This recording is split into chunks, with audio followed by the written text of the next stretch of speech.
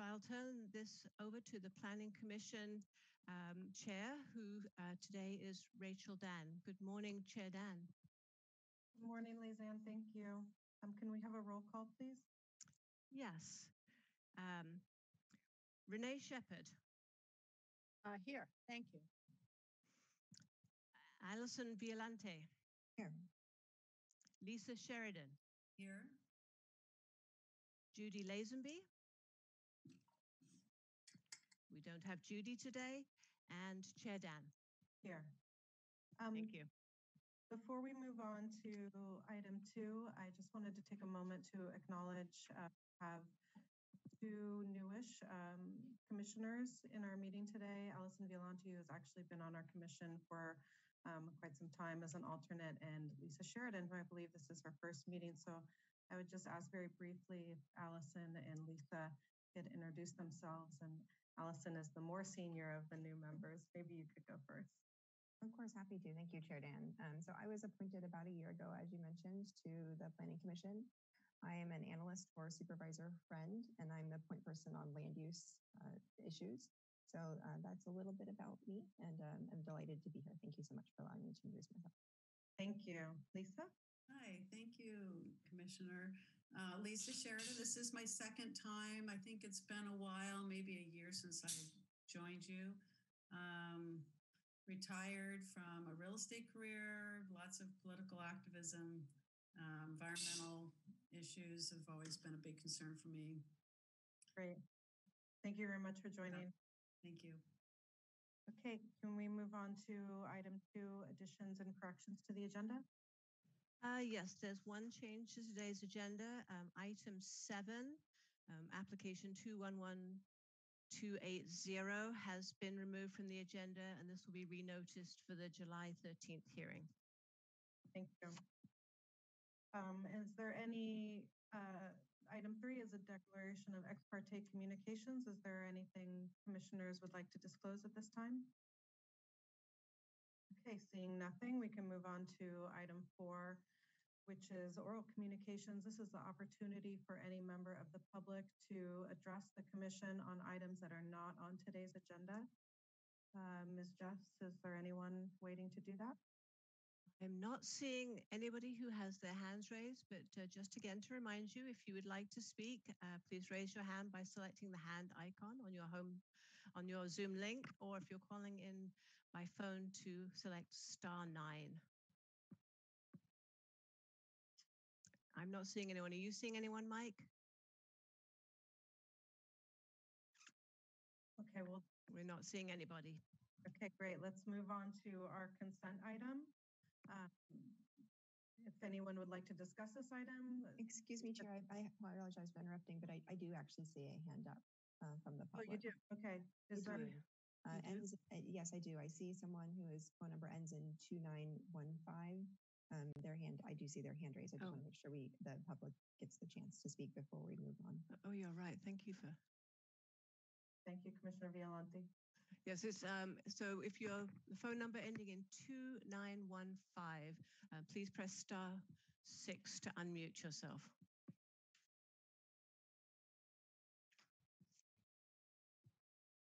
Good morning. If you would like uh, 2915, phone number 2915, you have your hand raised. I think they have to be taken out of the participants um, status and be promoted to temporary panelist. Yep, there they are. All right. Hello, can you hear me now? We can hear you now. Thank you. Sorry about oh, that. Excellent. thank you. And uh, thank you to the commissioner. I think it was Commissioner Violante who pointed out that I was raising my hand repeatedly. So thank you very much. Um, good morning. This is Becky Steinbruner. I'm a resident of rural Aptos. I um, I have concerns that the public comment for the draft EIR of the county's sustainability plan closed on May 31st. I and a number of other people did request uh, an extension of public comment time, but I have received no notifications and have not seen anything on the planning department website that public comment has been extended. I think it is unusual that public comment would close before your commission even reviews that document publicly. So I request that the planning commission send um, a letter or notification of some kind to the uh, planning department. I guess it's got a new name now, redevelopment commission or department or something, to to uh, reopen if it has closed the public comment for the draft EIR of the county's sustainability plan and general plan update, um, and to extend it at least another 60 days. This is a huge document, and it was released at the same time as the other uh, the other portion of it, the sustainability plan and um, recommendations for regulate regulatory changes. It is a huge amount for the public to try to grasp, even with the public hearings, which were not well attended at all. And um, the document, the hard copy of that document, did not even make it into the reference section of the Capitola Public Library until all of the public hearings had been held, and there was really no opportunity for people to um, Thank you, Ms. Steinbruner. All right, Thank you, thank you very much. Um, and Ms. Ms. Jeps, if I neglected to mention this, we have quite a long meeting today with many participants, and I'd like to limit um, public comment to, or allow public comment for two minutes per, um, per person. Okay. And if we could put the timer up when they come up, that'd be great. Okay, Okay. so is, is, is there anyone else for oral communications? I'm not seeing anybody else. Becky, your hand is still raised, but nobody else. Okay, great. Um, and so let's move on to our consent item. If there's some, uh, anyone wants to discuss this item, you have to make a request to pull it at this time. If not, uh, I will make a brief comment and thank um, Mr. Carlson for preparing the staff report on this item. This was something that I requested at a previous meeting um, based on some concerns about fugitive dust for this project. So I just want to uh, note my appreciation to uh, Mr. Carlson for looking into the matter and preparing the staff report for this consent item. There are no other comments. um, Uh, well, I don't want to slow things down, but, in- and Michael, tell me if I'm wrong and I just missed it, but I didn't see any staff summary on that. Did I miss it? um, It was emailed to us. Oh. Uh, okay, I want to read it too, and I didn't. I won't slow things down today, but Michael, could I ask you the favor of sending it to me again? Yes, I will do that. Okay.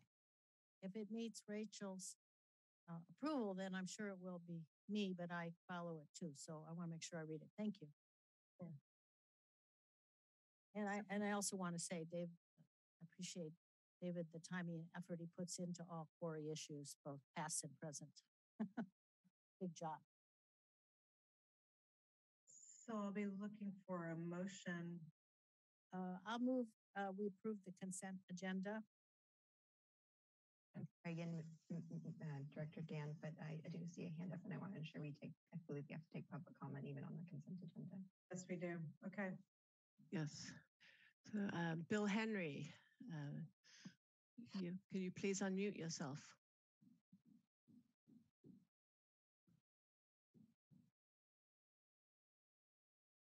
Mm. Bill, have we got Bill? How about now? You got me? Yeah, we got you. Hello. Thank you, Chair and Commissioners. I appreciate you taking my call on public comment. Uh, my name is Bill Henry. I'm a Davenport resident where I live there with my daughters and wife. Um, and thank you, uh, Mr. Carlson, for preparing the staff summary. Um, overall, I'm supportive of remediation of the cement plant, but not at the expense of environmental and public health. Um, Cement plants have long been associated with poor environmental quality, and the Davenport cement plant is no exception. Local activism dates back to reduce dust, dates back beyond the 1950s, with several successes, including um, installation of dust remediation equipment. Um, historical work um, at the plant has lacked dust control, such as the removal of the ball mill and demolition of a 12,000 square foot building and tear down of smokestacks that were um, in the plant proper. And during this period, there were no water activities to reduce dust, and I experienced um, dust in my lungs and burning my eyes, and got no response from MBARD upon complaints. Um, I did submit a recent complaint and video of dust, dust dep- deposition on private properties and observations of these activities on of dust creating activities at the cement plant during the during the CKD dust remediation. Um, and they lacked dust control for whatever reason. And I found the staff report was rather dismissive to some extent, but we need to have better dust control, especially um, with ongoing as ongoing remediation occurs. Um, off the cuff calculations show that based on the deposition that we witnessed, over 1.5 tons of dust were spread across federal lands, including Coho and Steelhead bearing San Vicente Creek. So that's important to the water board. Um, we need to have water on the moving blades of equipment and more use of dust control measures. Um, it's not acceptable, and we were told that dust would not be transported off off site. And I know this is really hard, but we do have increased winds in the Davenport area, and climate change are only going to exacerbate that. So we need to make sure that we um, employ dust remediation activities and have a wind cutoff that is reasonable to decrease dust. I really appreciate you taking my comments. Thank you. Thank you.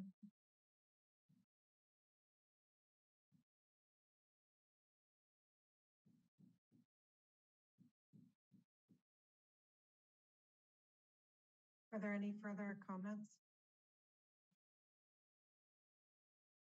Not seeing anybody else. But then, um,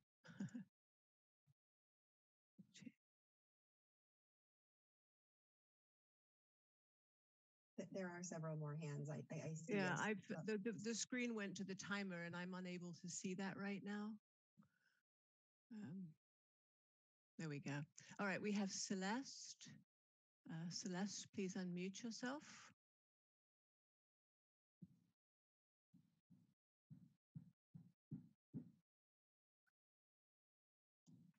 Hello? Oh, there we go. Good morning, Hi. Celeste. Good morning. Thank you for taking my comment. Um. I'm a resident of Santa Cruz Gardens and I wanted to speak to the change in zoning for the, um, in the proposed general plan for the corner of Thurber and Soquel Drive. Excuse me, Celeste, I think you're, you're making a comment on an item that is further along in our agenda. Oh, okay. So yeah, we're a little bit different than the board, so you have to Oh, wait. it. Item comes up, it's item um, number 10. Okay. But Thank you very much for being here and we'll, we will get to that item. Yeah, we'll call we'll call on you later, Celeste. Thank you. Thank So Um, you. this, this is only for comment uh, regarding consent item number five. So Do we have other the comments? I have uh, Brian McElroy. Uh, Brian, if you're commenting on item number five, um, can you please unmute yourself? Hello, can you hear me? Good morning, Brian. State, please state your name for the record. Brian McElroy, resident of Newtown Davenport, 13 First Avenue. Um, I've followed this project from the very beginning and, you know, appreciate all the effort and conversation there's been around dust, but I want to reiterate Bill Henry's point that dust mitigation measures have not been adequate. Neighbors on San Vicente Road have dust in their homes, in their backyards, um, and have been dealing with dust throughout this entire project. The air quality district had encouraged a wind speed limit on this project that was apparently not implemented as a mitigation measure. And I think that would have been critical because we, as Bill pointed out, we have had very high winds this spring, and the project has been ongoing during those high winds. Um, I know this project is getting close to complete, um, and we're all looking forward to it being done. We all understand the need for this project, and we all want it done. But I would encourage that the Planning Commission implement more stringent um, mitigation measures on dust control, and that one of those measures should always include a wind speed limit. And any future projects in the Davenport area associated with the cement plant should have a wind speed limit on it. So please, uh, let's take learning from this instance into future projects. Let's apply the learning we have now to the remainder of this project if possible. But primarily, let's take our learning into new projects and let's have more stringent mitigation measures on dust control on any project related with the cement plant in Davenport. And thank you for your time. Thank you, Brian. Uh, do we have anybody else? Can we go back to the main screen, please? Um, I have one other hand uh, raised. This is um, again phone number 2915. I believe that's Becky Steinbruner. Could you please uh, press star six to unmute yourself, Becky?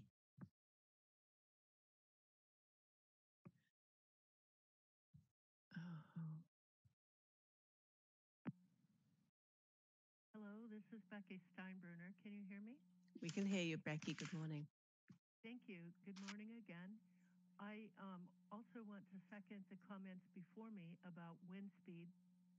I remember participating in this uh, issue when it came before your commission, and I I do remember that there was a lot of discussion about wind speed. One of the comments I made at that time that there be on site a uh, anemometer that would give objective data uh, for determining the wind speed and that it be um, it be a, determining factor of when a project could move forward or not. I'm disappointed to to hear that it is a problem. I'm concerned in the staff report that it it basically uh, dismisses the importance of this. It says it should be noted that any dust generation in the area is not necessarily going to be all AD. And I feel like that is uh, allowing this this contractor to skate free. Any construction project has dust mitigation requirements, and it seems to me that this contractor being held accountable. I would like the commission please contact the Air Control Resources Board. It sounds like the residents had no luck and no response. Normally, that agency is very responsive.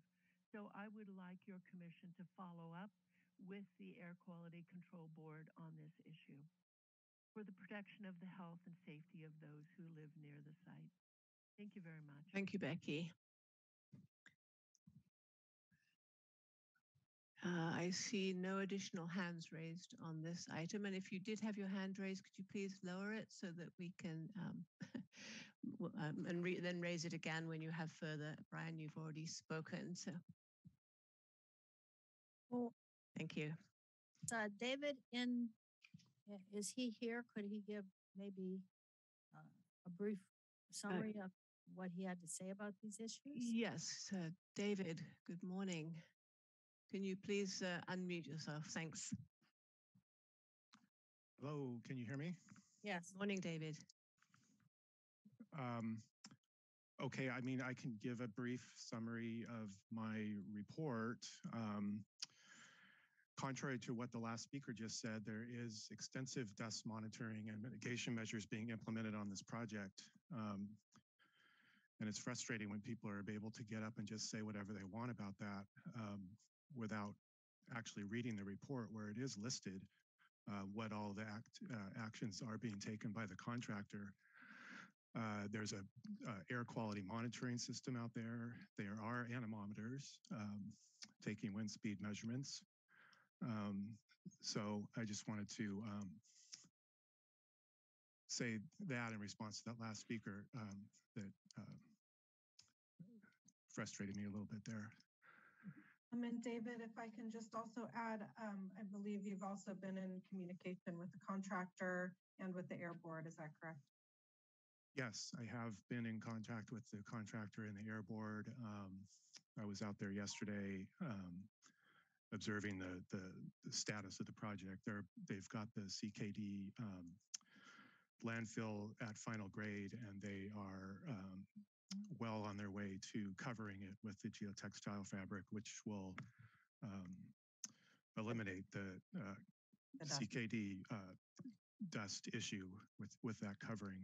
Um, they've also implemented some additional mitigation measures um, since the complaint came in, and those are listed in the report as well. Um, I've provided the contact information for the on-site uh, staff uh, to the uh, the complainant, um, as well as that information going out on a weekly basis to um, some other community contacts. Uh, they've started earlier on the project um, at sunrise uh, to try to get as much work done um, before the afternoon winds pick up. Um, they've increased their use of the soil binder material. That's this material, uh, it's a trade name of gorilla snot, and it, they spray it over the uh, ground and, and over uh, works over a period of you know several days to a week to bind the soil together and reduce dust generation. They've added a second water truck, um, and uh, continue to um, monitor and collect data on dust generation from the monitoring network um, and also uh, monitor their activities with regard to the wind and, and actually have been shutting down the project um, at, at, times when uh, it's difficult to work and, and uh, lots of dust is being generated. So there have been um, a number of days actually uh, where the contractor has, uh, on their own decision, uh, shut down the project because of because of their high winds and, and the monitoring data that they're seeing and their visual observations. Um, so that's um, you know a summary of my report. I, I, have data from the monitoring network that I could present uh, if if that's uh, if if folks want to see that. Um, it's long-term monitoring data of, of air quality um, during and before the project um, from the monitoring system that's on site and in the local Davenport community. Thank you, David. So, I mean, I just want to reiterate, we had some complaints. It was brought up. Um, I brought it up to staff. Staff diligently looked into it, communicated with the air board, with a contractor, came up with some additional mitigations it's you know may not be perfect for the community, but um, but it was addressed. So um, so I just want to again appreciate um, David looking into this and and addressing um, the issues to the best of our ability. So thank you for that. Uh, are there any other questions or comments by commissioners? Well, do we want to ask David if he, Dave Carlson, uh, to that he could make this um, report that we got available to others if they want to see it? It is available on the Planning Commission website as part of our report back. So it is it is publicly available. That's that's how the members of the public were able to read it in advance of today's meeting. Okay, so for anyone who's listening who spoke who didn't see the report, if you go to the Planning Commission website, you ought to be able to find it. It's fairly comprehensive. I just skimmed through it while everyone was talking. I think it's useful. Uh, just quickly, as so Chair Dann, um, since we have pulled this item um, on from the consent agenda and we are allowing public comment, I do see that one additional hand is raised. Do you want to take additional comment? Um, sure. Uh, this is a phone number starting in or ending in 9483. Um, please press star six to unmute yourself.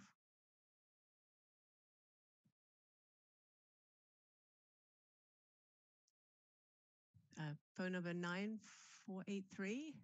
Can you press star six to unmute yourself, please, if you would like to provide comment on this item? Hi there. Can you hear me now?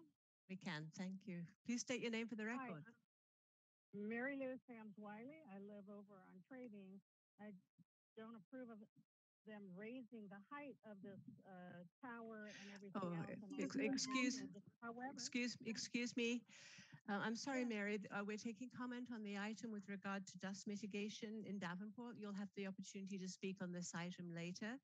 Um, please, uh, we'll just wait and save your questions okay. for um, item eight on the agenda. Thank you. All right, sorry, I I'm turned that. going To close the public hearing on this item and then I- bring it back to the commission. If there are any comments from the commissioners? Yes, Ms. Sheridan. Thank you, Commissioner Dann. Um, just, you know, not being as familiar with the process, will this come back again on the next agenda meeting so that there's some follow-up from this commission on how Um, things are going? No, actually, because this was an item that um, uh, two meetings ago, as a result of uh, some complaints we heard from the public, I made a motion at that meeting to have staff come and report to us on the status of the project and what additional mitigations uh, and communication could be had with the contractor and the air board um, about these complaints. So this is that report um, and kind of um, addressing the, the requests of the commission. And so we've heard from them, and unless there's a, a motion um, that would have it come back and that is approved, then this, um, this is that report uh, responsive to the commission's request.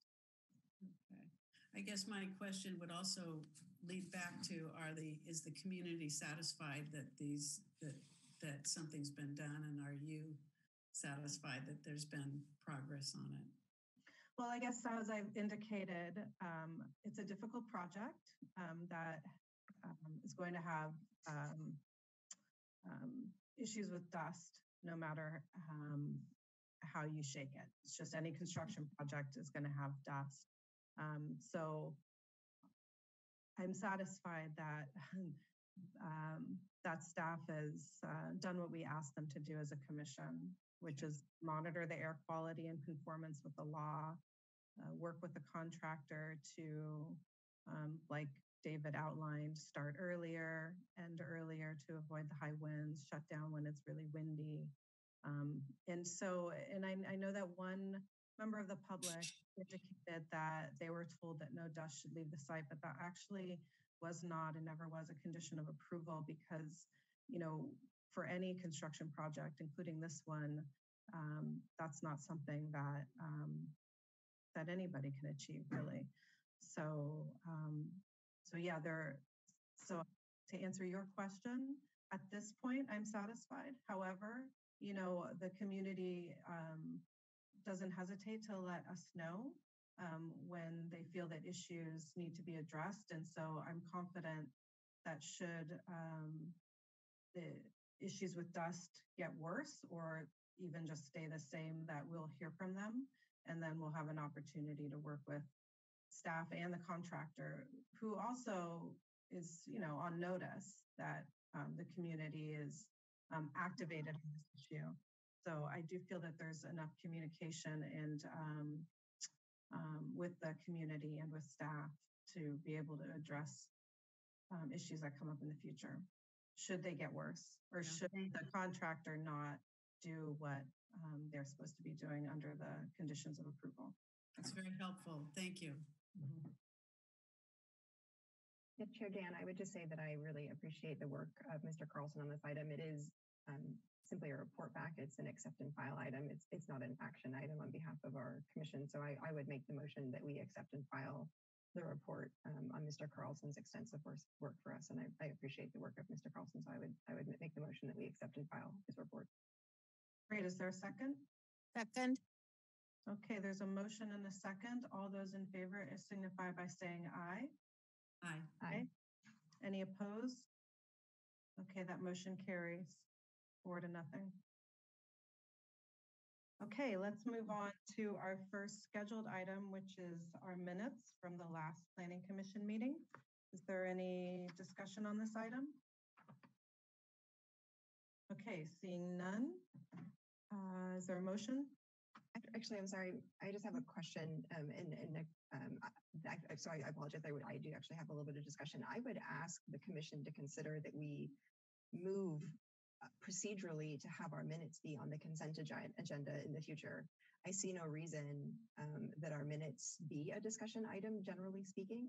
And I would like to know whether or not this board would be open to this. It's a procedural discussion, so it's not specific to the minutes, but, um, I- think it's something we should consider for the future, and I'd be willing to make, in addition to the motion of passing our minutes, the direction that in the future that these be put on our consent agenda. I don't know if that needs to be part of this motion, and maybe Daniel, Mr. Zazueta could speak to whether or not that'd be appropriate to make as part of the motion or something that procedurally can just be done in the future. So Mr. Zazueta, perhaps you could speak to that um, if I need to make it as part of our motion um, or if it's just something that can be done.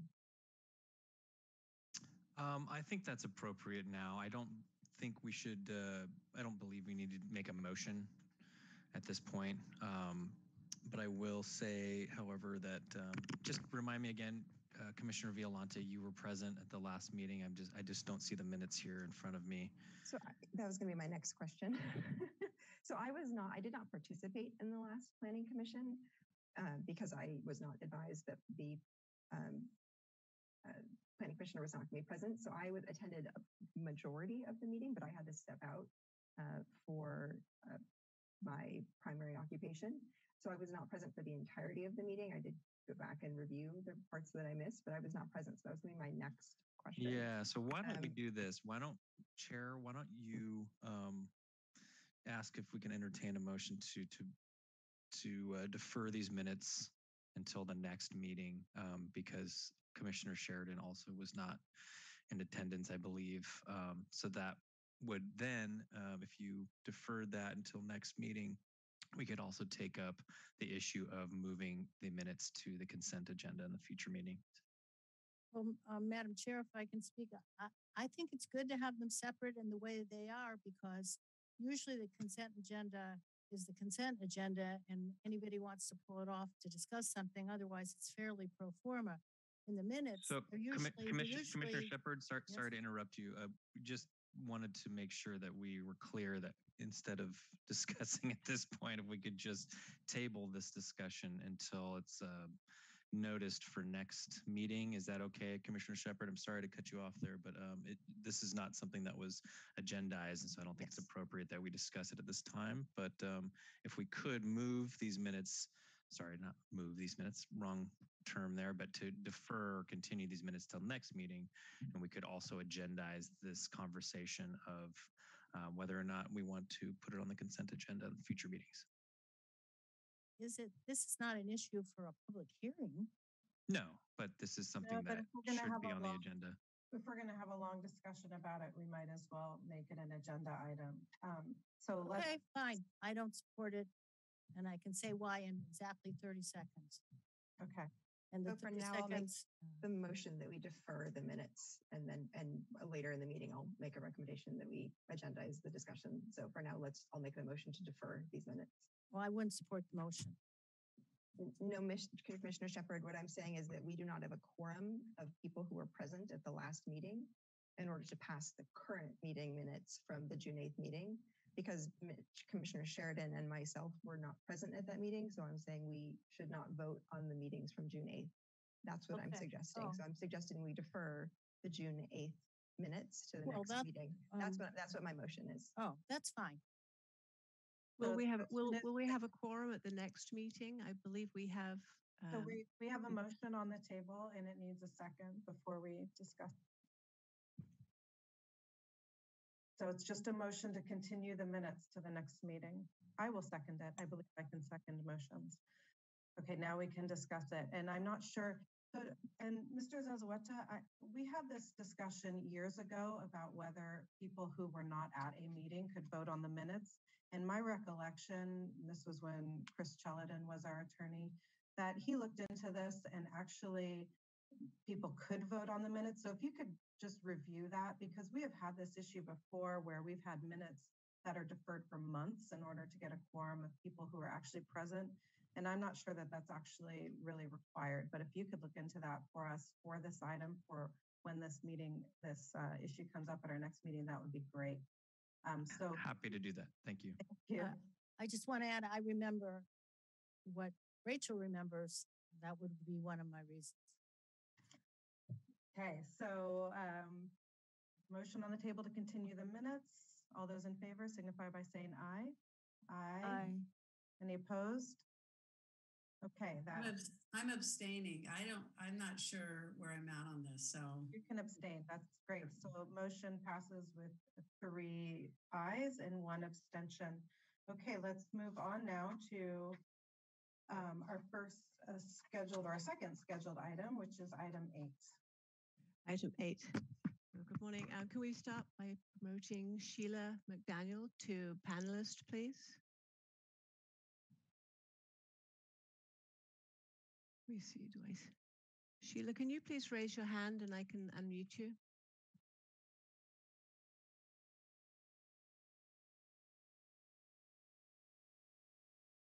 I'm not seeing, seeing Sheila. Hmm. Is anyone? Oh, there she is. Good morning, Sheila. Good morning. I hope you can all hear me. We can hear you. Good morning. Good morning. Okay, so this is Sheila McDaniel, the project planner with the planning department. Working for prior staff, Liz Cramblett on this project, who is no longer with the department. Um, just as an FYI, I, you know, read the staff reports and listened to the public testimony and read correspondence. And I'll have more to say to the public regarding public correspondence later in the presentation, but um, if you could uh, forward the slide, Mike, please. Thank you. So the original project came in in 2017. It was an 85 foot tower. Um, it was revised at the direction of staff and reduced in size to a 65 foot uh, tall mono eucalyptus wireless uh, communications facility. It was scheduled before the zoning administrator on November 16th, 2018. And the zoning administrator um, denied the project because a mock-up was not provided per the wireless regulations. Um, in addition, the Pilots Association expressed concerns regarding airport safety. Following that decision, the applicant, um, Verizon, appealed the project denial, challenging the finding for denial because they weren't given specific requests to provide the mock-up as required by the ordinance. And they requested that the, um, the applicant, the response was to toll the shot clock to, to address that issue. So, and then since 2018, the um, Verizon obtained a no hazard to air navigation clearance from FAA at 65 feet in height. One second. With no required lighting. Um, in addition, um, in February of 2020, um, the county general plan and county code amended um, were amended to incorporate the airport safety requirements, and they were effective in February of 2020, um, addressing the concerns by the Pilots Association that the uh, safety handbook standards be included in our general plan. So then subsequent, uh, prior to the next meeting, the applicant provided the 65 foot tall mock-up um, placed on the site two, two weeks prior to the hearing as required. And then the planning commission considered the item on July 8th, 2020. And at that meeting, the planning commission continued the project at the request of the applicant to, so the applicant could, could confer with the Watsonville Airport regarding airport safety um, issues regarding, you know, air, um, air obstruction versus um, airport navigation compliance. And the planning commission requested staff to provide findings for denial due to aesthetic concerns regarding the mono um, eucalyptus, as well as staff to address height allowances of the code. And then uh, otherwise height increases allowed under the Spectrum Act um, and otherwise safety standards. So prior to the continued hearing date of, of July 22nd, um, the applicant revised the project to a 47 foot water tank from 65 feet, reducing that height by um, 13 feet in height, 18. or 18, I'm sorry, 18 feet in height. And then on July 22nd, the PC continued the hearing again to evaluate airport obstruction standards. um, as well as um, for staff to evaluate the 47 foot water tank because that material was provided in very late in the application process and didn't allow the public or the planning commission to fully evaluate the project. And then the Planning Commission also requested renoticing to include the public email list provided to the Planning Commission. Next slide, please.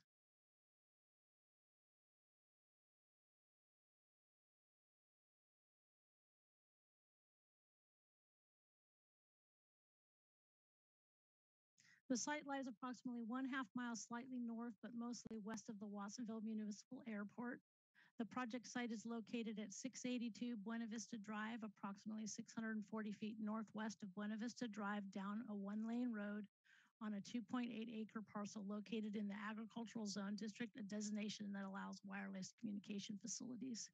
Next slide, please.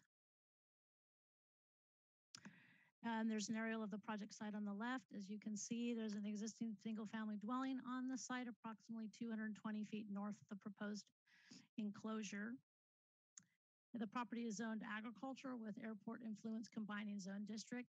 As I previously noted, wireless communication facilities are an allowed use in the, this zone district. Next slide, please. This is the general plan scenic resource mapping overlay provided in the GIS, illustrating that the project location is beyond protected Highway 1 visual resource area and that is otherwise not located on a map scenic roadway protected by the general plan. Next slide, please. Project plan, all proposed equipment and the 47 foot tall water tank will be located within a 784 square foot, eight foot high fence enclosure in the southeast corner of the parcel. The equipment area will contain a radio cabinets and a diesel generator provide continued service during power outages and emergencies. Utilities serving the proposed facility will be trenched underground from a nearby utility pole. Next slide, please. This is the project elevation. It's proposed open lattice frame and contains a water tank structure that will be approximately 13 feet by 12 feet in diameter with vertical faux wood slats painted portobello brown and darker horizontal banding. The tank structure will be capped by a slightly inclined turret roof with a single omnidirectional steady burning red safety light on top that detail is on the right of your slide. I'm sorry that it's not really legible. I guess something happened when I cut and pasted that, but the that detail indicates that the light diameter is 5.65 inches in diameter and a height of 7.75 inches with an under 3 watt low intensity light, meeting the FAA advisory circular um, for the lighting of safety standard Next slide, please. So this slide just illustrates that um, your planning commission considered previous to this hearing a 65 foot mono eucalyptus tree and now it's been revised as of the July 22nd hearing. It's now a 47 foot water tank and has been evaluated by staff and as noted in the staff report. Next slide, please. So there's visual simulations that are provided in your staff report. There's a variety of visual simulations and your commission should note that the applicant provided additional vi visual simulations, including night visual simulations that are attached at the last, the third item in the uh, visual simulation package attachment. And so as you can see, the visual sims show the structure and then you also see um, the night lighting and in, in the far right photo, you can see um, a circled area item that would be view, view two looking toward the site. I've circled that. And then what you see in green is the applicant prepared a, um, a Google view shed perspective view, a Google view shed of the where the light might cast from the top of the tower. Next, please. And then this slide is taken from the Briarwood neighborhood, as you can see in the lower right hand, I mean, the lower photo toward the facility. Um, the existing and the proposed daytime location. You can see in the bottom photo of the existing and proposed where the proposed water tank will be located. Um, it's barely perceptible in this photo. And then on the right hand side, you'll see in the upper photo the existing nighttime conditions with ambient lights, porch lights and such. And then below that is the proposed photo looking up above just to the right and center of the garage you can see a tiny little red light it's uh, barely perceptible relative to the other surrounding light next slide please This slide is taken at the at the off ramp off of Highway 1 at the top of Trabing on Buena Vista Drive, looking toward the facility. And again, the lower side slide on says shows the proposed uh, faux water tank. You can see that again, barely perceptible. And then the right hand shows the how it's going to appear relative to ambient lighting. And again, it's very difficult to pick out this red light in this ambient environment. Next slide, please. Um, I had a question. Could you go back and you got a pointer or anything where you can show us where it is? Um, no, but I can. So what I I did this it's purposefully. right. Quite honestly, I did this purposely because I felt like if it wasn't obvious in the nighttime photo, showing it out to you would make it be even more clear. That so there the light is, but but the fact that you're not seeing it, to me makes it clear that it's not. It's very barely perceptible relative to the other light, the white and yellow light in the ambient area. Okay, Next, thanks. please. So this slide is taken from the old Adobe Road, which is located to, I believe, to the west of the property, below grade of the subject property. So if you're looking at the existing slide, you can see the mock-up that the applicant placed. That mock-up has been there for, gosh, two years now for a 60, uh, 65 foot tall um, facility. And then below that is the proposed water tank, and you can see more clearly from Adobe Road. This is probably the most the view that will have um, the most views of the facility. And then to the right again is the existing view at the upper image, and then the lower view you can see the red light on the tank from the old Adobe Road area. Next slide, please. And then this slide, slide is taken from Buena Vista, which would be about um, east of the property. And this site is not visible from Buena Vista Drive at this location. Next slide, please. So the code basis for approval here is that wireless communication facilities are allowed use in the agricultural zone district.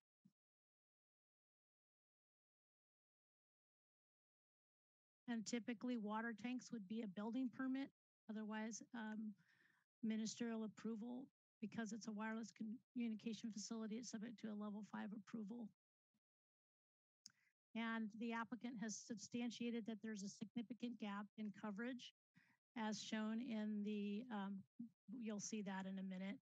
Um, in the allowed zone districts, it's not subject to an alternative analysis. So there is no requirement that the applicant provide an alternative analysis evaluating all the sites that could potentially provide coverage. And then the facility meets both height allowances pursuant to 1310 510D, two exceptions to HUD, in that it meets the 25 foot height exception allowance for water tanks and it may also be determined to be exempt from height standards altogether pursuant to the height exemption for utilities, commercial power poles, and towers. And insofar as addressing the airport safety compliance issues that have been highlighted at all the meetings, um, the zoning administrator and the, the last two planning commission meetings, the project meets both the FAA clearance at 47 feet and the FAA is not requiring a light However, if a light is provided, they are advising that it meet the airport advisory for light standards. And the project also meets the Air Watsonville Airport safety concerns at 47 feet or 241 feet above uh, mean sea level and includes a red light as requested by the airport. And again, I just want your commission to be very clear it's a request by the airport. It is not required by the FAA, which is the ultimate authority providing clearance for um, the determination regarding no hazard to air navigation and no obstruction to air navigation. So it is included as in to respect the request by the airport.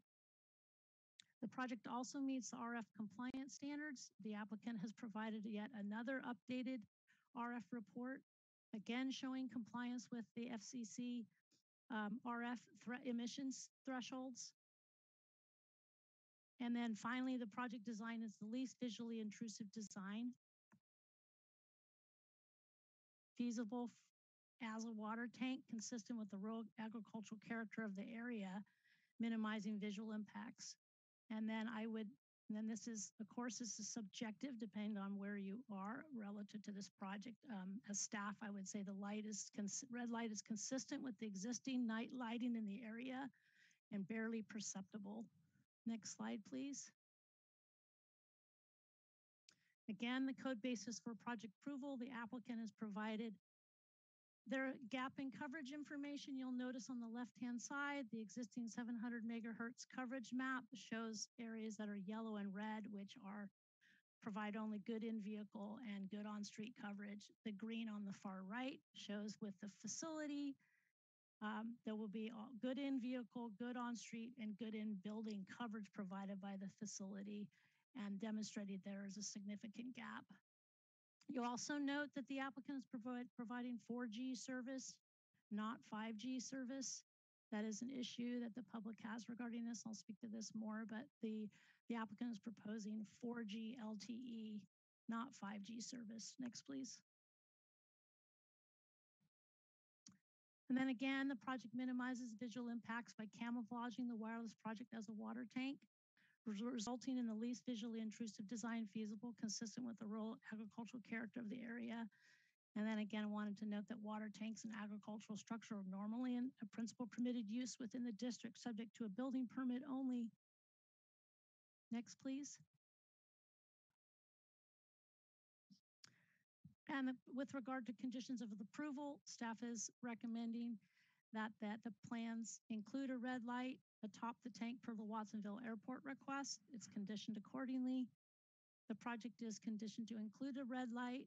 And as you've noted, the Planning Commission may strike this condition if desired, as the red light is not required by FAA if it's objectionable to the public. And the project is also conditioned to provide additional landscaping to screen, further screen the facility on the uh, eastern side relative to Seth Barron's property. And the project is also conditioned to require a final approval letter by the FAA should the FAA determination lapse before permit issuance. And then to speak to the Watsonville Airport concerns regarding the Spectrum Max, uh, what would ordinarily be an allowance for a 20 foot height increase or 10%, whichever is greater. The project is conditioned to prohibit increases in heights allowed by the Spectrum Act due to the max height of 47 feet allowed by the FAA. And then responses to neighborhood input. I wanted to take some time to go through to talk about a lot of the public input. Since I've picked up from staff before, um, I read the public correspondence and starting with the mock-up, there was someone who noted that they felt that the mock-up with the mast wasn't sufficient to um, emulate what the project would appear to be. And I just wanted to tell this person that um, the mock-up is required based on the code, and this code specifically notes that under 1310 660D, for proposed new telecommunication towers, the applicant may be required to raise a temporary mast at the maximum height at the location of the proposed tower. So the, the applicant has raised a mast to the standard, and that's the extent of, of any mock-up that's required. Um, you know, the project would have to be approved in order to allow a structure to be built to look like the water tank on the site. So our ordinance tries to allow someone to see what what the, the structure, where the structure will be located, how tall it will be. And with visual simulations, that's enough for us to evaluate. And there's a number of neighbors, I believe, that provided drone photos of the site um, showing that they believe there's slope failure. And I wanted to note that's on the back side of the subject property. I wanted to note that the site is not mapped for landslides or geologic faults and that our environmental planning staff noted shallow slope failure resulting from uncontrolled drainage resulting in erosion along the hillside. This is not intended, this is intended to be addressed prior to issuance of a building permit and is not a site safety issue associated with the project. And with regard to comments regarding code compliance complaint, that they have, number of folks have noted red tags or violations of the county code with regard to um, equipment, vehicles, and structures on the property. I would like to just lay out what the county's process with, is with regard to code compliance. The planning department is a code complaint driven department. And until a service request is filed to code compliance, no actions are taken by the department.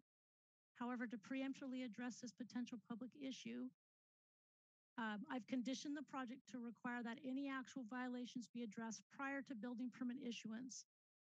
But that to note that until a service request is filed by the public, no such requirement will be applied to the project. However, I did contact code compliance, have um, an email from them. They reviewed the aerials of the property and he said, um, Aaron Landry, Aaron Landry, principal planner for code compliance indicated that if a code compliant complaint came in for a neglected property, vehicles, personal debris, property debris, etc., he doesn't think there would be an, anything to enforce. One, zoned agriculture and neglected property ordinance doesn't apply. And then everything appeared to be screened from public view and that equipment on the property appeared to be ag related. And as for the legality of the structures, there's simply, there's an electric permit and the structures appear to be constructed in 1963. So there is a condition, should a, a complaint be lodged and it's verified violation, they'll be required to be addressed prior to issuance of building permit. Another public member made a comment that the ownership of the property, the applicant wasn't authorized to make an application with the current trustee ish signature for the application. And I just wanted to tell you, I independently verified that the property ownership is noted, as noted by Verizon, has, um, as stated in the appeal response letter, is recorded in title documents with the trustee authorized to make the application on behalf of the trust since the death of the primary trustees noted by the assessor. And staff is satisfied that the applicant is authorized to make the application. Also, I would like to note that the public noted that the public correspondence was not included, and I'm absolutely agree with the staff, with, with the public on this. All of the public correspondence from the zoning administrator in both public hearings, as well as the current correspondence is now in your packet for consideration. And I apologize, that that's not something we, we try to do. We, we try to include all our public, public correspondence if at all possible. And we've had a lot of correspondence regarding concerns regarding 5G radio interference um, with altimeters.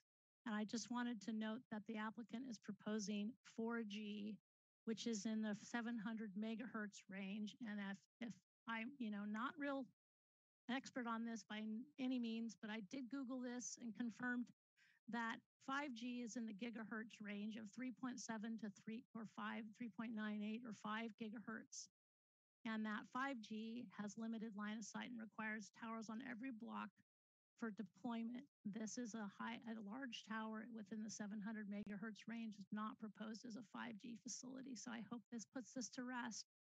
And then further, this is corroborated by the RF report indicating that it's a 700 megahertz range um, for 4G. And then the, some public members have mentioned that um, they would like to see if the applicant could co-locate on the power pole. I'm going to allow the applicant to speak to this. They did include that in a response letter that's provided to your commission. And then lastly, I believe Becky Steinbruner mentioned um, that the parcel is mapped with archaeological resources. And I wanted to note that environmental planning staff um, visited the property, determined that an archaeological site recon reconnaissance report is not required because the existing land use, livestock paddock, and the small project footprint proposed doesn't de demand it. And, and mapping um, existing um, reports have been evaluated. However, the project is conditioned to require if resources are identified, that project will comply with the ordinance standard. This is a standard requirement. And then last slide, please. So I, this is not, we don't get an opportunity very often to circle back to your commission and show you you know, after years of public testimony and process and contentious appeals, um, what a project ends up looking like. And unfortunately, this one is just, I really think it came out fabulous. This is in the La Selva Beach um, area. It's 48 foot tall uh, wireless facility. And it really just looked amazing. I mean, it matches the green siding and the grass and fits in nicely on the site. And unfortunately, um, I was not able to circle back with the Seventh day Adventist uh, wireless facility that's under construction now, but I will do so at some future hearing. Um,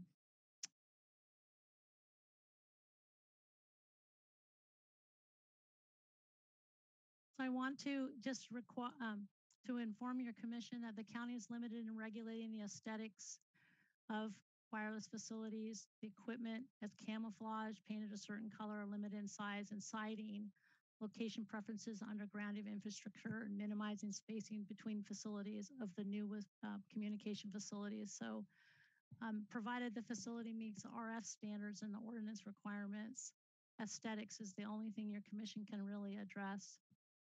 And then further, the county regulations do not require that wireless facility be invisible from the vantage point of surrounding properties, just that if visible from the public view shed that the facility is camouflaged to the extent feasible.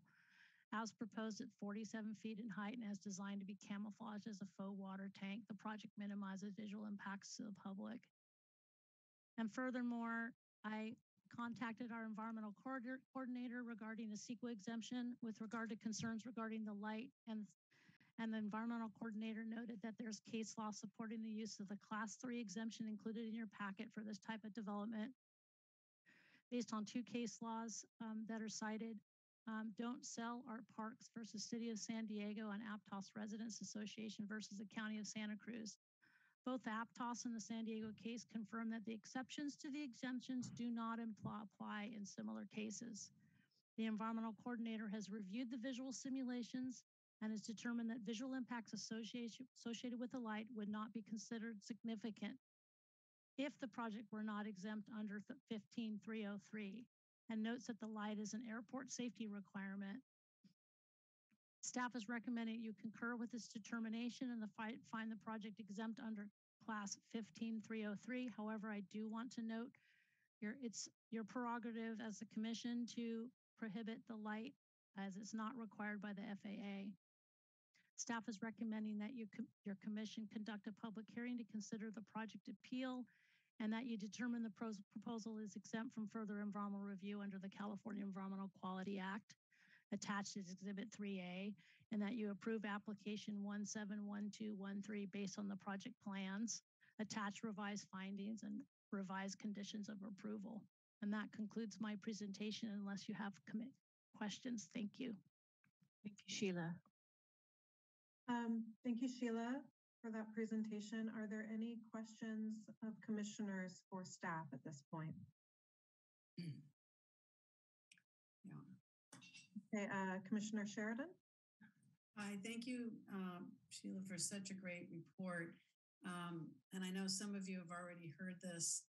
Uh, one of the things that I noted that I hadn't seen in the earlier plans was the relationship of this project to the property line.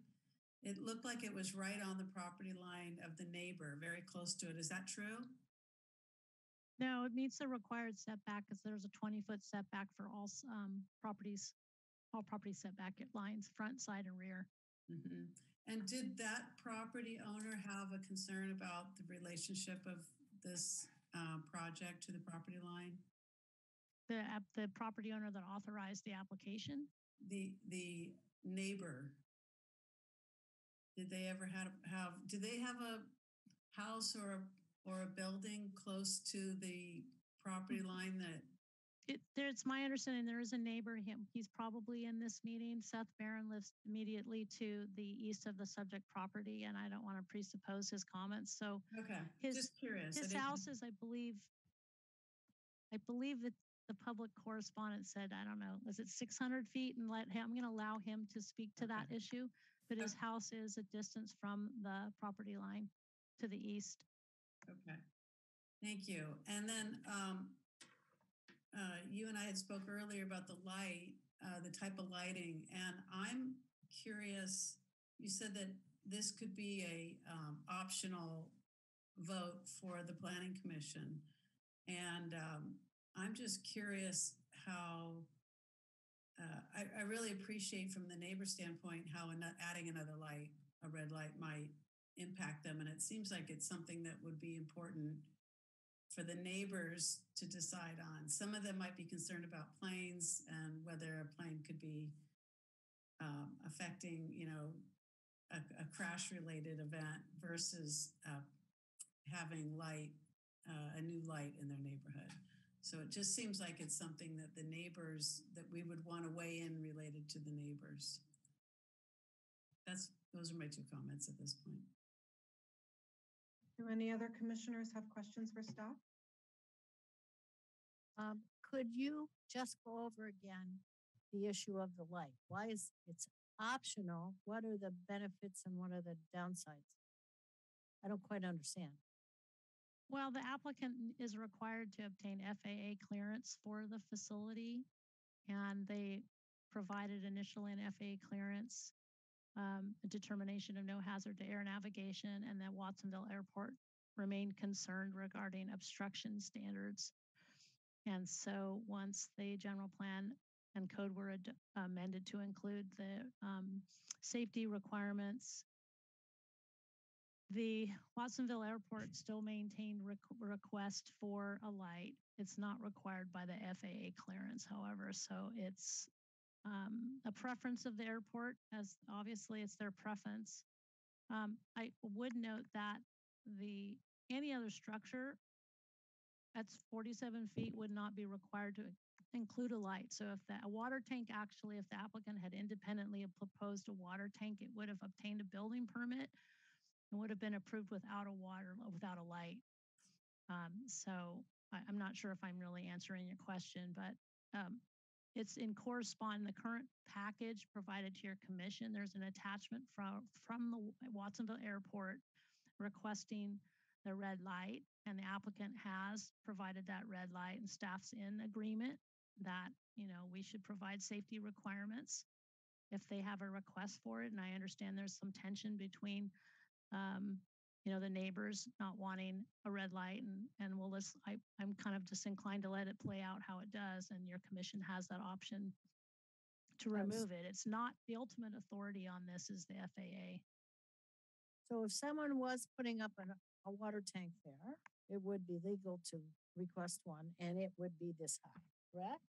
Yes, the ordinance allows for agricultural structures like water tanks to be at this height exactly. Okay, I'm sure we'll hear some testimony in this. Thank you. Any other questions or comments from commissioners to staff?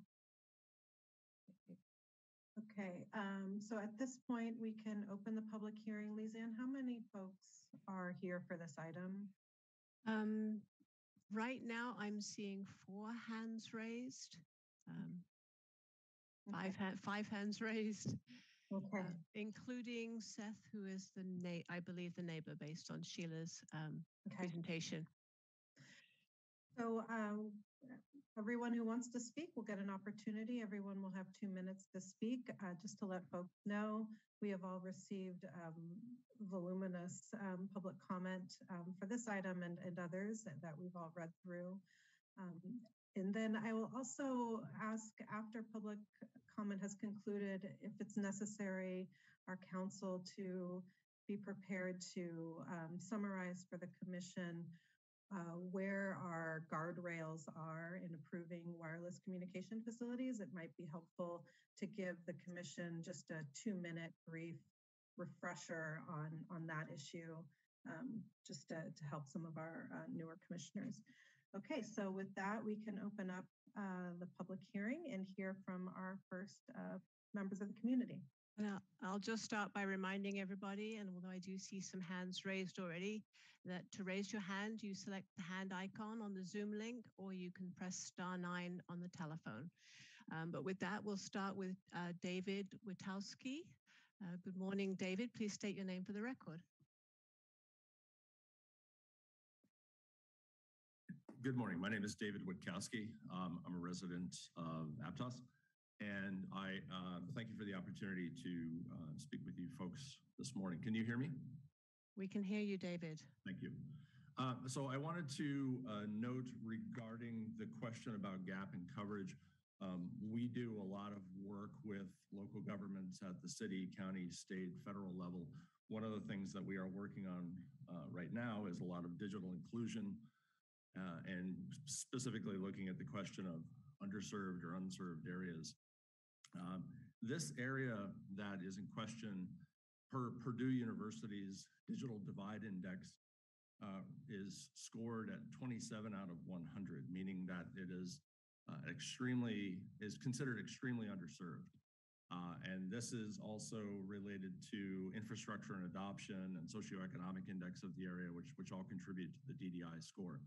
So I, can, I would like to urge the commission to support this project based upon the fact that this area has a significant gap in coverage, not only as attested to by the applicant, but also as attested to by Purdue University, uh, FCC filings under Form 77, uh, a, variety of other means all point to the fact that there is a significant issue in this area. And um, I appreciate the time and I'm going to yield back uh, balance. Thank you. Okay. Thank you. Thank you, David. Um, next caller I will call on is uh, phone number 9483. Please press star six to unmute yourself. We have caller 9483 calling on the phone. Please Hi there, Mary Liz Sams Wiley. I live over on Craving. I was looking at an aerial of that roadway. Uh, you mentioned that it's a one lane road. There's three homes on it. Even Seth uh, originally was off Buena Vista, but with the housing in the back, there's at least a total of three, possibly more um, units back there of people living in them and such. But the uh, I've noticed from here that every time the people come in to work on the home on Upper Craving on the north end, they leave large equipment pieces there. Uh, a couple times I've had to call the highway patrol to get them to move. I was calling the company that the equipment was rented from and said, please don't park on this side of the road because it uh, creates a lethal hazard for me trying to come out from my road to get onto Craving and such, and they have improved it. We do have a cul-de-sac, but with your one lane there, it's going to create a problem for the other people, plus increased dust when they have to come in and do maintenance. And what steps are in place to prevent Verizon from converting it from a 4G to a 5G? Because I wouldn't know the difference and such as to what equipment they're putting on there or adding height to it in the future because it is rather off the beaten path to um, keep an eye on what they're doing. Just my my concerns. I believe they can place that tower someplace else and have better coverage for everybody. But um, just my concerns. I appreciate you taking the time to listen. Thank you. Thank you, Mary. Okay, let's see. Who do we have? Suzanne, could I uh, interrupt for just a second. This is support staff, Michael Lamb. Um, I just got an email from the applicant, Trisha mm-hmm. Knight, uh, requesting that she be able to give their presentation before public comment. Yes. Uh, Rachel, are you in support of that? Um, yes, absolutely. I um, apologize that we didn't go to the applicant first. Um, that's usually our custom is to let the applicant make their presentation and speak to the commission first. So um, Tricia, uh, please unmute yourself and uh, please hear your testimony for the record. And how long, we usually uh, limit the applicant um, to five minutes, if that works for them. We had quite a lengthy staff presentation, so I think that should be sufficient. Good morning, Tricia. You please unmute by, uh, you should get an up. She may also be calling in. She gave me a phone number ending in 1778. I do see that in the attendee I do see that in attendee. I don't see a hand raised.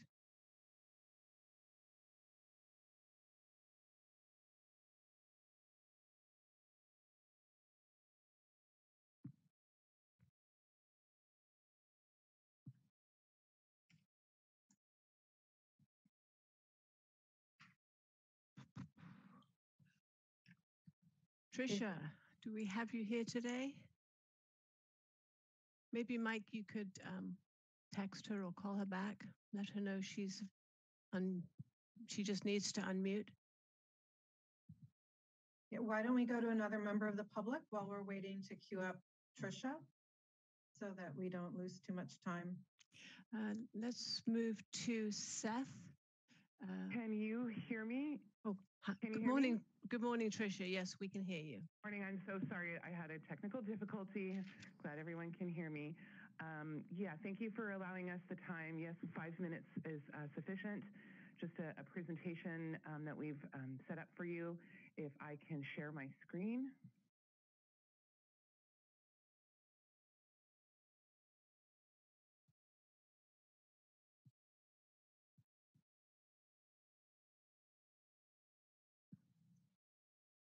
Can we allow Tricia to share her screen, please? Here we go. Join this panelist.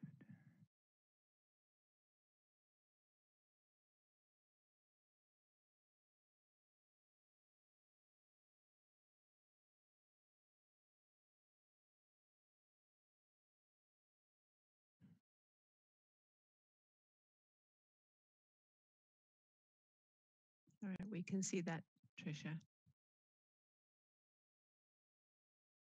Does appear that Trisha has muted herself, maybe inadvertently. So Trisha, if you can hear us, go ahead and unmute yourself. You are sharing your screen. There we go. Can everybody hear me? We can Yes. hear you. Okay, unmute, unmute, unmute.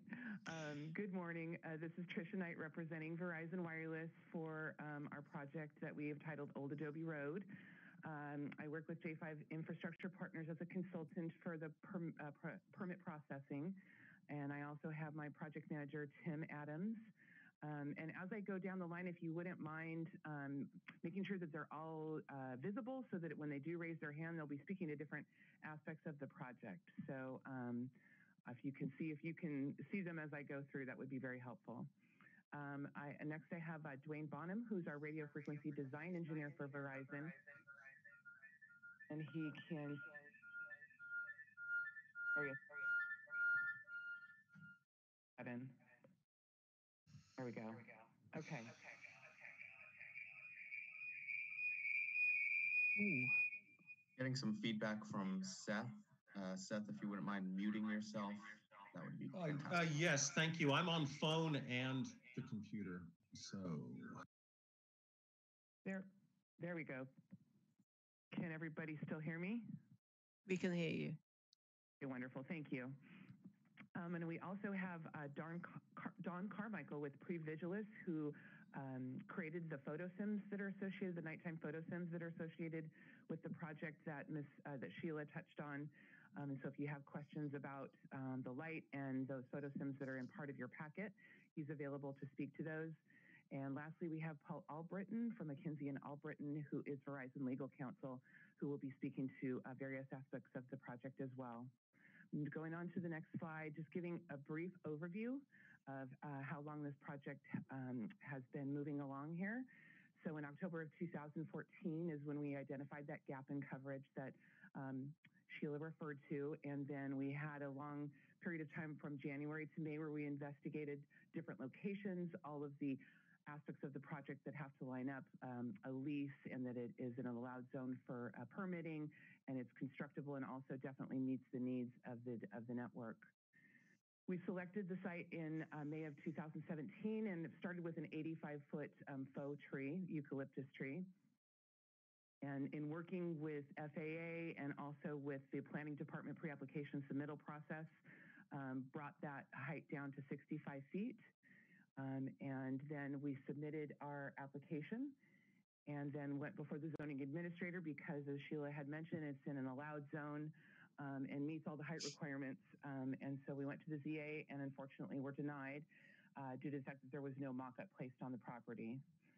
Um, immediately following that, we appealed, uh, uh, erected the mock-up on the property, and then at that time, the county was updating its general plan to incorporate state airport regulations um, per the request of the Pilots Association. So we were working with Watsonville Airport, the FAA, and the Pilots Association. Um, and then in July of 2020, um, we had the Planning Commission hearings, and it was continued to allow Verizon uh, more time um, to get provide more information and also place the mock-up. The Verizon Wireless uh, facility before you today is that 47 high foot water tank um, that came down to that height to uh, take in all considerations for airport safety standards and uh, making note that the stationary voluntary red light was requested by airport management, but as Sheila stated, uh, is not required, um, but is part of our current proposal. Moving on to the next slide is to go over that service gap. So we currently already have a Verizon facility here at the airport. It's not um, it's not close to the runway, but it is at the airport. And then um, to the left of the screen, you'll see the other existing facility. There's gaps in in-building coverage northwest of Watsonville, as well as along the roadways, including Larkin Valley Road. And you can see in the middle of the screen here the old the, the project before you, and you can see the lack of continuity between the airport facility and this is known as our uh, Marmonte. Um, and so there's gaps in in building and in vehicle coverage. Moving on, if you choose to approve this project and once constructed, you can see that really does fill in the gap. And also to make note, um, in the next slide, we'll go over the demand and capacity issues that are also in this area. Moving on to the next slide here. Um, so increasing demand, we're all using our devices as we sit here on this call today. And so uh, you, have got actual projected use and exhaustion thresholds, which have already been um, exceeded two years ago. And it's taken quite some time to get to where we are um, in the permit process. And so uh, Dwayne Bonham, our, our uh, RF frequency engineer, can speak to this a little bit more if you have questions as we move along alternatives. So um, one of the unique things, as you know, are about the ordinance when it comes to uh, telecommunications facilities is there are areas that are prohibited um, and areas that are um, encouraged. Uh, we are currently in that agriculture zone, which is um, not prohibited, but we are surrounded by um, some commercial, agricultural, and special use zones, which are. And then to the south here, you can see we looked at some properties um, where we're not able to entertain a lease and then we've trying to stay a little bit further away from these residential neighborhoods over here. And so that is another reason why we um, ended on the property that we currently are. Uh, here is the design of that water tank. It is rural in nature um, in the location that it's in. Um, it's half of the height that's allowed in that agricultural zone. We'll be painting it brown. You saw the as-built green tank that um, Sheila had showed you. They really do blend nice into these areas. You can see from a distance that we've got some trees that are surrounding the area. And so that does add as a nice backdrop at certain viewpoints. Um, and the red light, as requested by the airport, poses a minimal impact at night as there is existing lighting features over on that hillside. So in uh, airport safety compliance, so Watsonville Airport supports the 47 foot facility which avoids penetrating initial climb area of east-west runway and requests the red safety light, and that was in January of 2022. Um, we wanted to point out that it does not exceed obstruction standards and would not be a hazard to air navigation per the FAA letter in your packet from May of 2021, and that the Pilots Association does not oppose the project at the proposed height, um, but it cannot have any height increases, cannot be uh, approved without going through all the proper channels. And that concludes my presentation for now. And I am, I don't know how many minutes I am, but um, any leftover time I would like to reserve for rebuttal um, after public comment or if you, um, the commission has any um, additional questions at the end. And I'm here to answer any questions right now that you may have. Um, yes, Tricia, yeah, you can reserve the rest of your time um, at the to address any comments at the conclusion of the public hearing before it comes back to the commission. Thank you for your presentation. Thank you.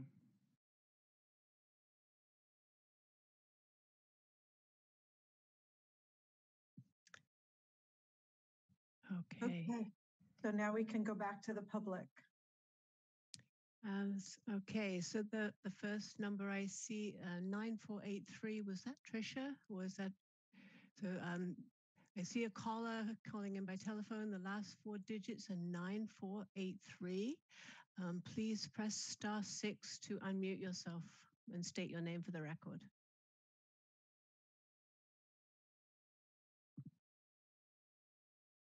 Hi there, 9483 is me for Mary Lou, and I spoke already. Okay, thank you, Mary. Could you please um, lower your hand by, I think, star six? We'll go back to the list, please.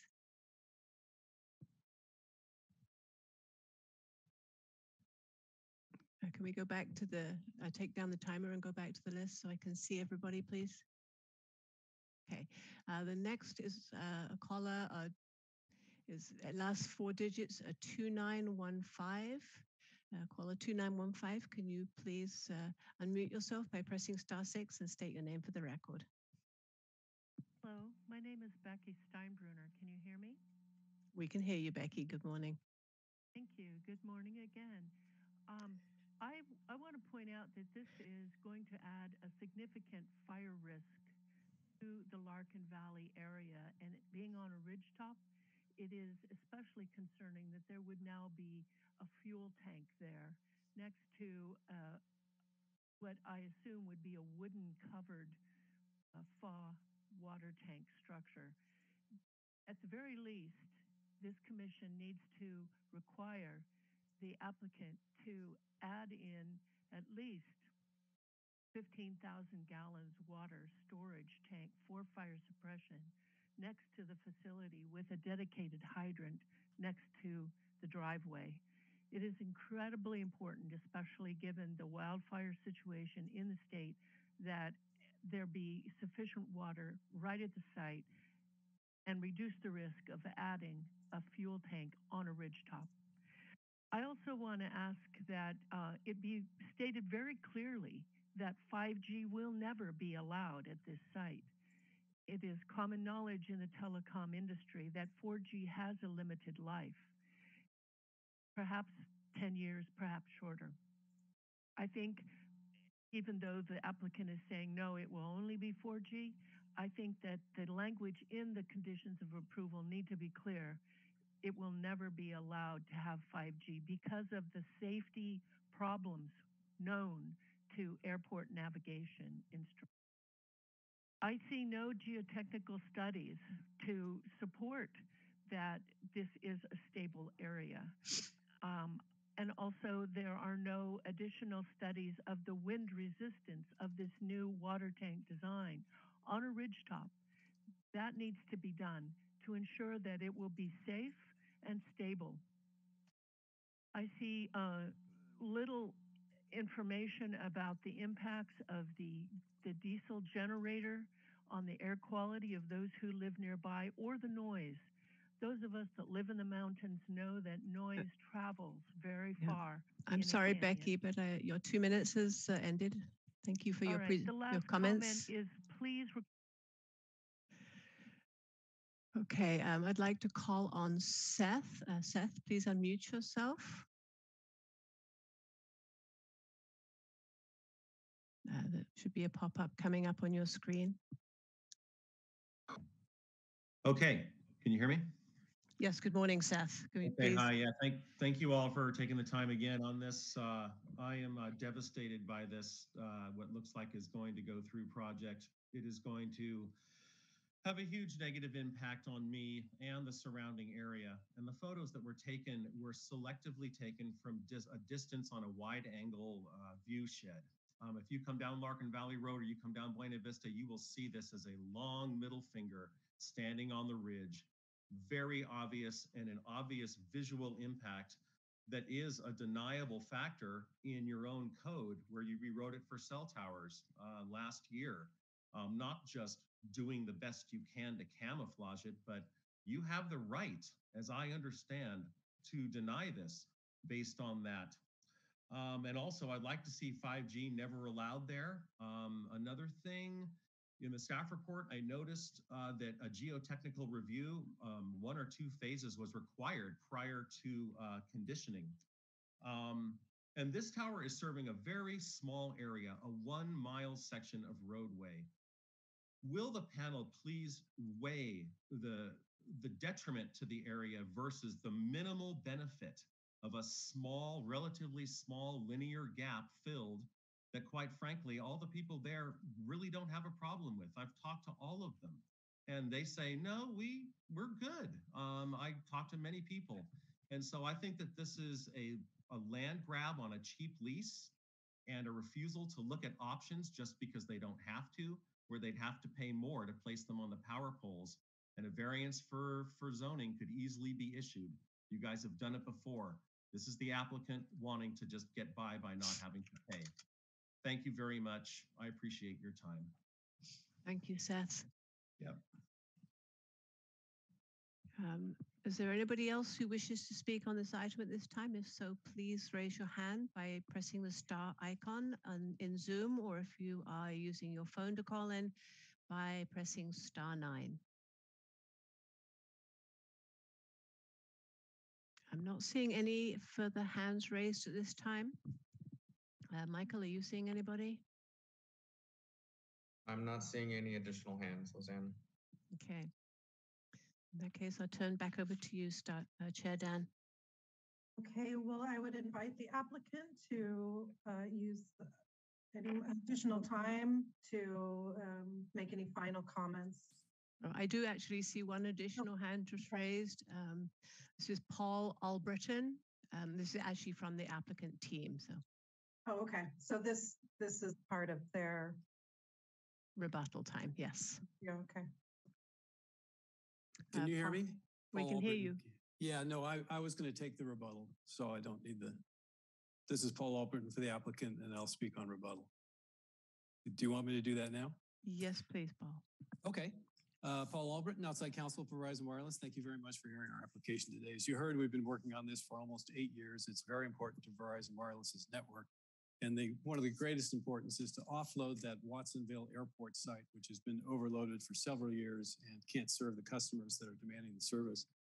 Uh, with respect to a couple of issues, there is no increased fire risk from the generator. These generators, uh, the fuel tank is a double uh, belly walled tank underneath the generator itself uh, in a containment area, and there's no risk to fire uh, from the, from the generator. This type of generator is all over the county and used. Uh, if the noise as is limited by the the uh, generator is only used during emergencies and can only be uh, exercised uh, once every two weeks uh, during uh, business hours as conditioned under the um, conditions of approval and also is permitted under the Air, Air Quality Board. With respect to geotechnical and wind load, those are addressed in the building permit portion of the uh, of the application and will be carefully reviewed. All of these facilities, of course, carefully designed to uh, survive excessive uh, wind load as well as geotechnical uh, report. Um, I mentioned the, the gap in coverage. Uh, the power poles were looked at, of course. The power poles are in, enable, unable to hold the equipment that Verizon Wireless needs to place uh, within this facility and are, are therefore infeasible. Want to make one more comment regarding 5G. 5G is a technology. It's just like uh, improving your Windows uh, software or your Mac OS software. Uh, in, in simple terms, what it does is allow the aggregation of, of bandwidth so that we can have multiple in, multiple out frequencies at the same time. It can be used on any any any frequency.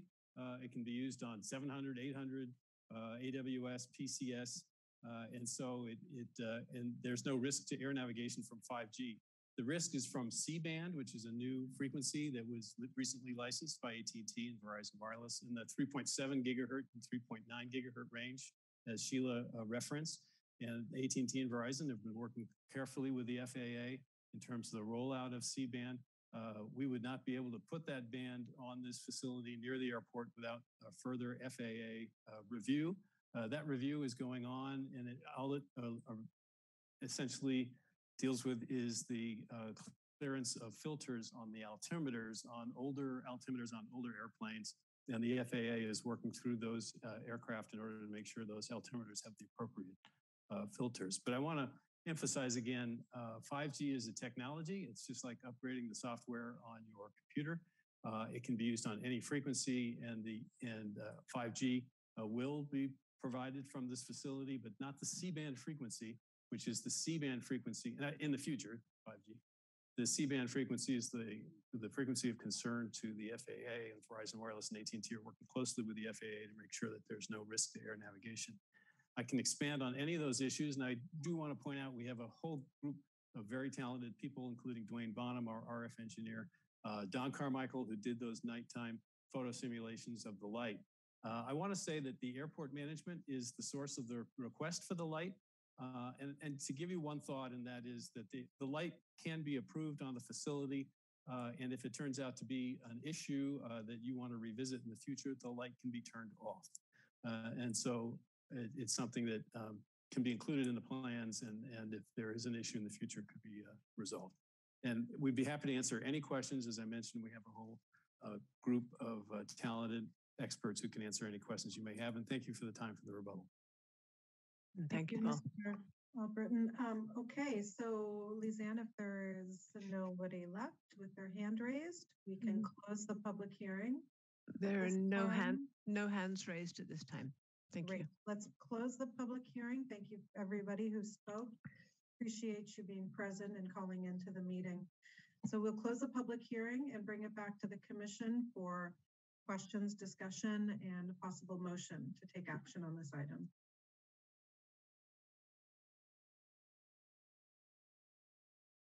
Well, We could, okay, here Okay, I Commissioner am Sheridan. Why don't you start us off?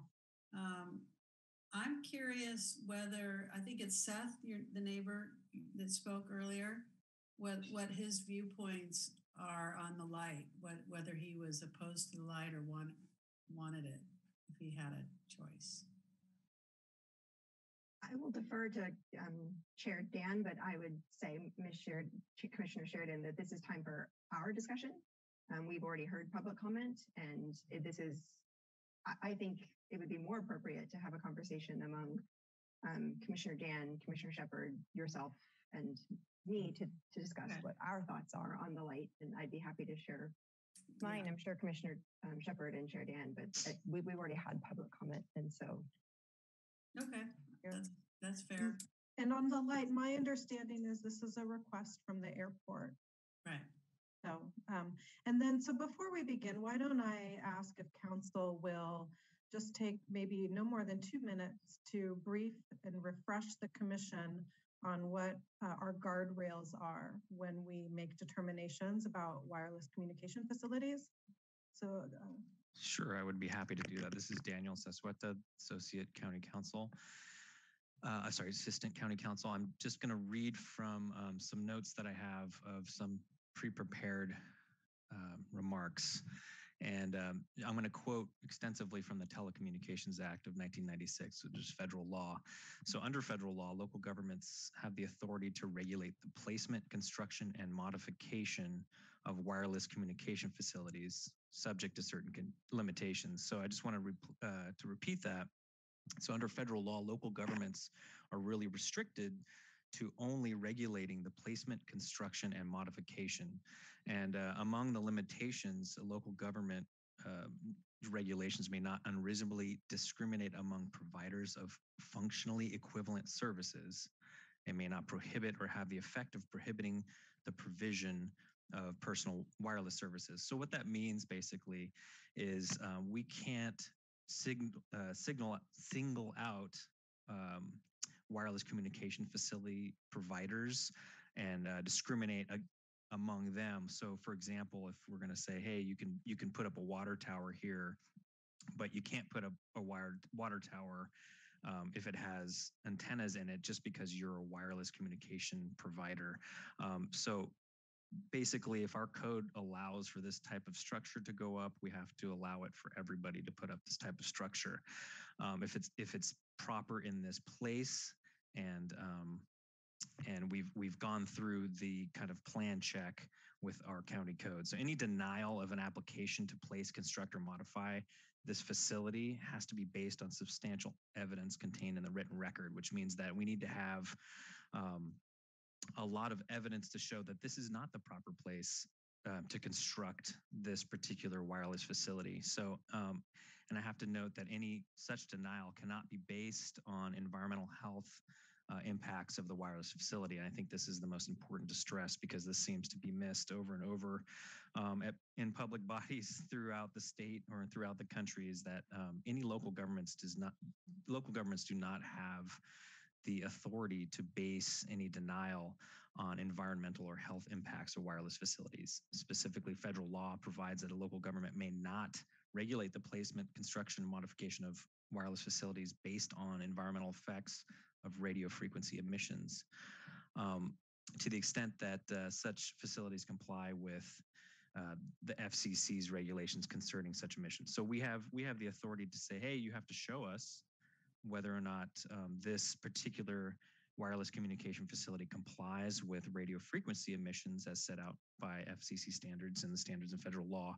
And if they do comply, then um, there's nothing more we can really say about it. Um, the FCC, the Federal Communication Commission, has regulatory jurisdiction over radio frequency emissions and uh, including the impacts of radio frequency radiation from cell phones and cell phone towers.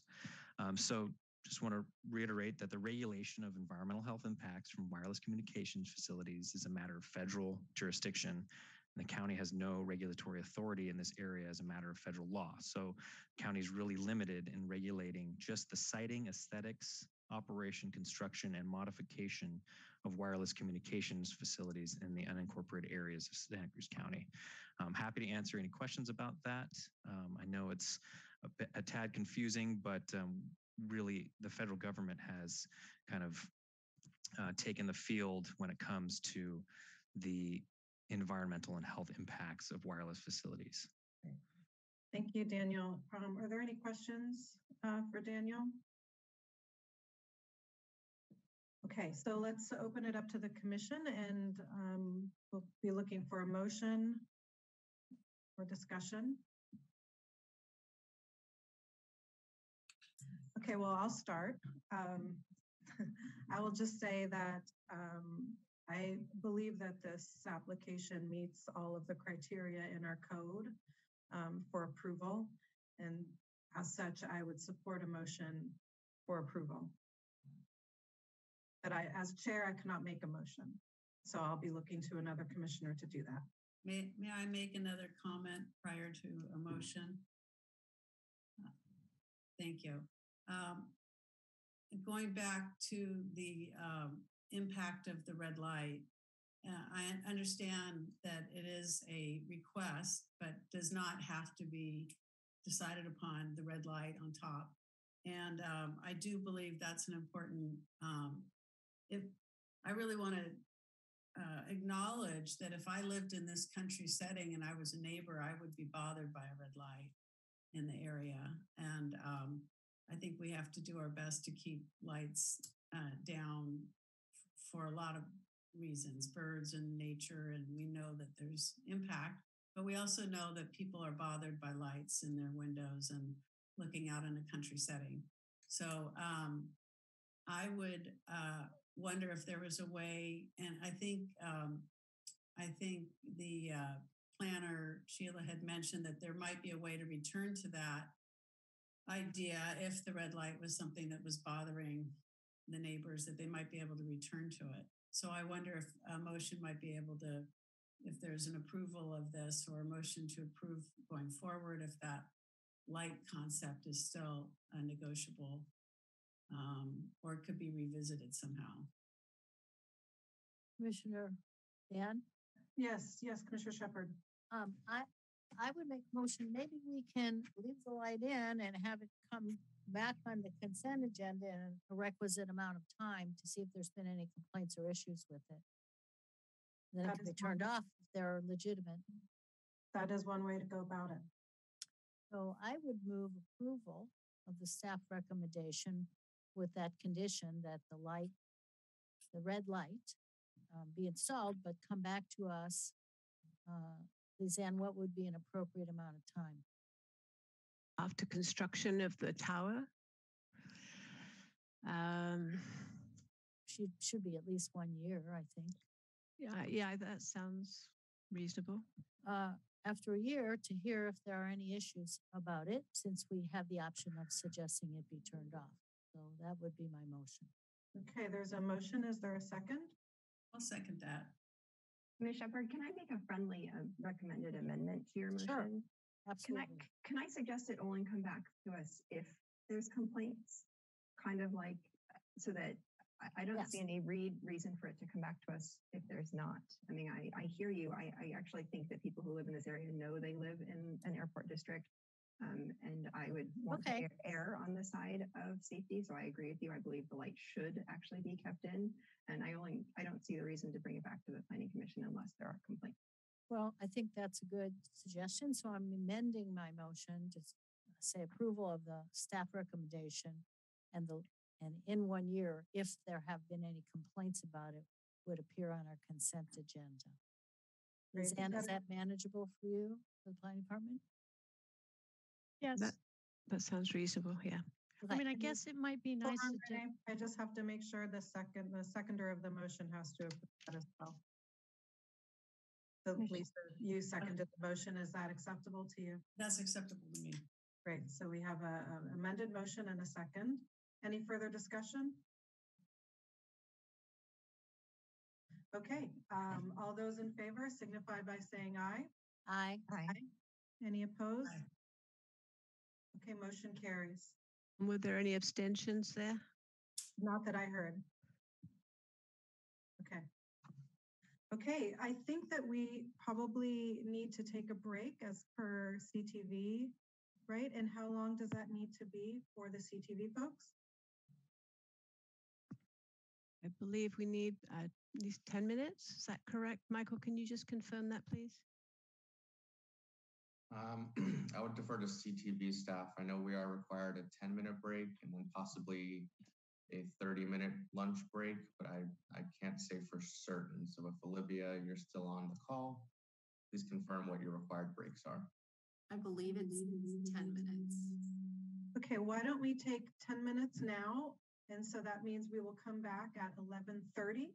And then when we come back, we'll, will be on item nine. All right, that sounds great. Thank you, Dave Okay, Fisher. thank you.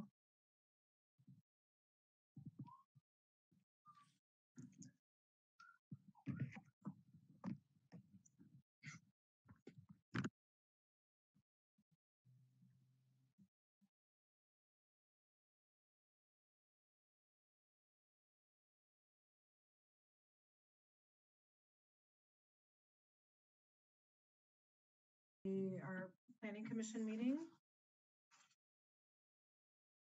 June twenty-second, is that a good date? All right, well, Wednesday, June twenty-second, our planning commission meeting is reconvening, and we are now on item nine. Yes, welcome back, everybody. So we're um, talking about, I want just going to promote um, Anais and Letitia.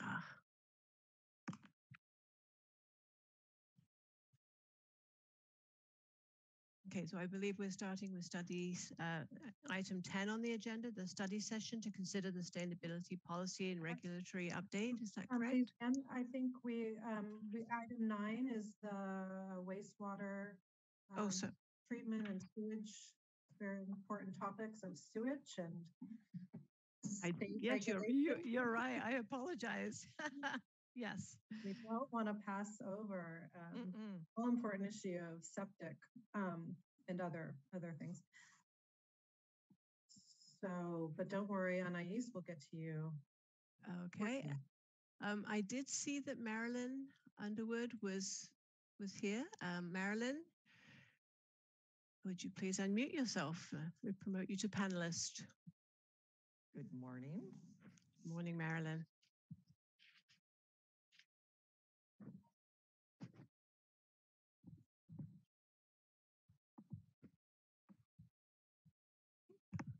Uh, we can hear you, Marilyn. I think you muted yourself again, though. I see you're muted. Okay, I think it launches unmuted, unfortunately. Um, Good morning. Um, And I also need John Ricker, um, un, or raised to a panelist as well, please. Appreciate it. Oh, there's John. All right. Thank you. And John, you will also need to unmute yourself. And then I get to share. Hold on, I should have been doing that. I think this is the right one. Are you seeing? Oh, not quite yet. I got to hit another button. Okay. Hopefully you are seeing the screen. Yes, I see some nods. Excellent. So yeah, so I can hear you're all excited about sewage. Um, so that's great. Um, as it is a really important topic because we do have something like 27,000 parcels in our county. Um, our, uh, their sewage is treated by an on-site wastewater treatment system. And so, um, and our water quality is super important. So that's where these two intersect. And we're here before with you with the both the general plan and county code 7.38, the sewage disposal amendments. These amendments are in part due to the fact that there's um, state law and state policy that require, required us to relook at our ordinance uh, and, and also general uh, plan as well for our on-site wastewater treatment systems. So I'm going to provide a little bit of background um, and then get to the ordinance and the general plan changes. But I'm going to try to, as I speak with you today, get away from talking about septic systems just because um, they're not really, as we um, are seeing new systems being put out there on constrained sites, they're more and more having to use more fancy equipment than just a septic tank and leach field. And so they're really, the correct term is on-site wastewater treatment systems. That's a lot to say. So it's been um, shortened to OWTS. So I'm going to try to, I'm trying to train myself, not just today, but um, to, you know, every day to talk about OWTS, not septic systems. Then the other thing I'm going to be referring to is the local agency management program, also shortened to be LAMP. So if I used both of those terms, um, hopefully uh, you can interrupt me and I'll try to explain every now and then, but um, those are two terms I'll be using. And just lastly, we are the local agency as seen by the state and the regional board for implementing um, um, uh, ordinance uh, OWTS oversight in our county. So I'm going to start off with some background uh, and get in, as I say, into the later into the ordinance and general plan changes. So the background is on this law was passed all the way back in 2000, uh, AB 885. It basically came about by the state because there's they were seeing imp impacts to drinking water in various locations um, from OWTS um, placement. Um, and they felt that this locals that usually determine um, where land development could be placed um, were not um, having enough minimum standards to make sure that drinking water wasn't impacted. Uh, so they um, wanted, um, the state wanted some minimum standards developed. Well, it took a while, a lot of interaction. There were some missteps at first, but they finally passed the state OWTS policy in, um, in 2012. Within that state policy, it required the oversight that we see from the Central Coast Regional Water Quality Control Board, which is out of San Luis Obispo County, to develop, redo their Central Coast coastal base plan within five years, and they did it within five years uh, in 2017. And then also we at the county level, if we wanted to maintain oversight of OWTS in our county, we would have to produce a local agency management plan that addressed the minimum standards set up in the OWTS policy, and we were supposed to have done that by May 2018. We did not do that by May 2018, but the good news is we did get it done last year, October 14th of 2021. Uh, the Central Coast Regional Board did adopt our local agency management program um, document that was also called the LAMP. Um, and Appendix A, which is our ordinance, sewage disposal ordinance, is um, Appendix A of that LAMP. Um, so in essence, they also were approving our LAMP.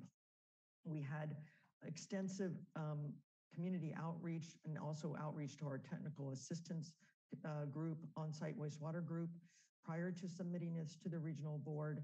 Um, and we continue to interact with that group as well uh, on the, this very technical document. When October 14th happened, we were to implement those parts of the LAMP that essentially were required in the state OWTS policy. So we have been doing that. Uh, and I will talk later about um, some of the things that we will not be implementing until that are in the ordinance until the ordinance is adopted by both the Board of Supervisors and the Coastal Commission. So why are OWTS so important is, well, um, we do only get water for, uh, for drinking water in our county from pretty much within our county. What falls within our county is rainwater. Um, and we don't import from Hetch Hetchy or somewhere else. And yet we have, as I mentioned, 27,000 OWTS um, on parcels out there. And so what we know is that if OWTS are installed, planned, designed, sited, installed, operated, and maintained correctly, then they won't have an impact on water quality. However, if some issues of them being uh, too densely spaced, poorly designed, installed, operated, and maintained, then we, you can end up having issues. And these issues, primarily, we focus on our pathogens and nitrates, but I will also say that not the typical OWTS system is not necessarily designed to get at those things like pharmaceuticals, um, some of the issues like, like steroidal hormones, and some of your other things that you often hear about that even fancy um, sewer system uh, treatment plants don't address. So again, we focus on pathogens and nitrates because they are the big ticket item, but we there are other items of concern in our um, septic systems as well. And the, the septic system here is displayed in this image by a cesspool. We don't really allow in the new uh, regulations, we will not allow cesspools. Uh, but just imagine it can be a seepage pit or a trench these can, can uh, flow, and you don't see this at the surface, but they can flow and their contaminants can be released to the groundwater, which can flow into um, and affect our streams and our oceans. Uh, also, you can have surface flooding that clearly can go run off and go into our streams and surface water. Um, and these contaminants can also uh, affect our wells, uh, and, and, obviously the parcel that where the the, cess, uh, the seepage pit or trench is located on, but also your the neighbors. And all of these things are things we are concerned about, and um, the regulations and our ordinance uh, try to address by minimizing or not having any of those impacts. So this is just a photo, uh, I mean, an image of, again, of the major water purveyors that we have in our county. Um, and they depend on both groundwater and surface water for their drinking water. And so that's why uh, both of those, protecting both of those um, uh, types of water bodies are important to us. Um, city, uh, San Lorenzo Valley Water District has both, um, depending upon where you are, uses groundwater and surface water. City of Santa, Santa Cruz is mostly dependent on surface water, both from the San Lorenzo as well as some of the area along, along the coast, coast here, the creeks, uh, coastal influence. Soquel Creek, 100% groundwater, Central Water District, 100% water, groundwater, uh, City of Watsonville in this area, primarily 90% uh, groundwater, but some surface water. And then we have a number of small water systems that are, that means less than 199 systems around this, the county that also can de depend on groundwater and surface water, as well as our groundwater individual water systems um, that depend on um, uh, us maintaining and protecting groundwater. So these are the major groundwater basins. Um, I think maybe hopefully you guys are familiar with this just because of a lot of the news around how we have to protect these groundwater basins now under state law, but we've been doing it for many years anyways. Um, there's been a lot of effort on protecting these, uh, both the Pajaro Valley overseen by a, uh, the Pajaro Valley Water District down there. Mid-County now has a sustainable groundwater agency as well as the Santa Margarita and all coming under uh, the state system to make sure these overdraft water basins are protected for the future uh, for people that use them not just in quantity, but also, which is the main emphasis of uh, sustainable groundwater programs, but certainly in quality as well of the water. These are the groundwater recharge areas, meaning the water that falls from the, the, the sky, you know, during rainfall. Um, these are the areas that feed those different groundwater basins, and you do notice that they're slightly different, um, or not necessarily absolutely overlapped. Uh, but again, these are why we can care about these groundwater recharge areas as well uh, when we think about the OWTS placement. This shows you now I'm shifting to watersheds. So we were talking about groundwater. Now we're talking about watersheds, the important different watersheds that, uh, again, are important to our drinking water systems. And you see the blue that is the primary one, but also these um, lighter blue as well, very important watershed areas that we need to protect. And this I'm not going to switch into, well, we, we need to protect these, and partly we already see that there's been impacts. Um, these are, this is a very somewhat dense slide, but I'm going to walk you through it. The, these are areas, water bodies, surface water bodies in the county that have already been identified as having uh, contamination in them of either pathogens, coliform, uh, sediment, or nitrates, uh, such that we've had to start doing, uh, the regulations have required us to start looking at the sources of them and starting to look at how we can control those sources so we don't see those impacts. Um, the ones I wanted to draw your attention to, and these are called a total daily maximum daily load, have total maximum daily load have been TMDL, have been established for these water bodies. In particular, Pinto Lake, you can see that on-site wastewater systems have been identified as the second major source for the phosphorus and cyanotoxins that are look, um, being found there.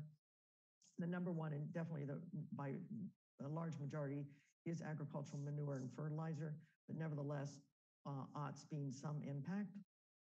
Then the other two is the San Lorenzo has identified, has a TMDL for pathogens. Again, on-site systems are the number one source there. And the San Lorenzo Valley watershed for nitrates, again, the number one um, source. I will also say there has not been a TMDL nest yet developed in, uh, for Salsipuedes Creek, but the pathogens in the Salsipuedes Creek have also been identified as coming from primarily OWTS. This is just a further illustration. And I know it's a little complicated, but I'm going to lead you through it. That shows you just the San Lorenzo Valley, uh, San, Lorenzo River. And we're looking at the bottom is the rainfall, and you can see the rainfall patterns from 1980 to 2019. So, similarly, you can imagine that the flow of the river correlates quite well with the with the, the rain. And similarly, do the amount of fecal coliform and also nitrates measured as nitrate, nitrogen in the river as well. Um, and the two sets of data you're seeing that we've looked take, take samples at Big City Trees location and also the city of Santa Cruz water intake. Uh, the green is the big trees. You can kind of, now that we started taking back in 88, the city of water, Santa Cruz water intake, you can see they're pretty much go in parallel. Um, but you can see the red line indicates to you the level of concern. And you can see during rainy, the rainy part of the season, we see exceedances at both locations in fecal coliform. Similarly, the same, not as clear path pattern, but is occurring again uh, with nitrates nitrogen, a little higher seen at the big trees than at the City of Water, Santa Cruz intake, but nevertheless, uh, concerns that we have for both nitrates and fecal coliform from the San Lorenzo, in the San Lorenzo River. Now switch, uh, switching to a little bit of um, um, our nitrate concern areas in the groundwater basin. This is, um, and, and the surface water as well, is these are the areas that are indicated, and we'll be talking a bit about more about this as we indicate that these, if an OT system is in these areas, uh, there's particular attention that is now being required under the new ordinance uh, for these particular areas. They not only oftentimes have nitrate concern areas, but they also have fast perking soils, which also require additional um, um, oversight and, and control uh, before the sewage is discharged to the soil. Uh, nitrating groundwater is a, as a, a, concern. It's less of a concern, but only a 4% contributing factor to how much nitrates we see in the, uh, the Pajaro Basin groundwater system, groundwater area. It's only 4%. Again, we were talking about fertilizer uh, being a much more important contributor. Uh, in the Santa Margarita, we see that um, we know that the Santa Margarita Basin contributes to the base flow. In other words, there's parts where the groundwater actually goes into the surf, feeds into the surface water of the river. And we know that, uh, as I just showed you, the San Lorenzo River is uh, a concern from elevated nitrate. Further, uh, San Lorenzo Valley Water District's North District have had to take out several wells in the Quail Hollow area because of nitrates in the that were exceeding that they had to take them out and no longer are using those particular wells. Um, the Mid-County Basin, um, again, localized impact so far from OWTS. They did have to take a, a- the Soquel Water District did have to take a well out of service uh, because of exceedances of nitrates in the um, La Selva uh, water, La Selva Beach area. So for all these reasons, um, and obviously the state oversight, it is important to us to look at our OWTS policy and decide, um, you know, what improvements and uh, to it, and also how do we meet the, the state minimum requirements. So these next two slides are just a summary of those. Um, uh, that there, there's a lot more technical detail that is in the ordinance and also um, in the documents that we shared with you. I'm just going to highlight a few of them. These, the ones that I've bulleted here are the ones that um, are already being implemented. And that's because they were really essentially ones we had to do because they were in the state minimum standards. And therefore, when the board approved them on October 14th, they expected us to start implementing them. Well, actually, they told us to start implementing them. Um, so some of our groundwater separation and what that refers to is the distance between the bottom of the trench of the leach field and where the groundwater, um, high groundwater level marks are. Uh, the soil is where the pathogens are broken down. Um, and so we need that soil. Uh, so we want some more soil separation between, uh, well, we want some more separation between uh, the bottom of the trench and the um, groundwater. So instead of going from one to three feet, now it's five to eight feet, um, unless there's enhanced treatment. If you're not familiar with enhanced treatment, this is just a step whereby uh, people, uh, rather than discharging the sewage um, directly from the septic tank to the leach field, it's actually treated to reduce, um, it can be uh, for different things. Certainly can, uh, expectation in many cases to reduce the nitrogen, but also to reduce the pathogen level as well before it's discharged to the leach field. Um, we will require that all new and replacement systems in fast perking soils uh, with night in the nitrate concern areas, again, referring you back to that map that I show you, will require enhanced treatment for nitrogen removal. Uh, Enhanced treatment will also be required for all seepage pits, um, for replacement of all seepage pits, and for major remodels of homes with seepage pits. That's what we call an upgrade. Um, the maximum trench depth um, will decrease. We used to allow it up to 10 feet, and now it'll be four feet unless enhanced treatment is used. This will affect parcels with clay soils or other constraints that um, limit dispersal area. Um, and the repairs of failing systems may have to be used, may be allowed to be used trenches up to 10 feet in depth if they have site constraints. Um, and system repairs uh, will no longer be uh, allowed to be decided, designed by a contractor, but we will need to have them designed by a qualified professional. Uh, and a qualified professional must require, uh, must conduct the soil and percolation testing. Oops. These next set of bullets are the key changes to our ordinance that um, we're not implementing until the ordinance is adopted by the board and also the coastal commission. Um, these are, um, we are changing, we're getting rid of some of our site-specific assessment and mitigation areas, site constraint areas. John will talk a little bit more about that in the general plan amendments uh, because we can, we know we have uh, uh, other abilities to deal with these issues. In the ordinance, um, we will require for all enhanced treatment systems to maintain a service contact, service contract with a qualified service protector, service provider. Um, I will say in the past, uh, the county in some cases took on that role, but now we will be requiring that they have a commercial qualified service provider uh, to do that, that yearly um, um, review of the, uh, the- of this, of their um, enhanced treatment system to make sure it's working. Um, We will be developing a local registration and conditional approval of qualified uh, service providers um, uh, as per the ordinance. Um, And we will be um, implementing a mandatory OWTS evaluation at the time of property transfer. Uh, This will include a system conditions, permitted status, performance, and an identification, identification of likely requirements for future upgrades. Consider this kind of an akin to if you're living in a more urban area, many of the sewer districts require that you do a sewer uh, line inspection. Um, and uh, upgrades if need be, um, be at the time of transfer, property real estate transfer. So we're, this is really uh, a similar process that we're uh, planning to um, require. So with that, I'm going to switch over to John, who is, I think, allowed to speak. So he's going to talk about the general plan amendments. Good morning. Can you hear me? Yes, we can. Okay. Uh, let's go ahead and advance the slide.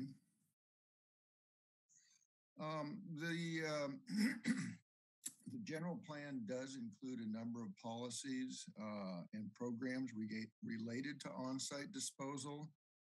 Uh, so as we're updating our ordinance, we also need to update the general plan. Um, the ordinance chapter 7.38 is also a local coastal program implementing or ordinance. So as we make changes to that code, it has to go through the full process of review by the planning commission, the board, and then on to the uh, the coastal commission. so we're proposing amendments to both uh, policies of both chapter five, the open space uh, Conservation and Open Space chapter, and then chapter seven, the Parks, Recreation, and Public Facilities chapter of the general plan. Uh, these are for consistency with the LAMP and updates to uh, chapter 7.38, as well as some cleanup uh, relative to the sustainability update. Uh, as a part of the sustainability update, we did identify some, some areas where um, cleanup was needed, and we have worked with the planning staff to uh, to update those sections. All of the proposals relative to the sustainability update that also relate to OWTS are included in this package, just so you can see everything all together. And in the end, when the uh, the sustainability update is adopted, we'll we'll be um, you know folding all this information together into the, the the, the updated general plan document. so specifically, um, in policy uh, 5.5.15 and 5.516, that references old constraint areas. These were actually developed back in the 1980s, and hate to say it, but I was actually around when those were developed. Um, that mapping is not particularly accurate. Um, and we're we're phasing out the the limitation, the lot size limitation for constrained areas and any reference to those old constrained areas. Essentially, we're we're going to have adequate protection, as Marilyn discussed, through uh, site-specific requirements, uh, particularly enhanced treatment, where we have the fast percolation soils in recharge areas, and uh, and we still will be maintaining the one acre minimum in the water supply watershed areas. Um, policies 5.5.17 and 7.21.3 were dealt with uh, specifics regarding slopes and easements, and we just determined that those were uh, overly specific, uh, too specific for the general plan. Those provisions are in chapter 7.38, so we're not losing those provisions. We're just pulling them out of the general plan. And that again was part of the sustainability update to try to have a, a not get into too many specifics in the general plan. 5.5.18 and 5.519 are relatively recent policy updates that were put in. And they essentially uh, do the same thing, although one is within the coastal zone and one is without the coastal outside the coastal zone. And those are going to be combined into just one policy regarding the use of easements uh, for sewage disposal for public facilities um, throughout the county. They, these were essentially put into the general plan back when the Felton Library was developed. And uh, the Felton Library site could not accommodate uh, a septic system that met standards on that property. So they needed to use an easement off the property. We do not allow easements still for um, individual residential or private developments, again, just for public, public facilities. Um, 5.7.2, we're updating the language uh, regarding uh, upgrade of systems within 100 feet of a waterway. New development will still have to stay over 100 feet from a waterway, but if a uh, existing development already has a, an OWTS within 100 feet of the waterway. Uh, they could add bedrooms if they upgrade the system using enhanced treatment. Um, so we're, we're cleaning that language up uh, to be consistent with the code and with the lamp and with with practice that has gone on to date. And then in, in uh, policy 7.21.4, we're essentially removing the term alternative system and replacing it with enhanced treatment systems. Uh, these sort of advanced technologies have been around for many years now. Uh, we have over 600 of them in our county. So they're really no longer alternative. Um, they, are they're perf- they're completely acceptable, and they're enhanced treatment systems that give a higher level of effluent quality prior to disposal of, of effluent to the soil. Uh, we expect that with a lot of these changes, we'll be seeing an increased use of enhanced treatment systems because many of our properties just cannot meet uh, current standards for conventional septic systems, conventional disposal. So we will be uh, seeing more use of enhanced treatment systems. Um, I will say that we have completed environmental review on this package. The environmental coordinator uh, determined that it was exempt uh, from further environmental review because it, it is providing for increased protection of the environment. We also have uh, sent letters out to all of the, the tribal organizations, giving them an opportunity to comment on this uh, package of amendments. Uh, we did not respond, receive any response from the tribes. Uh, we have reached out to Coastal Commission staff. They're aware of what's uh, what's being proposed, uh, but so far we have not gotten any feedback from Coastal Commission staff. So I'll go ahead and, and turn it back to Marilyn to, to wrap it up. And I'll be available to answer uh, any questions going forward. Thanks, John. And I, I failed to actually adequately recommend, uh, uh, introduce John. Many of you know him, I'm assuming, for many, many years of being uh, such a critical roles of the county as far as water quality, water resources issues. Um, and we've had the pleasure of working with John. John retired, I think it was fall December of like 2019, maybe. Um, maybe it was 20. I can't remember because we he's continued to work with us in a consulting role, and we do appreciate him. And he did essentially write the LAMP um, and help uh, lead the effort in the rewriting the ordinance. So if he, technical issues come up, he's definitely the person.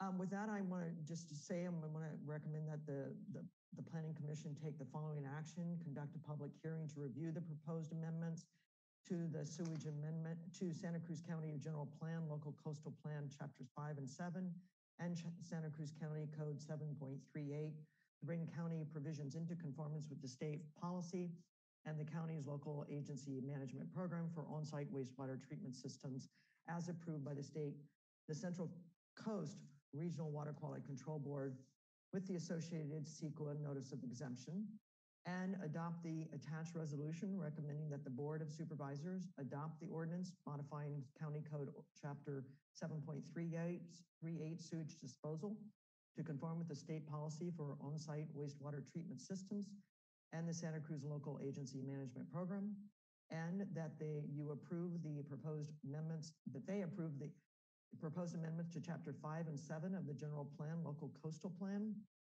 Attachment D2, and direct staff to file the California Environmental Quality Act Notice of Exemption, Exhibit E, with the clerk of the board, and direct staff to transmit the amendments to the California Coastal Commission.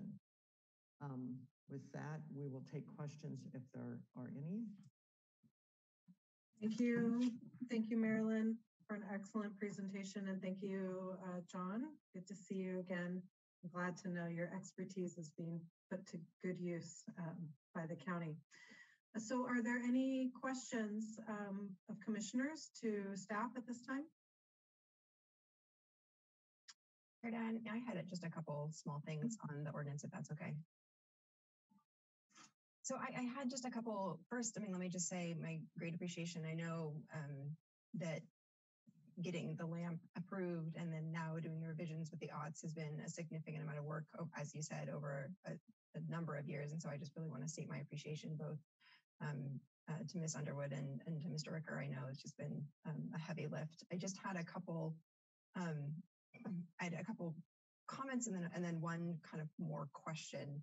Um, a, a small thing that I'd like to see uh, kind of revised or changed before it goes to the board for approval is that um, throughout the changes, there's reference to MPI without actually um, defining it. In the previous ordinance before it was struck, there's actually a de definition of MPI. I know that in it you also reference minutes per inch, so I know what it meant. Um, but when we're having these type of ordinance, it's really important that we are clear uh, when we have um, these acronyms that we define them. So I would appreciate that before it goes to the board that the MPI be clearly defined um, and that we don't just use the ordinance throughout. But that's just a small thing that I, I think needs cleaning up. Um, another thing that I, I just think for that same vein of transparency in, in defining um, nitrate concern areas, um, letter V in the definition, I just had a question about the way it's going to work in transparency. The, the, the definition goes on to say that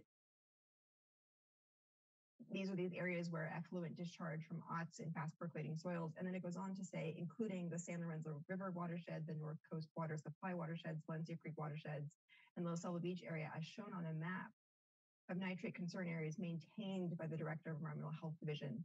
And I just have a question, I guess, about that because although the San Lorenzo um, River watershed is defined in the ordinance, those other areas are not.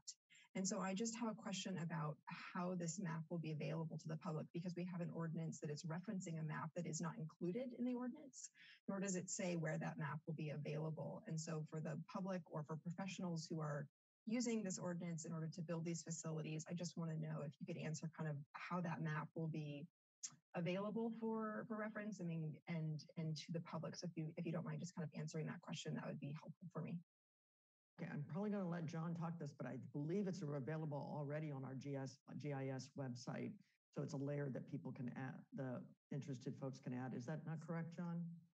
That is correct. It is on the uh, the county's um, GIS website. That that language in terms of maps maintained by the director is that's language that's been in the ordinance for many years that predate any kind of GIS website. So it used to be, I guess, somebody could come to the counter and ask to see the map, or we would have it posted at the counter. Uh, but now we really try to make all this information available electronically, and all of our consultants um, and designers and qualified professionals are are very familiar with that, and it is available to the public, uh, those that can can navigate the county's GIS system. Well, why not just say in a parenthesis available at and put a link? Um, I guess I would would I would want to consult with county counsel and planning staff to see what the current convention is. Um, but that might make sense to do that. I mean, one of the issues is we may identify additional nitrate concern areas as information, new information became available, although I think we've got a pretty good handle on it at this point. But uh, we can check into that on what the best way to reference that information would be. Well, clearly the reference at, that is uh, at the behest of the director is pretty archaic, and most people will expect some electronic. It can be very general, but tell people where to go to find out. I think, however, it's manifested. Yeah, one of the problems is those links get revised, uh, you know, yeah. frequently as the websites are updated. So I, I would say uh, thank you for the comment. I think um, we can definitely think about is there a way to phrase it differently without providing a link in all honesty because um, you want an ordinance not to have to be obsolete because the link goes bad. But I think it's a point well taken that is, that statement imply that you can find the map electronically? I think it doesn't preclude that, but I'm certainly happy to, to look into that, and see if we can phrase it a different way. Thank you, and I appreciate hearing that it's kind of standard language. I just, um, so that, that's good to know. Um, it, it's just something to consider. So I appreciate both your comments, both the fact that it's standard as well as perhaps there's maybe we have to consider updating the standard. I don't I don't know what that solution is. I agree. exactly. I agree. I agree. We don't want the a link to be something that could be outdated, but um yeah. I, so I, I just thank you for taking my comment into consideration. I just I just had one additional kind of question, and this is probably my, my biggest question, is that when I was reading the ordinance, um, 7.38.080C Um, it was, it had to do with calamity. Um, and I just, I was hoping maybe you could speak. I know we're going in this direction of obviously updated OWTS and, but the question really that I, what I was left with, because it's, this part of the code is kind of self-referential. So it references later part of the code, you read that part of the code and it references back. And so I was hoping maybe you could clarify for me, under what circumstances post calamity would someone not be required to replace their aught? So, okay, not be required to play. you know, it was too negative. So, so, so there's a there is a, an earthquake. There, uh, uh, there's a fire. Uh, a, a, tree strikes a home. So calamity occurs. Under Right. what and under what reconstruction circumstance would someone not be required to replace their ought? Because for me, when I was reading the code, I, and I read a lot of code, and I still Yeah. was not clear in reading the code under what circumstances someone would not be required to replace their ought. Is it is it if the ought was only installed a couple years ago? Is it based on if they're doing like for like reconstruction? Um, it, I'm just wondering if you could provide Sure. kind of a layman's So- terms answer to that, if, if, it, if it's even possible. Right. So like for, so just, it's actually, we have a real world, world example, obviously. This, this clause, these part of this, um, the ordinance did not change that much. In fact, I'm not even sure changed at all um, from the current ordinance. So um, the CZU is an appropriate thing to talk about here.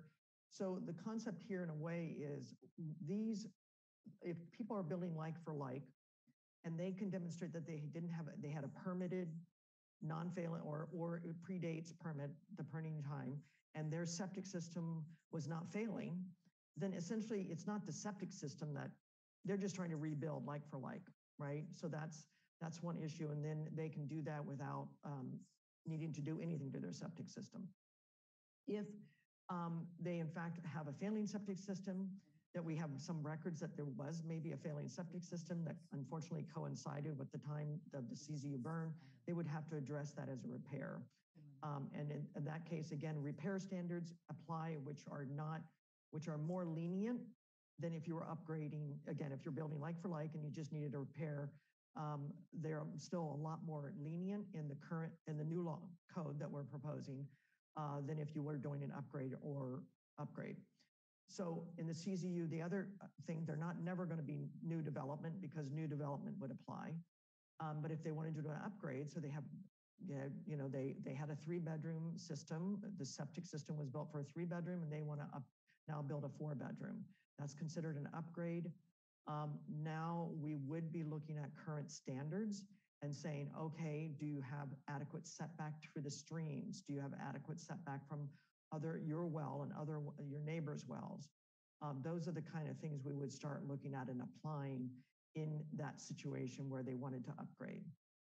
But otherwise, like for like is you had a three bedroom, you want to put back a three bedroom.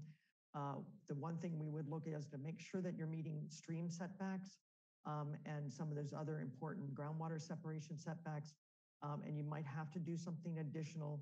Um, but for the most part, those are the only restrictions. We wouldn't restrict you based on lot size. We wouldn't restrict you uh, from from rebuilding as long as you can demonstrate that you you meet current standards in the same in the sense of stream setback and groundwater separation. You- Does that help? just- It does. Can you just clarify for me? Oh, If they were like for like, as long as the system wasn't failing, it's okay. But if they were upgrading, then they have, because, because, because I, in our, I'm, I'm not simply asking out CZU, I'm asking countywide. That's Yeah. part of our responsibility. And I'm thinking throughout our county, especially in the, in the area I- that, that I'm kind of represent, we, we have like high water tables and, and high perk rates. And so um, I, I just want to be clear that you're talking about only if they're upgrading, would they then be required to meet current standards of, of water separation and stream setbacks and things like that? And did I understand you correctly? Um, I misspoke, actually. I, the, so the first thing we look to see if it's, i- is it a uh, failing system? Is there any information that would suggest it's a failing system? The second is, even if it's like for like, they do need to meet stream setback and groundwater separation. Uh, and again, that is some, not just us, but the state OWTS policy as well. Thank you for clarifying. I appreciate it. Do any other commissioners have questions for staff at this point? Uh, yes, whoop, Uh, Commissioner Shepherd, do you have some questions for staff? yes, um, just unmuting myself. Uh, just, first of all, um, it's a pleasure to hear Mr. Ricker again. Uh, always a pleasure to see or hear from him again. I'm really glad he's still consultant in Marilyn. This was a great report. It read very well. I did have one, this isn't directed just at this report or staff reports, but um, people who are used to the county know all the um, acronyms. I'd like to suggest that some of these ordinance changes maybe have a cover sheet where you list what the acronym is and then once, and you can always refer to it. Um, I know I always have to go back and see what does VOIC or LAP, whatever, mean, and then I have to memorize it. So, because it's never referred to again. You only say it in the first or second page, and then in next hundred pages, it's never repeated. I, I just think a definitions page wouldn't hurt because I would myself tear it out and set it beside me. In this case, there's only one. But in many cases, especially with these other planning documents, there's lots, and I, I don't I don't remember what they mean. So that was just a suggestion. My question is, um, could you go over, because I think it'd be good to, to know it, um, because I get a lot of questions about it, both ADUs, um, and probably is going to be relevant for tiny houses. Um, am I correct in thinking that if you want to add an ADU, your septic um, system will need to accommodate the extra use by the code standards? Or can you just speak to that specific issue? And I know it's too early to talk about tiny homes, but this is going to be a big question. Sure. So yeah, so any upgrades, whether it be add- adding to um, bedrooms to the, the main house or adding an ADU or adding a tiny home, um, all of those would be required first to look at the adequacy of the septic system. Um, we don't require, we, at this point, we were requiring a septic tank for both um, the primary home as well as the ADU or tiny home. Um, and then they could use the same leach field if the leach field was adequately sized. Um, if it's not adequately sized, they can either upgrade the leach field um, to meet that or create a second entirely separate system for the ADU that would treat the ADU's sewage effluent. This is not necessarily true if an enhanced treatment is needed, then they can probably get away with not having a septic se- separate septic tank. Uh, but otherwise, yes, the whole point would be is all of us want still, it doesn't matter if you're in an ADU or in a primary, you would want your the sewage to be adequately treated uh, so that you can protect the environment, also your water well as well. So you do Well, have to um, upgrade to meet standards. That's clear, and may I suggest you might include that because people are going to be looking for it. And I did find it kind of, but it took me a while. And I, I just think that's a question. People are going to want to go in and say, what will I need to do about septic if I'm adding an ADU? Why not just call it out? Yeah, it is described, but uh, you're saying in the ordinance or in the staff report? I'm not, I'm In not the, in the ordinance, maybe makes a, make a call out as how, for ADUs at least, right now, it's just ADUs. Because people are going to be looking for it in the code, why not make it easy? Yes, okay. And, and, and just so you know, in addition to this, we also put out, you know, information on our website specifically addressing ADUs. Um, and, and so tha- that's also in addition, we will be doing that as well in addition to the ordinance. Yeah, Um, I think you do a great job on that informational Okay. side. I just think we ought to include this because we are, expa- we have expanded that availability so much. Gotcha, thank you. Any other questions for staff by commissioners? Okay, well, let's open up the public hearing then. Um, Lezanne, are there members of the public who wish to address the commission on this?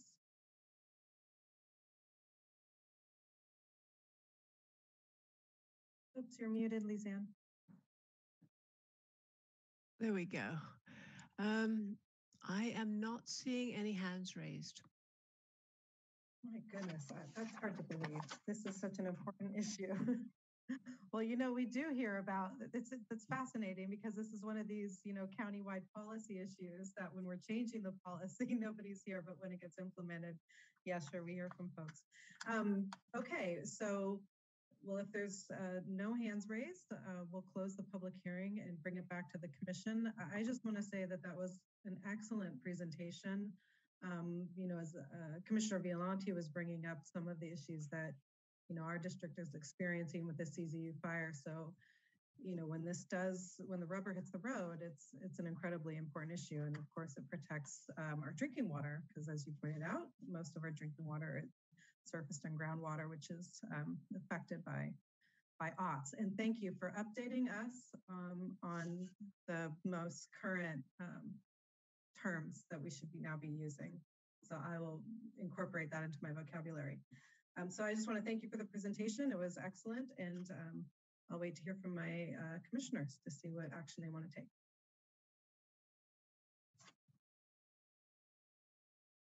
Okay, well, um, I want to echo uh, what Commissioner Chair Dann has said. This was an excellent report. I'm going to keep it so I can refer to it again. Um, so thank you for all the work that went into it. Um, let's see, what do we have to do about this? Uh, approve the staff recommendation. Okay, um, I would like to make a motion to approve the staff uh, report. And I think um, Commissioner Violante had one additional suggestion to incorporate um, into a motion about, um, I don't know if she wants to articulate that. I just made the recommendation that they uh, include defining the acronym before before it goes back to the before it gets taken to the board of supervisors of MPI and how they want to do that in the ordinance is their decision. But just it's important that it be defined at some point because it's used throughout the report. So would you like to incorporate that into your motion, Commissioner Shepherd? Yes, I think that's important. And also, may I incorporate my suggestion that they specifically address ADUs? Uh, it, it's not changing anything. It's just making a, you know, a subtitle. So it'll be easily findable. And then if the other commissioners don't have any objections, let's let's just have a definite, you know, an acronym page or the appropriate title for such a page where it's got the an acronym and then what it means included with the staff report. I think that's helpful to the, anybody reading this. Great. So that's a motion. Is there a second? I'll second that. Excellent. So there's a motion and a second. Is there any further discussion? Okay, seeing none. All those in favor signify by saying aye. Aye. Any opposed? Excellent. Motion carries with four and none opposed. Thank you very much. Thank you. Sunderwood and Mr. Ricker. Thank you. Enjoy the rest of your day. And now we will move on to our final item, or not our final item, but our final substantive item, item 10, which is the study session on the sustainability update. And I believe we're starting with Natisha. And Natisha, please unmute yourself. Yes, thank you, Lezanne. And um, Anais will be sharing the presentation, so I'll give her a second to share before we start. Okay. Okay, so it looks like, um, can everyone see the presentation? We can, yes. Great, thank you. Um, good afternoon, commissioners. Uh, today we'll be discussing the sustainability policy and regulatory update. My name is Natisha Williams, Senior Planner in the Community Development and Infrastructure Department, or CDI.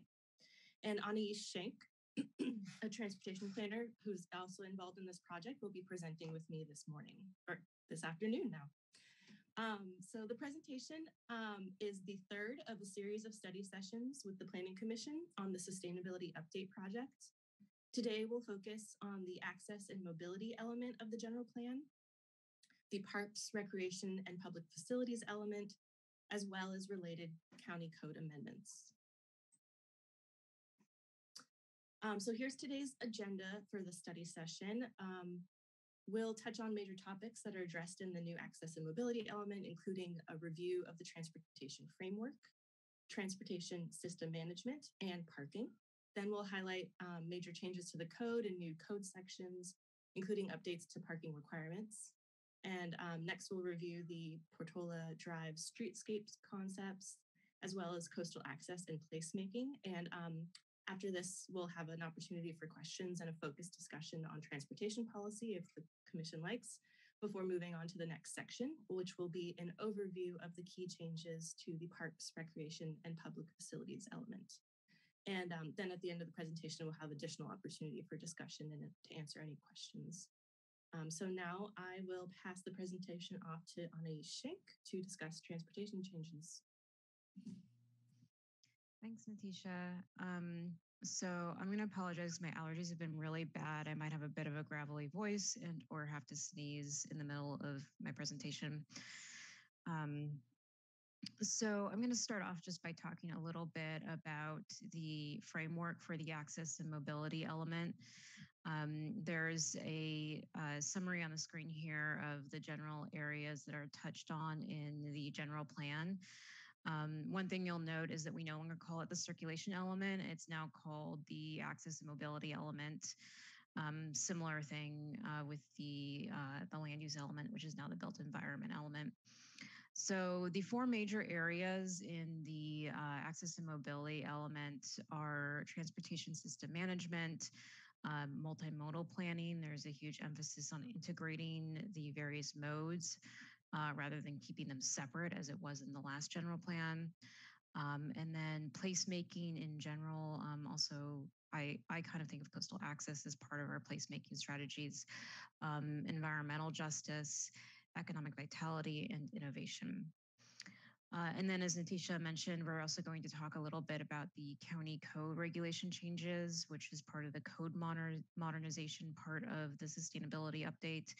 Um, the uh, the code for transportation, namely parking, circulation, and access, was all over the code previously. So um, these are the three main areas where they were. There were actually other areas as well, but the three main chapters are listed here. Um, and then thirdly, we had the design guidelines that were created as a whole new um, set of guidelines that list out street standards. Um, they're guidelines, they're not regulatory, but they do provide uh, a really nice set of relationships between the uh, functional form of buildings and the streetscape. Uh, so I think they'll be helpful to applicants. Uh, so just to go into a little bit more detail with the transportation framework, the um, layered network approach is sort of the basis for all of our transportation planning and the access and mobility element. This is a concept that we actually developed or the county developed in the Sustainable Santa Cruz County Plan. Um, and it came about because uh, they really wanted to have a complete streets approach. Uh, complete streets planning takes the philosophy that uh, all users should have equal access and um, be prioritized on our roadways so that there's no preference to just vehicles. Um, however, in a uh, in a network where we have very constrained right of ways, we can't provide the ideal um, sidewalk widths or bicycle lane widths to uh, users as we would like. So uh, instead, a layered network approach was conceived.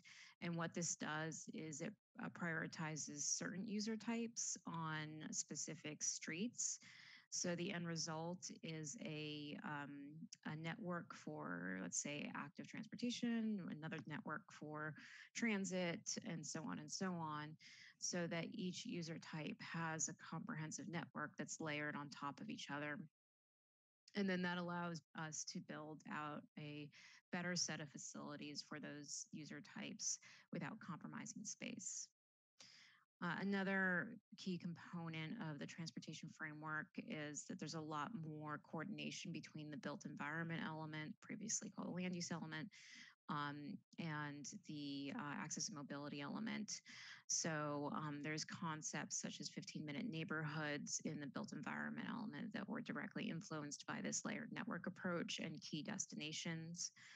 Um, and then finally, um, there are new roadways that are called out in the access and mobility element maps, um, or map, I should say.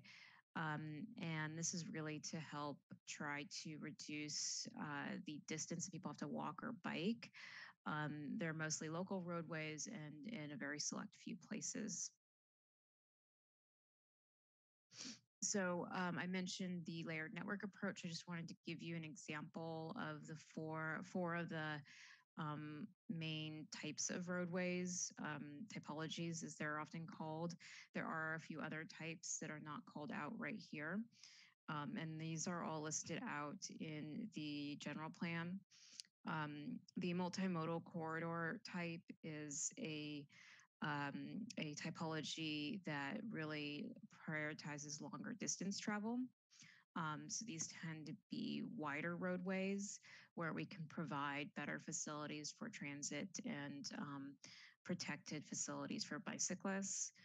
Uh, an example of this is Capitola Road. Soquel would also be another example that you could um, easily conjure up in your mind. Um, and then the next one that is a pretty common in the county that you'll see a lot of in the map, and this is signified by the orange lines um, in that figure, this last slide, um, is the active connector. Um, the active connector really prioritizes bicyclists and pedestrians, so wider um, facilities for those two user types. Uh, Brommer is a good example of an active connector. Uh, and then we also have some main streets. Um, and so these are really for walkability. Um, so we um, we prioritize much wider sidewalks, um, so pedestrian-oriented streets, pedestrian-scaled amenities, um, transit access to those those goods and facilities. Um, and then we have the local residential street, which um, would be smaller scale residential communities um, where bicyclists would share the lanes with vehicles. Um, you have a, a, base level sidewalk width, um, but these are lower speed commerce streets, and those are signified by gray lines on the maps. So um, now I'm going to talk a little bit about transportation system management um, which is a really broad term that covers a lot of topics. So I will try to keep this short. Um, uh, the major metric that has been used in the past to measure the performance of our system um, and performance of the system is one of the major components of system management. Um, so the, the primary metric that was used in the past is called level of service or LOS. Um, that's a metric that I'm sure you have heard a lot about in past uh, applicant or project level review. Um, level of service grades the operations of a roadway on a scale of A to F. You'll see that grading system on this slide here based on how much delay a vehicle experiences. Um, and the problem with this system, as was realized about uh, 15 to 20 years ago is that it it really emphasizes the vehicle user experience. Um, and while it does get at um, greenhouse gas emissions vis-a-vis idling, uh, it doesn't really address greenhouse gas emissions from the transportation sector based on how far people are driving. And um, the proposed approach to reduce or to make level of service better to improve the operations of a roadway network was to uh, to grow capacity because when you grow capacity, then there's less delay. However, there's this phenomena that when you grow capacity, more people will then use that roadway. So um, we would get we were getting caught in this cycle of growing capacity to improve our level of service and get it back to a grade of A, and then it would go back down to lower grades of D to F because more people would use the roadway system. This is a phenomenon called induced demand.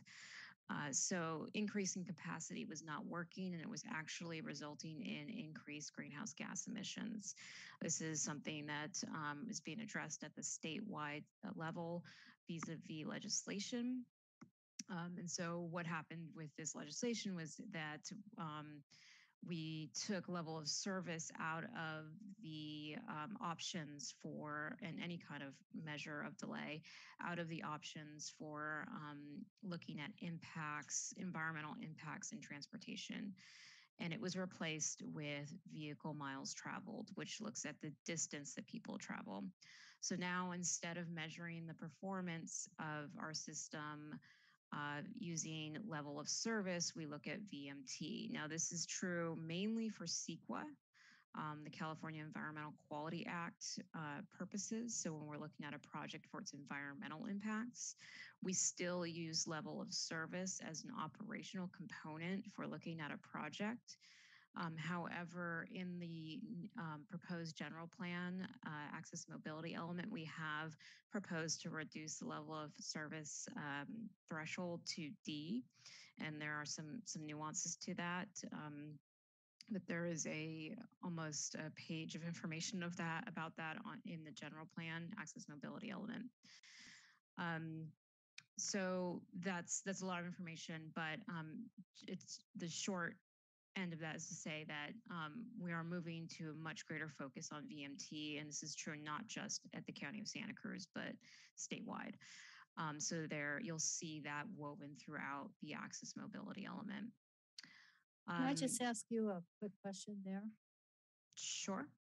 Um, I want to, you to go, don't want to interrupt your flow, but I'd like when we get to the end to see um, a specific example of what, what that means. I, I read this carefully and I saw that you kind of generally said, but that's something people, whenever there's something proposed, people are allowed to talk a lot about traffic. I understand that the level of service was not functioning at all, but can you give me an example how you would evaluate something later on uh, with the new system? A specific, very focused example. I understood the level of service even though it didn't work. But this is more complex and I'd, I'd like to see how you would apply it. But I don't want to interrupt you now, but I'm saying that that's one I, I did not quite understand because there was no example. Yeah, I let me talk about that at the end. It is it actually is complex. Um, so But I somebody's got it. we, we need to understand it. definitely. Otherwise, you're only the, I'm going to be the only people who do understand it, which will not work very well. Right. And we we actually have talked about having a whole study session dedicated just to this topic um, because it is complex. Um, so there are actually there's a number of things that affect how far people drive um, VMT, uh, and one of those things is is transportation demand management. Um, which is often used as a mitigation measure when, um, and this actually kind of does get at your question. Um, so it's often used as a mitigation measure when people exceed the thresholds that the county has set for VMT. Um, however, transportation demand management is also a, um, a kind of a conceptual philosophy or approach that's woven throughout the entire code and um, general plan.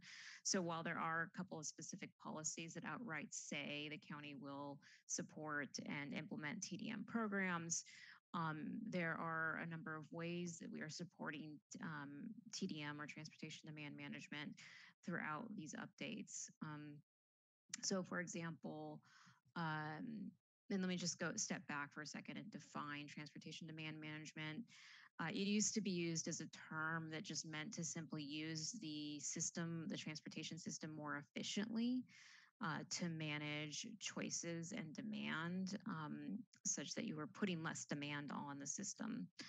Um, now we use the term so that um, we to mean that we're actually reducing demand um, with the intended goal of reducing the amount that people tra- have to travel by vehicle um, and um, single occupant vehicle, I should say. Um, so we try to increase choices for carpooling, transit, um, bicycling, walking, uh, etc. Um, so the way that we've done that throughout the general plan includes things by um, includes things like long-term parking demand strategies. Um, in the code includes um, uh, items such as increased exceptions for parking.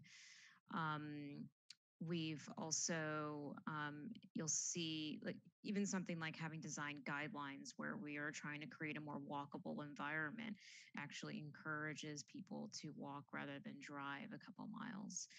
Uh, so these are some of the ways that TDM is philosophically woven throughout the general plan update. Um, the other element of transportation system management that's in the access mobility element is um, an inclusion of Vision Zero and safety. Um, Vision Zero is something you'll start hearing more and more about as the state starts to support it and even tie funding to having a Vision Zero action plan.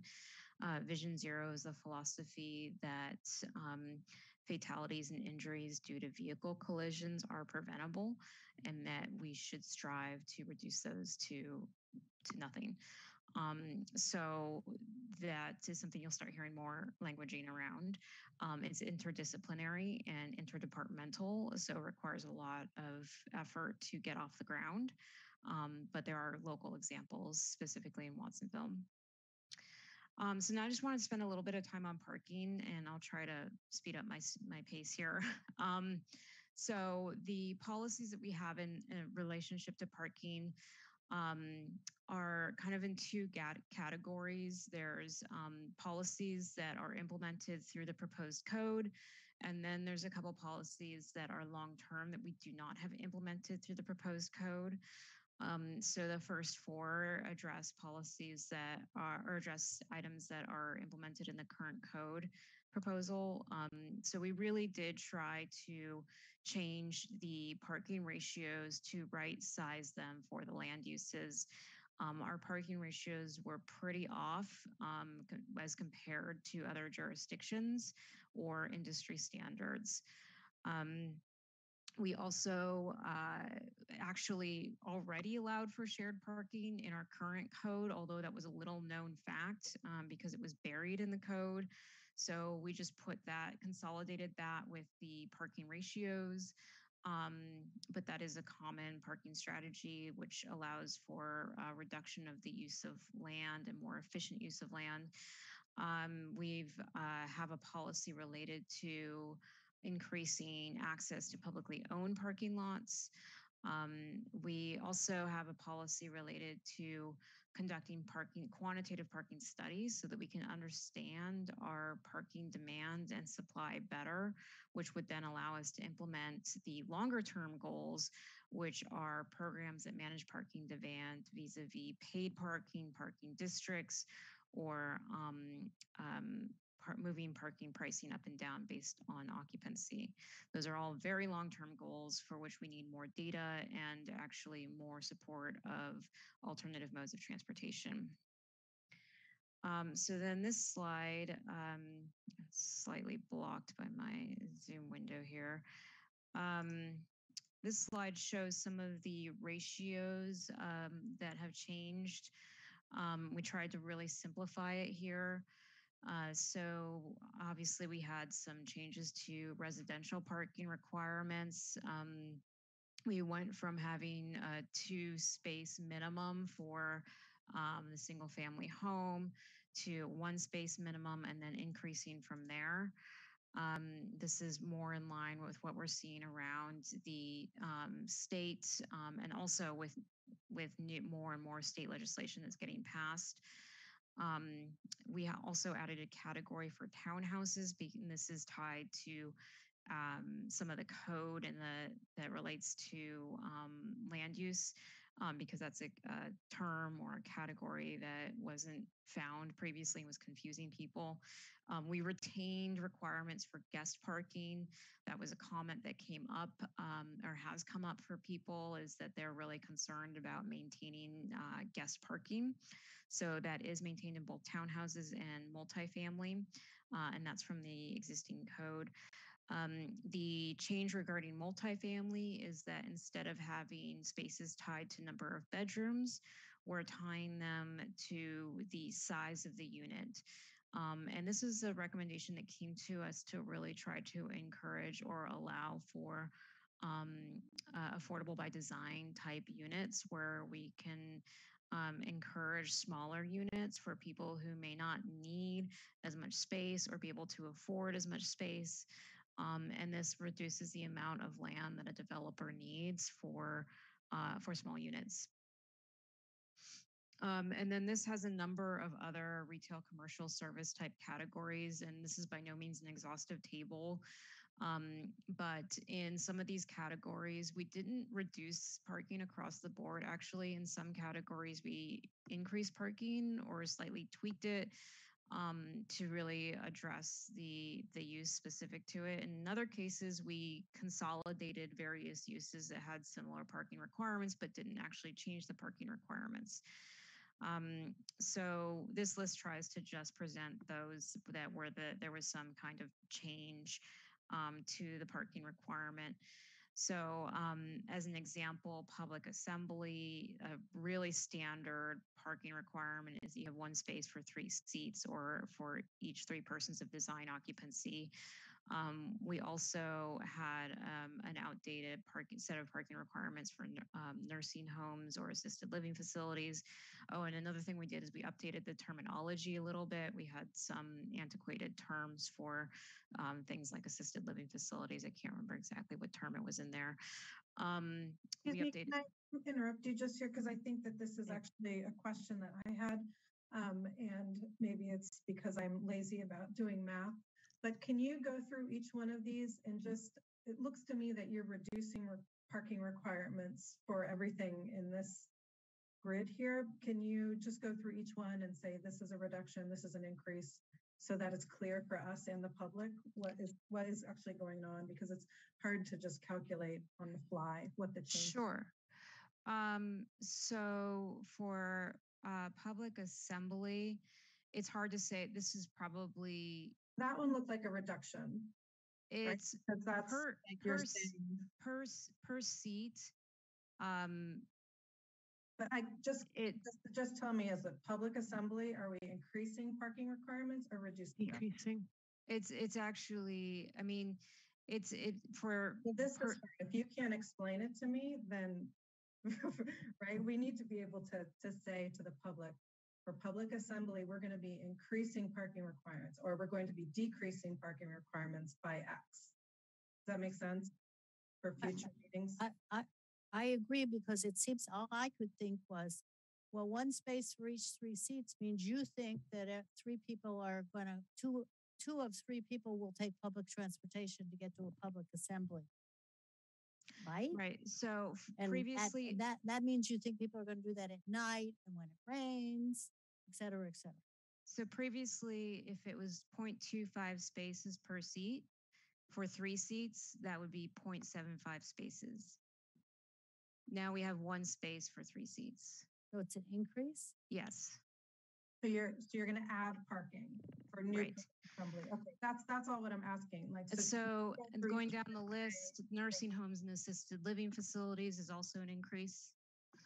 Um, hospitals is a probably an increase because it's based on employees instead of office space. So the number of spaces per bed is a decrease, but we're also changing the number of parking requirements to be tied to employees versus office space. So we looked at a couple of examples of recently passed or uh, proposed uh, expansions, and this would have resulted in an increase. Um, let's see, for retail, commercial services, et cetera, this is actually the same. Um, except for the second area. So there's there retail, this used to be two categories. Retail, commercial services, shopping centers, convenience stores, supermarkets, etc. And the second category was supermarkets and convenience stores, which had a one per 200 square foot. Um, so that has now been combined, and the new requirement for all of these categories is one per 300 gross square feet. So that means that um, the supermarkets and um, convenience stores uh, will now have a increased requirement. Whoops, sorry, I didn't mean to go back to the next slide. Um, I see that as a decrease. Yeah. um, sorry, sorry, I meant for the, uh, yes, that is a decrease. Um, I was kind of looking ahead to the, the next one here. Um, and then we for another change here actually is that cafes with uh, 12 seats or less were split up with split up from cafes or coffee shops with 13 or more um, seats. So the idea is there is that cafes with um, uh, high turnover, which tend to have fewer seats, uh, would have a lower parking requirement than uh, coffee shops, which have a lower turnover, or um, cafes, restaurants, bars, etc., which have a lower turnover where people stay longer. Yeah, I think we get that part. Yeah. So they have a higher parking requirement um, at one per 100 square feet. Okay, but so the change for restaurants and bars though, is that increasing the parking requirement from what restaurants used to have or lowering it? So we are increasing the parking requirement for coffee shops or cafes with 13 or more seats. We are not increasing the parking requirement for dine-in restaurants. I'm sorry, Anais, can you explain that to me? Because I, I, I see it as the opposite. So I see it as dine-in restaurants used to have one per 100 square feet plus 0.3 per employee versus we've gotten rid of the additional 0.3. So I would see that as a decrease in, in. Right. So in we are not increasing the parking requirements for restaurants. So this is extremely important though, because this comes up quite a bit at the planning commission, especially with restaurants, because parking is always an issue. So I just want to be very clear for the commission and for the public, what the change is being proposed to be. And so that is a reduction for parking for restaurants is the proposal. Correct. So for restaurant, for restaurants with, for restaurants and any kind of cafe with um, 13 or more, the requirement is one per 100. Um, because restaurants used to have an additional requirement uh, for parking for employees. This is a reduction. Okay, so in the future, when this comes back to us in the future, I, I would want this to be spelled out in a way that's clear. Because it seems like it wasn't clear to any of the the commissioners up here who are pretty experienced, so it's probably not clear to the public as well. I, I would agree. I, could you just explain your rationale for getting rid of employee parking requirements? Because any cafe of any size has three or four people there who work there. Where, why, why not specify parking for them? It's to it's- simplify the parking requirements, not to tie it to the user.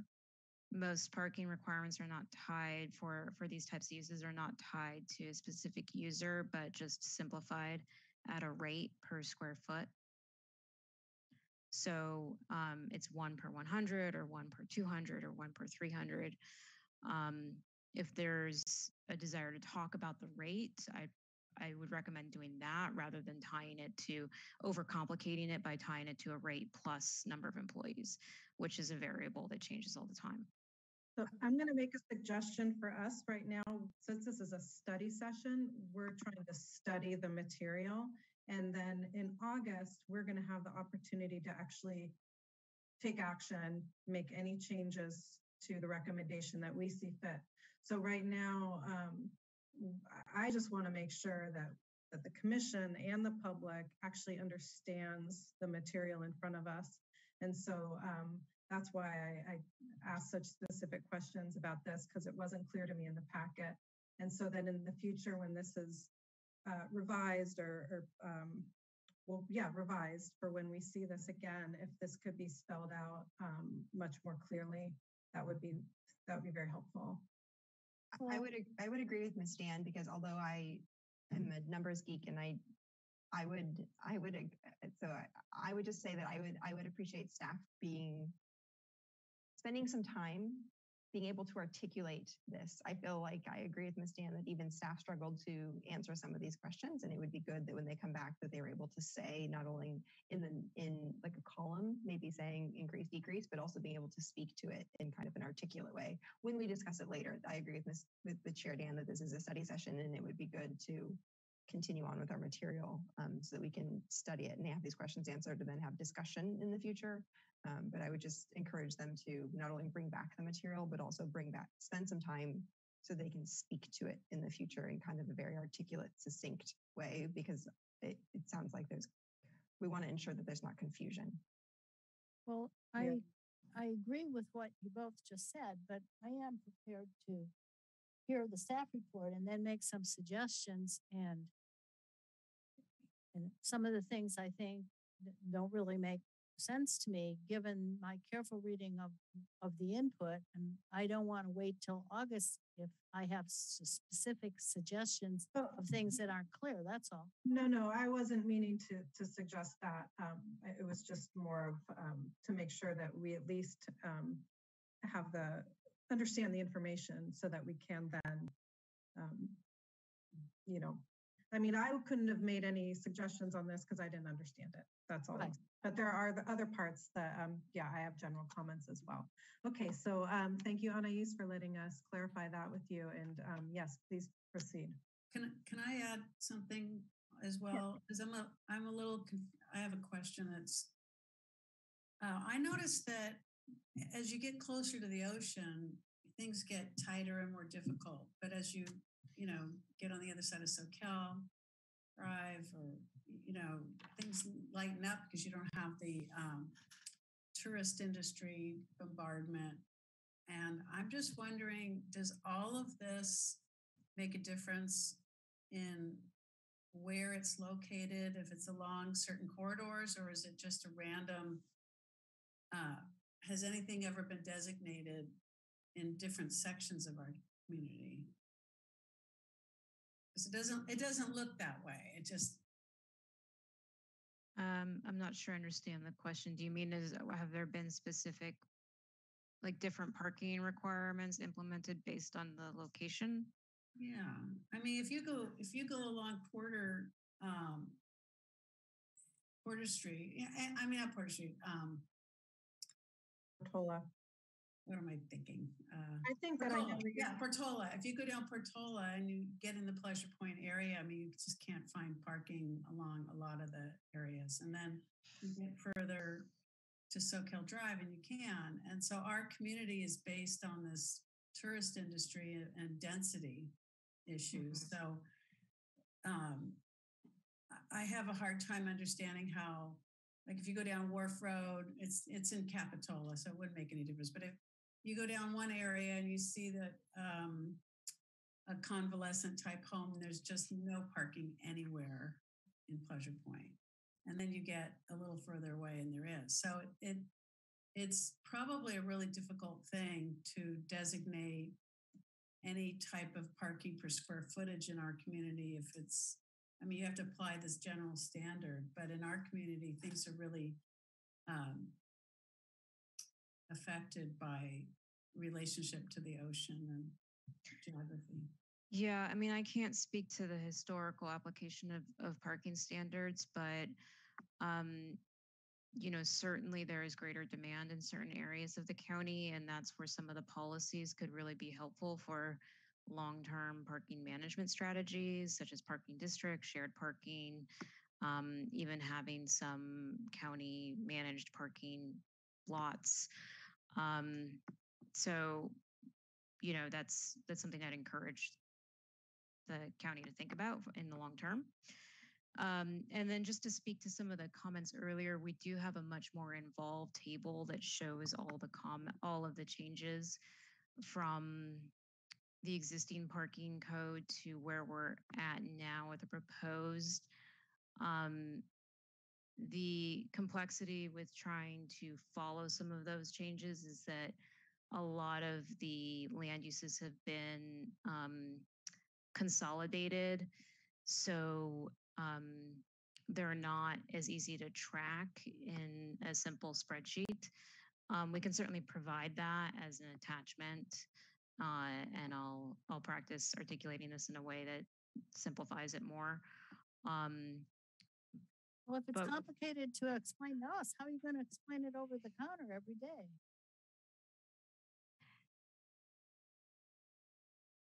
yeah, I think um, the point is to create a final table that's simple and not to track, you know, when, when somebody comes in, not to track where we were 20 years ago to where we are now. Um, Yeah, but that's what we need to know for our purposes. Right. We need to Yes. understand what is changing.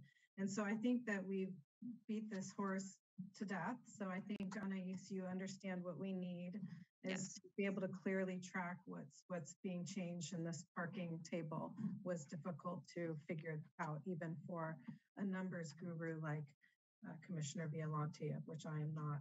So um, if Allison couldn't get it, then I know there's no hope for the rest of us. So, um, so yeah, let's try to get through your presentation because we are required to take a break at 1.30.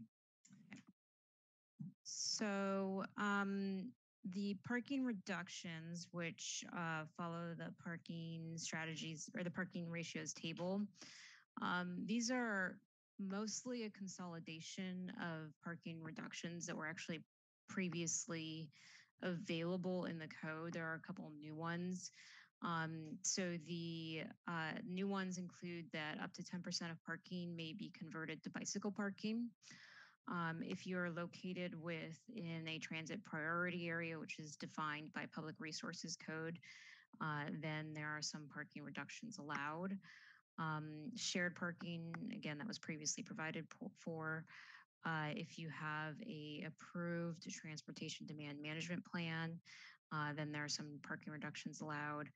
And then the next three bullets there summarize uh, state law required reductions. Um, so due to historic resources, ADUs or accessory dwelling units, affordable housing, and then, um, sorry, not the next three, the next two. Um, and the last bullet point there um, shows a parking maximum. We actually had that in our existing code, um, was a little known requirement, um, but we do have a parking maximum to not allow more than 10% above the required parking. Uh, and then the new major section of the code is for bicycle parking, which um, we had very few standards for previously. Um, so we've completely rehauled this section. Uh, this includes uh, bicycle parking requirements as a percentage of vehicle parking requirements. This is modeled after the City of Santa Cruz bicycle parking code, which um, we got a lot of really positive feedback from bicycle advocates on um, and uh, some developers on. Um, there's also new design standards. We looked at a few design standards from around the San Francisco Bay Area, um, and then I worked with Public Works on those. Um, we also allow properties, as I mentioned previously, to convert vehicle parking into bicycle parking spaces. Uh, shower facilities are now required for new development or uh, we call major enlargement, um, so not for existing facilities. Uh, and then vertical bicycle parking may be allowed with specific approval. And then we have some other major changes to the code. Um, so one of these I know has come up a lot here, which um, is the exceptions to roadway standards. Um, so there is in the um, the public works design criteria, there is a set of roadway standards that define the widths for vehicle lanes, sidewalks, and um, bicycle lanes. Uh, and within those roadway standards is actually an exception for the local roadway standard, which reduces the width. Um, and then the there's an exception to that exception in our code, which allows people to um, not build that reduced roadway width, but actually um, get approval for something that that um, uh, is not that reduced roadway width, but something totally different um, based on a design that they get approval from the both the commission and the board of supervisors on. Um, and these exceptions can be based on a number of things. Sometimes they're environmental. Um, sometimes it's due to um, neighboring developments not having the same facilities built out. Um, there's there is an exception for that in the code. And then, um, and some of the justifications have been because of the size of the roadway uh, facility available. Um, sometimes it's due to the parcel size. Uh, so what we did is we looked at a number of examples of where these exceptions had been approved. A lot of the developments that were getting exceptions to the roadway standards approved were minor land divisions. Uh, so very small roadway or very small um, projects uh, where the roadways were functionally a driveway. And um, so there's now in the code a proposed approach that allows for uh, what we call internal roadways and internal driveways. And these two types of facilities allow for uh, different build out than what is in the, um, the design criteria currently. Um, they still provide for bicycle and pedestrian facilities, so those two are still built in there.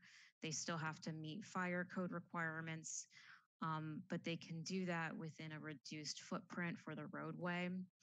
Um, the internal driveways are meant for four units or less.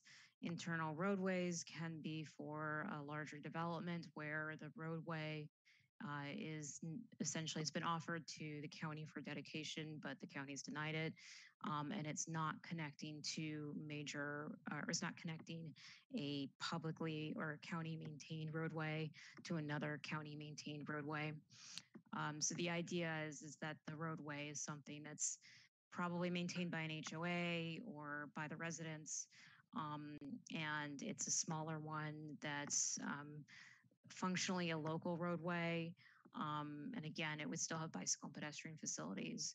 Uh, and the parking requirements would still be met, but um, we would allow for a reduced roadway within the code so that they wouldn't have to come for an exception and go through the whole design process vis-a-vis -vis that exception. Um, we also have a new set of standards for drive-through facilities, which we do allow for some drive-throughs. Um, and so we went and looked at other code examples or code examples from other cities. Um, site distance is a new section in the code as well. That was previously just in the design criteria and, and sort of implemented through um, industry standard practice. And so now we've codified that. Uh, and then there were some changes to the surface lot design standards just to reduce the required aisle widths and um, bring that up to current practice. And so the next slide here, we're going to talk a little bit about the um, Portola Drive streetscape streetscape concepts. Um, I know that some of you um, are familiar with this uh, project. This was incorporated into the EIR um, and sustainability update project. Uh, there's three, there's the existing conditions as you can see on the slide. There's a near-term concept and a long-term concept.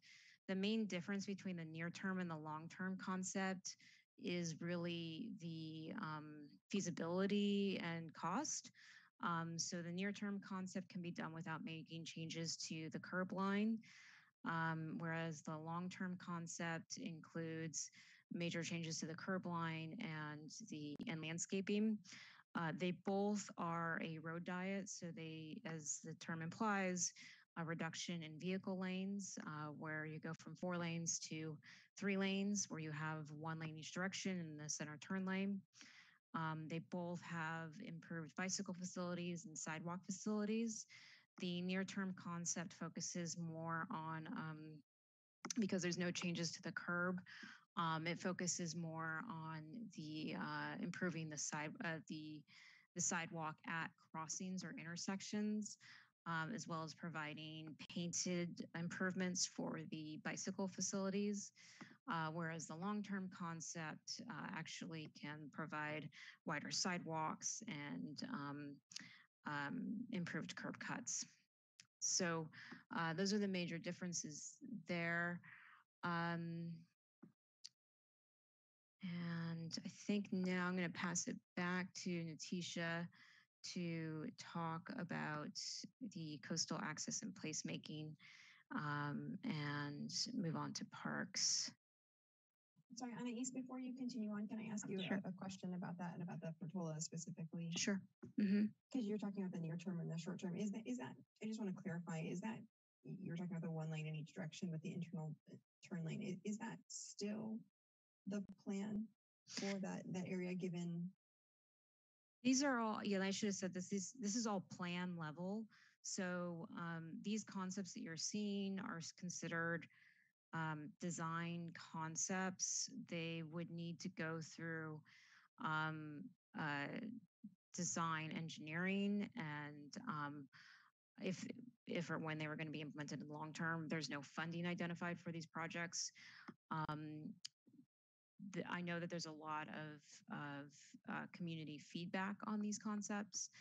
Um, another, we recently uh, released the active transportation plan for the county, and um, that came up as one of the comments or questions on the active transportation plan. And for that, they've identified improved protected facilities on this corridor, but um, it doesn't necessarily preclude or um, incorporate a road diet. Um, so that's sort of a long, a long-winded answer for saying uh, we don't know uh, what will happen on Portola Drive. Um, the EIR will cover a road diet if that's the direction we go, but we do need further engineering studies. Um, we also do know, and this is called out in the um, the uh, list, it's Appendix J of uh, improvements for intersections and roadways. Uh, we do know that there are intersection improvements needed in this area, uh, both for operations and safety. So uh, we did look at that as as um, part of the background information for the EIR as well as just the general plan and, and identified some basic level improvements for the intersections. So that specific those specific improvements are included in the general plan uh, update or sustainability update, but the the road diet itself is very conceptual. It would it would need to go through a lot of work before it became real. I just, hi, everybody, Stephanie Hansen. Stephanie. I just wanted to add a little bit to that, that um, after the Pleasure Point um, plan was accepted by the board in 2018, the direction was to study these concepts in the EIR, um, which which has been done. There are some recommendations for where um, uh, intersection improvements are necessary to accommodate the um, concepts here. Um, we recognize there was um, there was a pop-up project this summer that um, had some execution issues and didn't go as well as a lot of community feedback um, about the concepts. So the the general plan policies and implementation strategies in the access and mobility element have a some general language about about this concept, which is to um, um, study it further um, and determine what improvements are, you know, are uh, good for development, seek funding, and so forth. Um, I just want to, uh, I didn't want the commission to be under the impression that, you know, these are the improvements that, that we're making. Um, there's a reason why it was studied in the EIR, and then there's general language now as a policy and implementation strategy regarding it. Um, it's not necessarily something that's going to appear on the uh, capital improvement uh, program next next year or anything like that. So just to add a little bit. Yeah, thank you for that. Since this came up, now I'm confused because on page nine of the staff report, you identify the proposed uh, general plan, um, the the implementation strategy um, that actually does seem quite specific. If there's a new development, it says clearly require new development to build plan lines for the Santa Cruz County SBCC, which which is the this plan. So I'm a little confused now. Um, the plan line has to be developed, right? But what So I there's a lot of work is that that this goes is into that. this is just a study. This isn't. This is general. But actually, no. It seems like if you are building a new building, you actually will have to make improvements consistent with this policy. If should this policy be adopted. Right, uh, uh with with the plan line. A, a plan Right. line, yeah. So I mean, a plan line is is a simply a plan for improvements that could be made.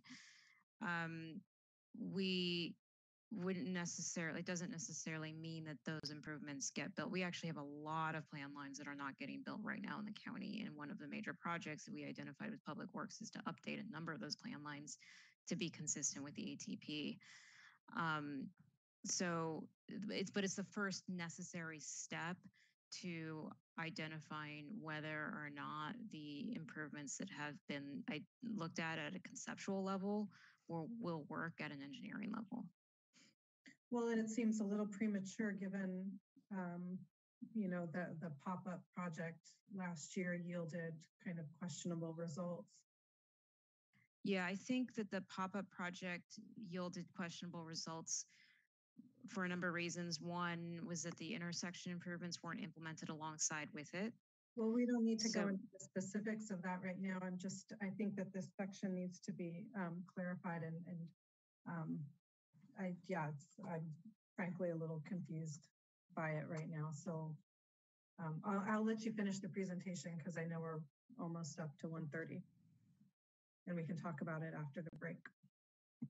Yeah, I'd like to circle back to this though as well, because I'd like to know how much uh, we are specifically adopting, because you, I mean, your- part of your presentation included the existing conditions, the near-term con- concept and the long-term concept. And I, I, I, would like to circle back with this as well as how much we are uh, endorsing, codifying, approving a particular I mean, in, in, um, like she said, AM two point one I, it says the Pleasure Point Commercial Corridor, total street, streetscape concept and Pleasure Point guiding principles parts. And I'd like to know how much we're, how specific that is, um, and then encouraging or requiring even development plan lines to, to, to, to go that direction. Uh, so I, I, I would also like to circle back on this when we, we have a chance. So, thank you.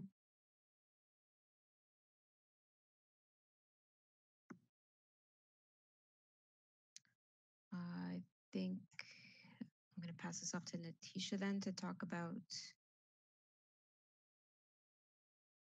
uh, coastal access and placemaking. Um, thanks, Ani. So um, one of the um, major changes that's uh, happening for uh, General Plan Chapter 7 is that a lot of the coastal access policies used to exist in that um, Chapter 7 Parks, Public Works, and um, sorry, Parks, uh, Recreation and Public Facilities chapter. Um, and a, a significant portion of those have been uh, moved to the new Chapter 3 Access and Mobility chapter. Um, so uh, they, I think I will pass this back to Anis to kind of discuss that more access um, portion of the coastal access um, placemaking policies. And uh, we'll discuss a little bit, touch a little bit later on coastal access as it's included in chapter seven. Could I just ask what you mean by placemaking Sure. Um, so or wayfinding? Yeah. Um, so placemaking is generally a, concept or a term used to uh, refer to community creating a sense of identity uh, within the public realm. So it's um, in the roadway, it's often done by, sometimes you'll see it with murals on the street or um, uh, in general art in the street. Um, sometimes it's done through signage uh, and sign it. When we say wayfinding, we really mean signage that directs people to a particular set of key destinations.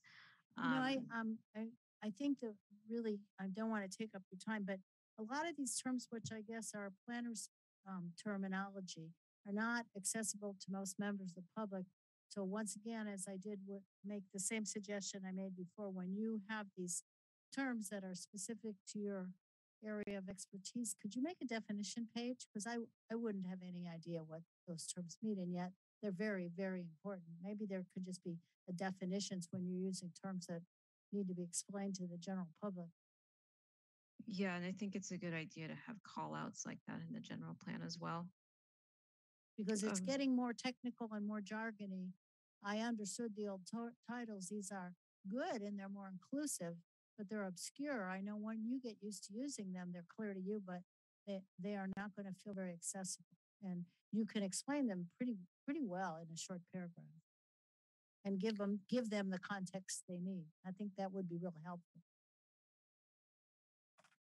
Uh, so just to get to um, Natisha's request. So, so, so I got placemaking, what's wayfinding? Do you, if you mean Uh, signage, why not just say signage? because it's a specific type of signage that directs people to a set of key destinations identified by the uh, it's often for tourists or people who are Well, new was to the good. You just, you just made a very clear explanation in one sentence that I could look up now. Okay.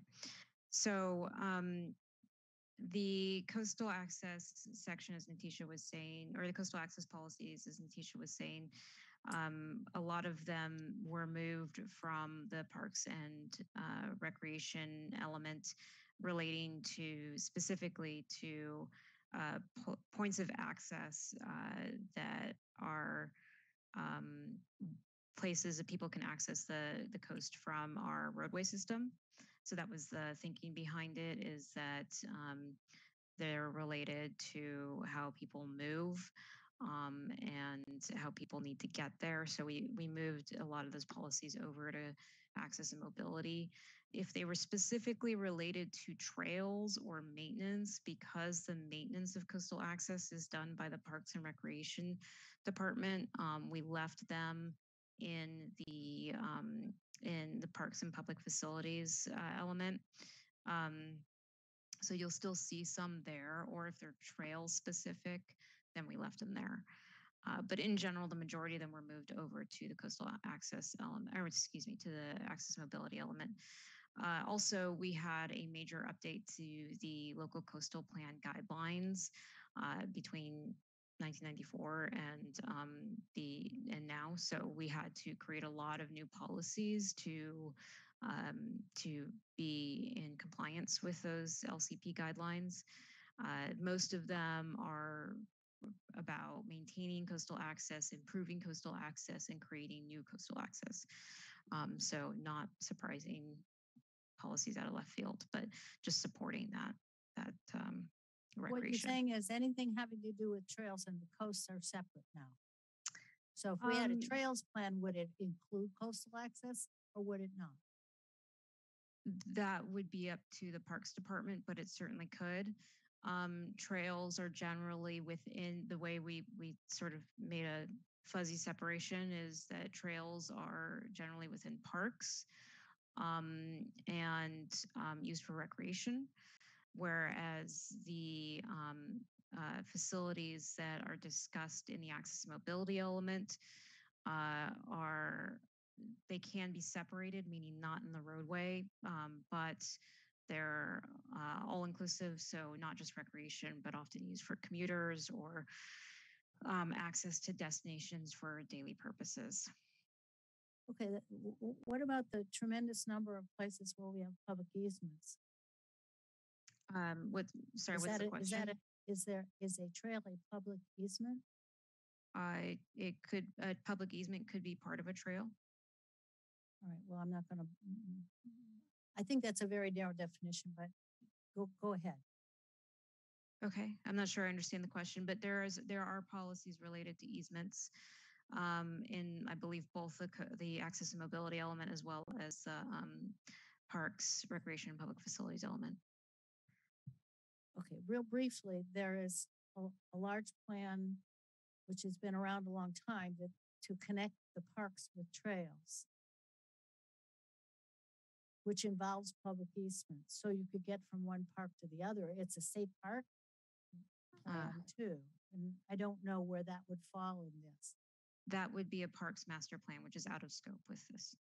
But there, the trails that will connect parks would not be park trails. They would be public easements. That would be included in a parks master plan, which is out of scope with this. So I'll pass this back to Natisha now.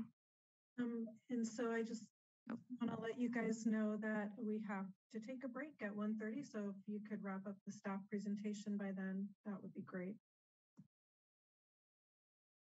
Yeah, so um, we had originally proposed to allow the commission to sort of have a focused discussion on transportation at this point, but um, it sounds like you prefer to kind of continue on and just finish the presentation. Well, because I think we do, I think the commissioners probably do all have a lot to say. I know that I have some comments, but we're mandated to take a break at 1:30 and then we need to take public comment and then we'll have um, questions for and comments for staff, I'm sure. Is, Natisha, is this a good point to take a break then? If, I I mean, I don't know how much longer your presentation would go on. We have about uh, four more slides. Okay, let's, Um, let's get through those four slides, and then I want to apologize to the public that we're going to have to take a break until two o'clock, and then at two o'clock, we will hear from the public. Okay, great. So community services are critical to both high quality neighborhoods and commercial vitality.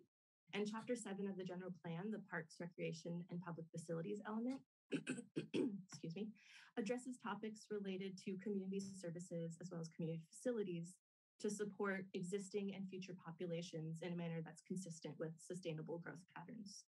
More specifically, Chapter 7 includes policies on parks, recreational, and cultural facilities, public facilities, public services, and utility infrastructure. The Sustainability Update uh, project proposes a partial update of Chapter 7. Um, so it addresses the new element addresses the same topics as the existing element and incorporates some updates to a chapter that hasn't been substantially changed since its adoption in 1994. Um, so it's now consistent with new state laws, pardon me, um, with new local plans and industry practices. But um, most of the changes that you see in the chapter simply streamline, consolidate, and reorganize existing policies. I had a question on tape in that section of transportation, parks and public facilities. There's a table called three point nine that has stuff like large animal keeping regulation and uh, regulations for fences and stuff. What's that doing in parks? Public features and transportation? And I thought we were going to discuss that kind of thing separately. Um, sorry, I'm not sure what table you're referencing. Can you clarify? Yeah, it's on page thirty-four of the staff report, table three point three hyphen nine, summary of Santa Cruz County Code amendments. But it's in this, it's under this general section of transportation, parks and public facilities draft EIR description. Okay, so it's, is, is it included in the attachment, the project uh, description from the EIR? Is that what you're saying? Yeah, that's, yes. Um, Renee, that's just a summary of all of the code amendments. It's, it hasn't been edited down, this particular table. Um, So we're not talking about any of those specifics now. no, we, we'll get to those on the 13th. Okay, so. All right, I'm trying to follow you along in my staff report, so. Go, go ahead. Great. Um, so first, we're going to talk a little bit about public facilities.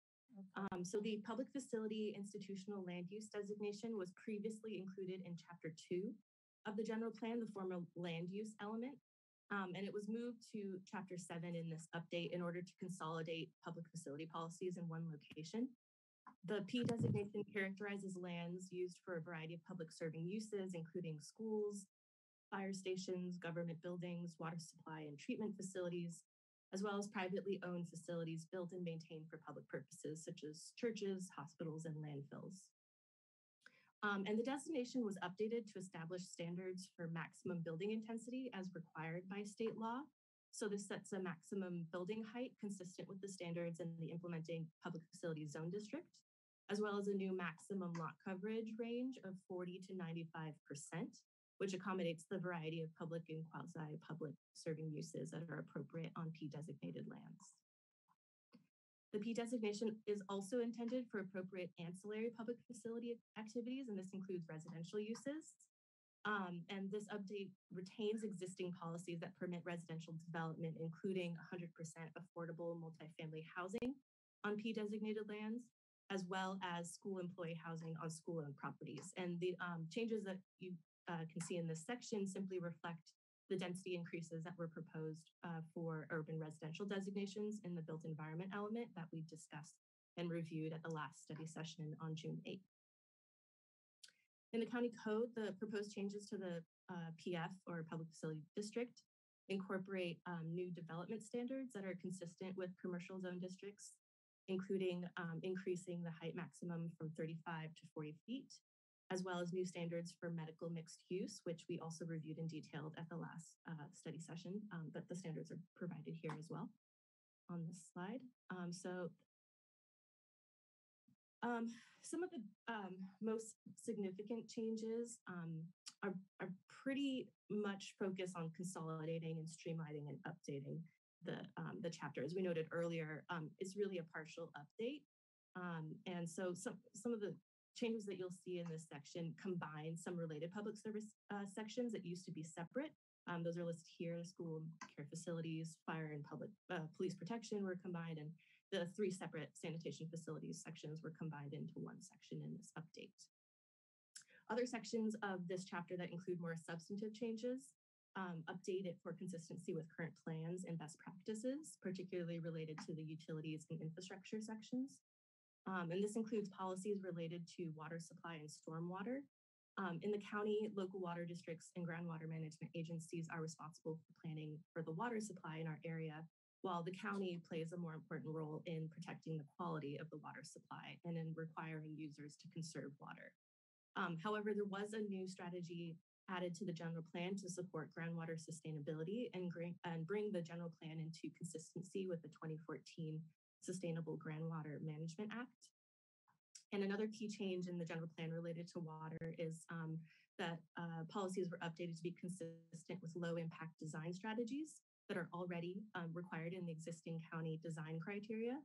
And that includes, um, you know, bioswales, permeable surfaces, um, and this update simply requires new development to maintain the capacity of the site's stormwater retention, as well as recharge uh, groundwater resources um, consistent with the design criteria. So um, we'll discuss some of these water policies in more detail at our, our next study session on July 13th, which will focus on natural resources and um, additional uh, water policies included in chapter five of the general plan. Um, chapter seven also includes new, uh, new policy based on the county's climate action strategy regarding wastewater reclamation and energy conservation. Um, there's also some updates related to the integrated waste management section, which makes it consistent with new state waste reduction laws. And the chapter also includes a new telecommunications and broadband objective, which includes a new forward-looking policies that um, really lay the groundwork for expanding broadband access to underserved areas of the county in according with environmental justice goals. I just so you know we're at 1.30, so um, is this your final slide? This is the final slide, and then we have the recommended actions. So I can okay, so let's move through it quickly. We need to respect our CTV folks. Thanks. Yep. Um, so to talk, uh, talk a little bit about parks policies in this element, um, uh, it addresses land uses related to recreation, set standards for parks, and address the provision of adequate park facilities in our communities. The revised element really retains and consolidates and updates those objectives and policies related to parks and recreation.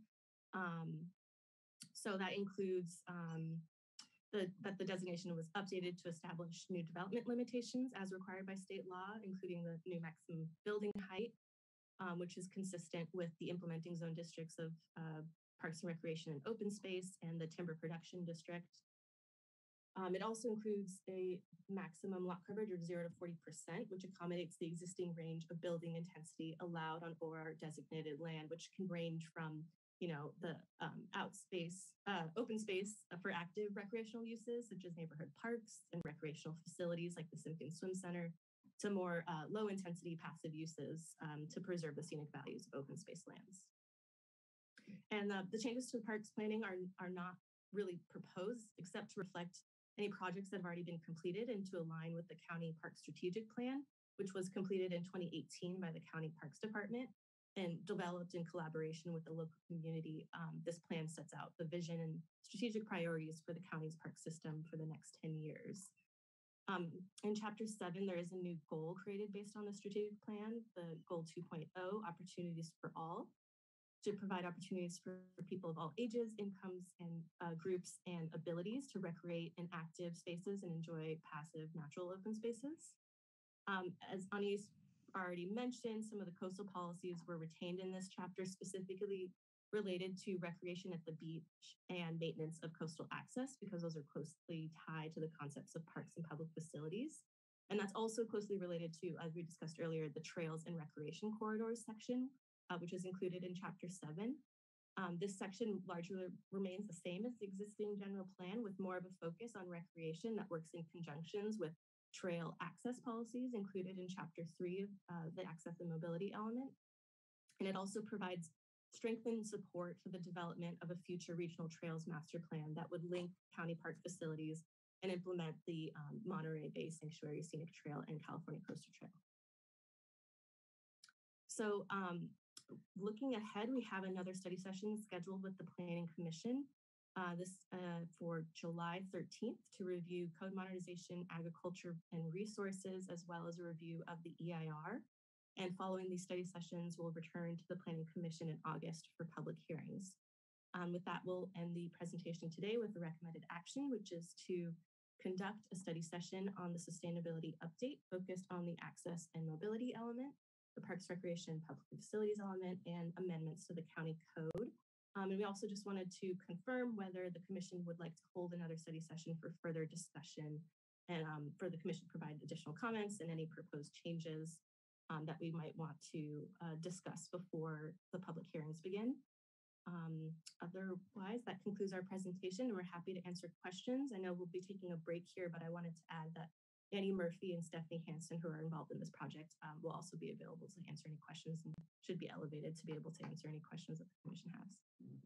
Okay, thank you very much. Um, so I want to let the any folks, I understand there's a number of people waiting to speak um, on this item. So I just want to apologize that we are required to take a break now to give our community TV folks who um, do such an awesome job holding these remote public hearings for us so they can take a break.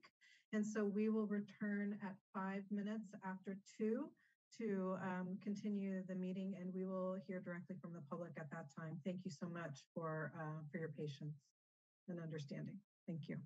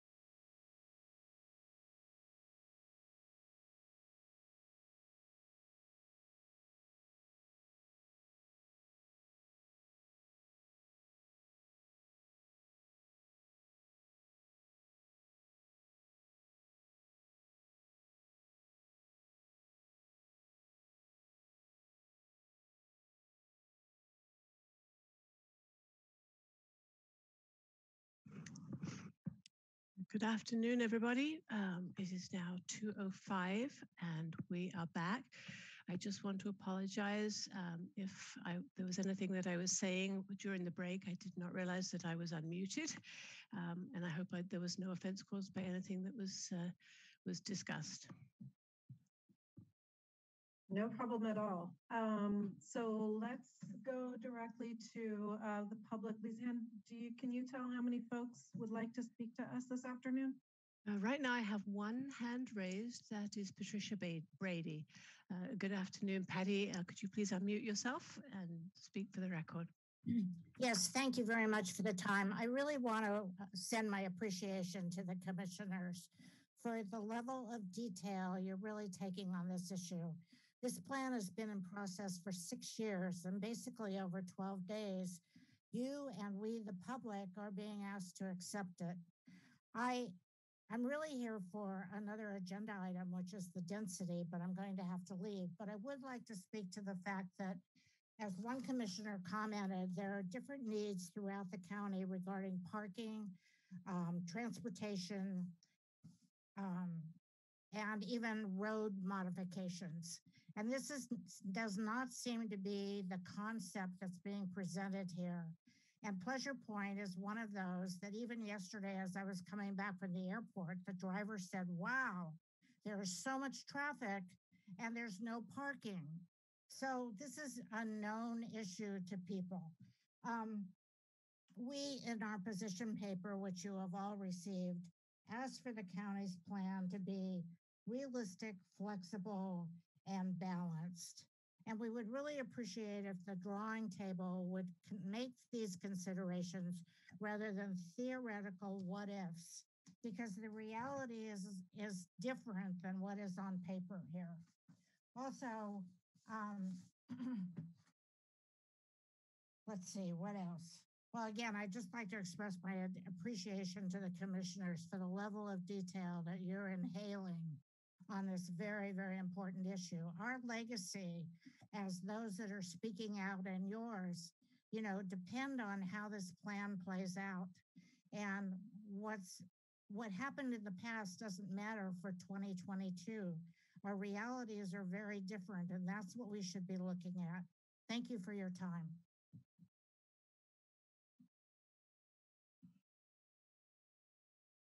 Thank you, Patricia. Uh, Lezanne, are uh, there, is there anybody else? Um, I'm not seeing any hands raised at this time. Oh, Celeste has just raised her hand. Good afternoon, Celeste. Would you please unmute yourself? Hello. Uh, Good afternoon, Celeste. Hi. Um, I, I'm sorry, I just missed the last speaker. I hope I'm not repeating anything. Um, I, I wanted to sp- speak about um, the rezoning of the corner of Thurber and Soquel Drive. And um, it was existing as office commercial, neighborhood commercial, and urban open space. And the proposed change is to urban residential, high flexible, high density flexible use and community commercial. And I wanted to ask that it not be light industrial. I feel like the corridor that that exists on has plenty of that type of business adjacent to it, and it doesn't really respect um, the residential neighborhoods that abut that area, like Santa Cruz Gardens, the residents um, behind Dominican Hospital, and also that Thurber is a single lane, mostly in and out to at least Santa Cruz Gardens.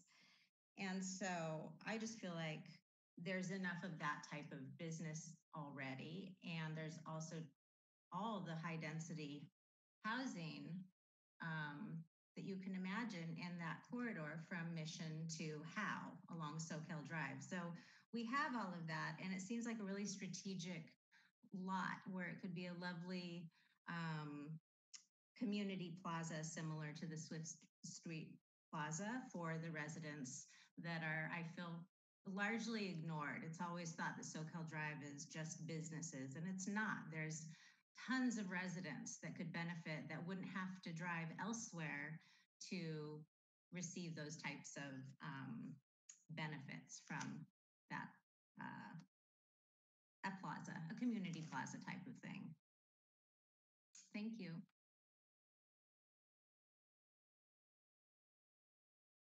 Oh, I was what? Hello.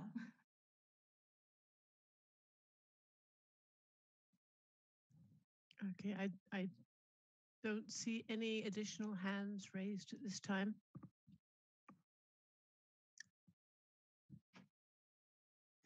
Uh, okay, um, I knew some folks were there um, earlier in the morning, but it looks like they probably dropped off. So if you do one last check and see no one else, I will then close the public hearing. Uh, there's nobody else who has their hand raised at this time, um, but I will just remind everybody if you would like to speak, uh, please raise your hand by hitting the hand icon, which you will find at the bottom of your screen if you uh, move your mouse, your cursor down there. Uh, and if you're speaking, if you're speaking by telephone, joining us by telephone, please um, press star nine. And we do have one additional person who's now raised their hands, Alex Vartan. Alex, good afternoon. Please uh, unmute yourself. Hi, uh, I hope you can hear me okay.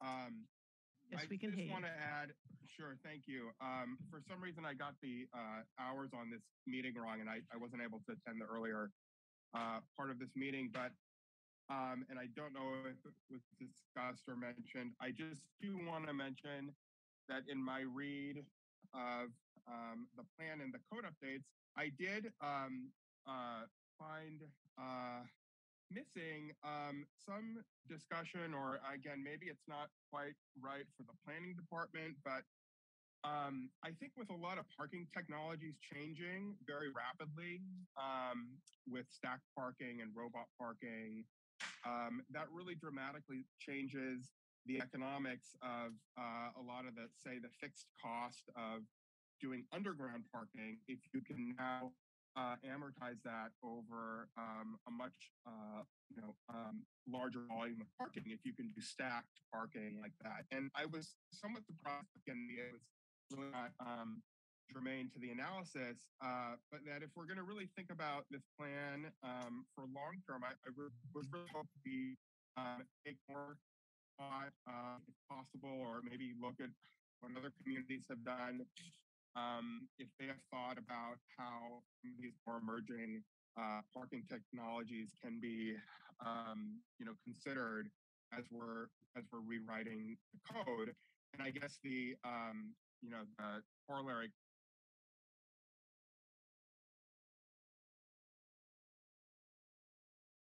Alex, we can no longer hear you. You seem to have lost connection. Can you hear us? It's, uh, it seems that we've we've lost Alex. At this, at this point, I could hear he was breaking up. Alex, we do apologize for that. Sorry, um, can you hear me? You're back. Okay. Okay. Um, yeah, I, I don't know where you lost me, but I just wanted to say, um, yeah, I think it would be great if we can figure out a way to encourage underground parking uh, a little more and, um, you know, think about that in the code, uh, you know, uh, however possible to uh, uh, allow for some of the, the more um, uh, emerging technologies that are going to be able to increase the density we get um, with stack parking, et cetera. So it'd be great to see some, um, you know, consideration of how can we get more parking actual underground. So anyway, thank you very much. Thank you, Alex. Is there anybody else who would like to speak at this time? If so, please uh, raise your hand by hitting the hand icon at the bottom of your screen or star nine if you're calling in by telephone. I'm not seeing any additional hands raised. Okay, um, so then we will close the public hearing component of this item and bring it back to the commission. There's no uh, action really needed for this except to um, ask questions, uh, comments. Um, so is there a commissioner that would like to start us off? I will be glad to. Thank you. My comments, I'm just going to go through the document where I had comments or questions and by the page number. So my first question is on page 10, which I think I already referred to, which is I'd, I'd like to see an example when we come back to look at this of the LOS and VMT applied uh, standards. Um, VMT um, standards applied to a specific project or street improvement or something. So I can understand how you're evaluating traffic in a very specific way. Because of necessity, when you explain it, it's very general and I don't really get a sense of it. So I'd like to see some examples so I understand what the change means. Um, and then on page 11, um, on the second paragraph above the chart, um, board directed staff to make additional changes to the TDM approach.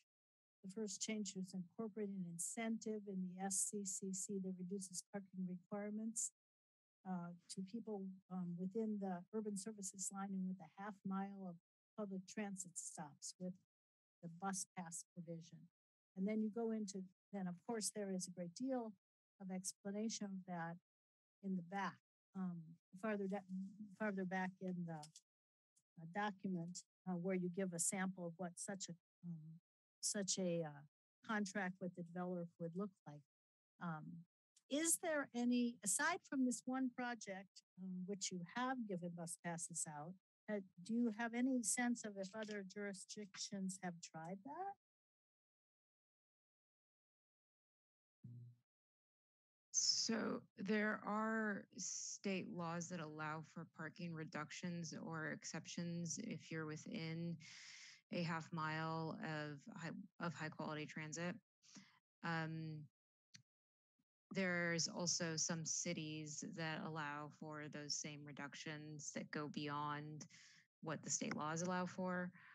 Um, I don't know of specific developments that are comparable to the types of developments that we see here in Santa Cruz. Um, so I'd have to do a little digging to find something that would um, satisfy your question. Um, propose that to you. So this is, um, so, okay, that, that's fine. And you're the- only proposing it in the, within the urban services line, correct? Right. Um, and high quality transit is something, is a very specific definition in the Public Resources Code. At this point in time, we don't actually have any in the unincorporated county. High quality transit has to meet, um, it has to be 15 minute headways at a stop satisfied by more than one bus route. Uh, and the way that Metro or Transit District plans bus routes means that we don't actually have a bus stop that meets that definition currently in the county. In the county period? In the in the unincorporated county. I believe Yeah. there are a couple in the city of Santa Cruz, but none in the unincorporated county. Well, I, just find this a pro, I think I can understand why you're proposing it. It might be worth doing, but to use it as a way of getting people to drive less, I'm not so sure. What about people who have to take kids to school? Most people drive their kids to school and you're suggesting that they, you're trying to get them to take a bus with their kids to go come home and then go to work themselves. And most people drop their kids off and someone picks them up coming or going from work.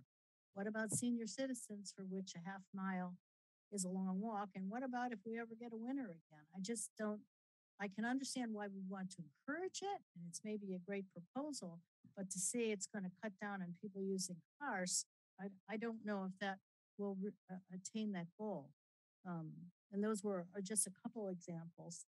I know that um, when I looked at the public comments, which I looked at a lot, the biggest objections, the people, the people the most trouble to were um, this idea of, you know, trying to reduce driving by coming up with prohibited ways that make it harder to drive. And I'm just not sure if that's going to really result in the in the in what you want to happen. I I think so. So I'm not sure if that. Do you really think that's going to work? I I don't think having a bus pass for a lot of people here it's true that a lot of people are, are low income people will m- may use them, but other people will just think, well, that's nice, but I'm going to get in my car. The Especially if you got to drive kids or you have doctor's appointments or, or whatever. Is it is it realistic to think this makes people drive less? And then then you know the other thing is I think it's fairly unenforceable if you're going to people are going to sell their bus passes, give them away, forget them. I mean, it's just to administer, it's going to be a nightmare. And I don't see developers wanting to do it because you're putting the burden on them. Large projects have a lot of turnover. I mean, I can think of, and I won't go into them here, lots of reasons. I don't think it's a measure that's going to necessarily get people out of their cars. And I don't think it should, I think it's a great idea, but I don't think it's a strategy that has many legs. So the bus pass program, along with a lot of other TDM measures, is an incentive. It's it's a carrot, not a stick. It doesn't force people to get out of their cars. It doesn't require them to do that. They can still drive their kids to school in a vehicle should they choose to. Um, it's uh, an incentive that, if not provided, isn't going to change anything. If it is provided, is one more way that people can change their behavior.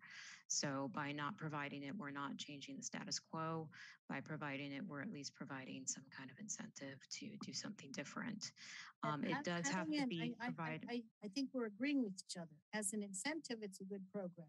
To put it, to purport that it is going to get people out of their cars, I think is a misnomer. I just want to say that.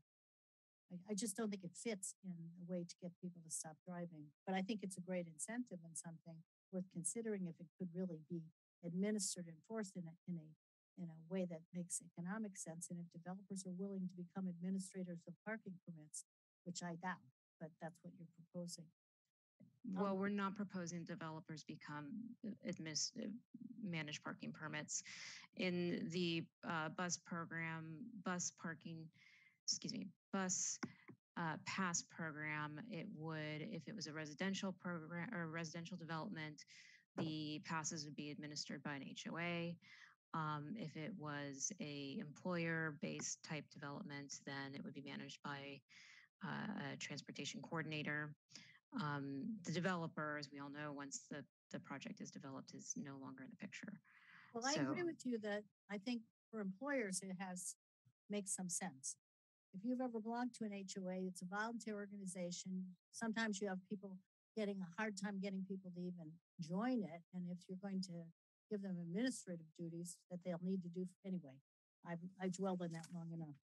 I want to come back to page 13, which is the big change, which is reducing the number of parking spaces. So if you build a one bedroom home, you're going to require one parking space, which means that people are going to have to use their garage to park their car because there is in Santa Cruz, it's unlikely that there is one person living in a one bedroom. It's more likely that there's at least two people, and if it's students, maybe five or six. So, how does I just don't know that it has any legs. And in reading the comments, that there was uniformly, if you look at pages like 95 to 103, when people were talking about what they want, it wasn't less parking. So I, I just don't know if it really um, makes any sense. And it, it I, I also want to say in, in the rural area, everybody needs a car because there's no other way to get around. So if you have a house, a two or three bedroom house, there's going to be teenage kids, there may be seniors, there may, you know, the idea that everyone's going to, I just don't see, I don't think it's, it's realistic. So, and, and of all your feedback, there wasn't any, there were vast majorities of people who didn't think it was a good idea. So I, I can't, couldn't, I don't see how it's really going to be effective. And if we have tiny homes and they're going to park in driveways, then no one's going to get out of anywhere. So I don't know. But I mean, two spaces means you, most people use their garage as kind of a storage place and they have games there and equipment and so on. So you're going to change the way people live because everyone, most families that have, you know, two or three kids, they get older, they have a car, their grandparents live with them, or two people work in different places. How do you see that working uh, for what, the way people, most people live here?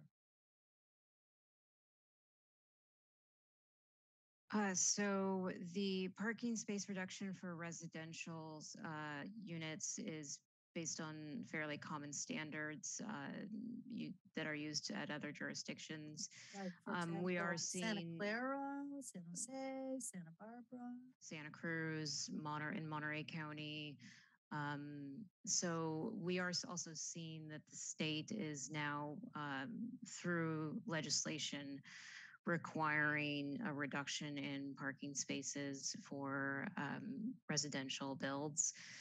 If somebody were to build a new single family home, um, they could choose to build a two car garage um, for a one bedroom if they wanted to. We're requiring one space. Um, so That's a parking space that's not a garage, right? Just to be sure that I really am understanding you. Your garage Right. doesn't so off as a parking off street parking. Um, so the you know the code is a minimum right now. Um, some codes in some cities use parking maximums. Um, we have a parking minimum. And uh, we do have a parking cap maximum, which is no more than 10%. Um, so that would have to be, you know, acknowledged, but um, and addressed. But I, you know, it's for a one bedroom home. If you have a garage and a driveway, then you've got two spaces in tandem.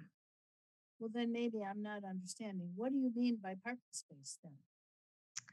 Uh, You don't parking, mean the driveway. Is that what you're saying? a parking space is any space that's off street. So a parking space would be your driveway. Sure, or a garage. So if you have a garage, you can have you can park one vehicle in a garage and one vehicle in a driveway. Okay. but I don't see any responses to the feedback you got. There, that was, this was the most strongly opposed by all the people who commented, but I don't see any response. We are still collecting, in the process of collecting um, comments. And um, I don't know that we're going to prepare individual responses to every comment that we receive. Um, but we are just now starting to update the uh, the draft documents that were released. So, um, and this is part of that process. We needed to collect input from the Planning Commission before we started making changes.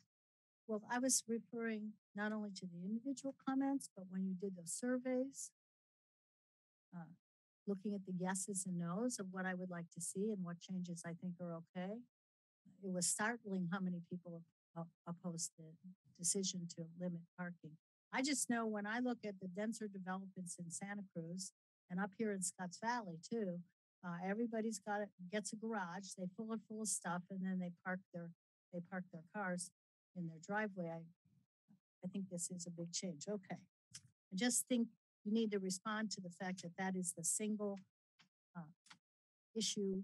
It's a big change that you got the most negative response to. Um, Do you have other comments, Commissioner Shepherd? uh, yes, I just need to um, turn my pages to them. Um, in addressing water, which I guess we'll talk about a lot more in the other study sessions, um, you didn't go into much detail about the fact that the districts have planned projects to address water availability and new development must secure. I mean, I think it kind of glossed over that because it's not your responsibility to provide water, right? That was very Right. unfleshed out. We um, we do have some policies that address water quality as it enters the supply, so low impact development policies. Um, but we are not water suppliers, so we don't address that aspect of water management. We have one policy that um, that's or it might be as an implementation strategy to be in compliance with um, with management plans. Um, but in general, our strategies are more around managing the water as it enters into the groundwater supply. There are also existing policies on requiring letters of water availability from the supplier before uh, permits are issued for a project, and and those um, entities are part of the review team that looks at any project as well. So without that, they couldn't get a building permit. That that's not new. That that's the case now. Okay, on um, page thirty-three, um, on section 1310 2020 to twenty eighty, you mentioned the proposed amendments or modif- modif- modernization amendments to per- permit to permit application processing procedure changes use approval to use permit, separate from site development permit, redefines site development permit as separate from use permit. What does that mean? Um, we'll go over this in depth at the next um, study right. session. Um, No- but No problem, we can just skip it then.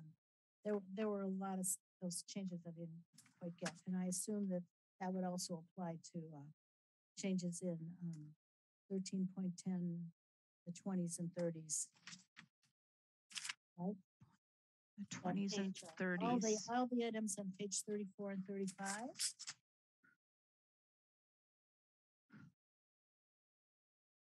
Some of these are related to the parking standards that we have looked at.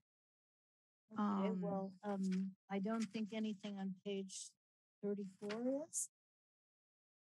Wrong, right?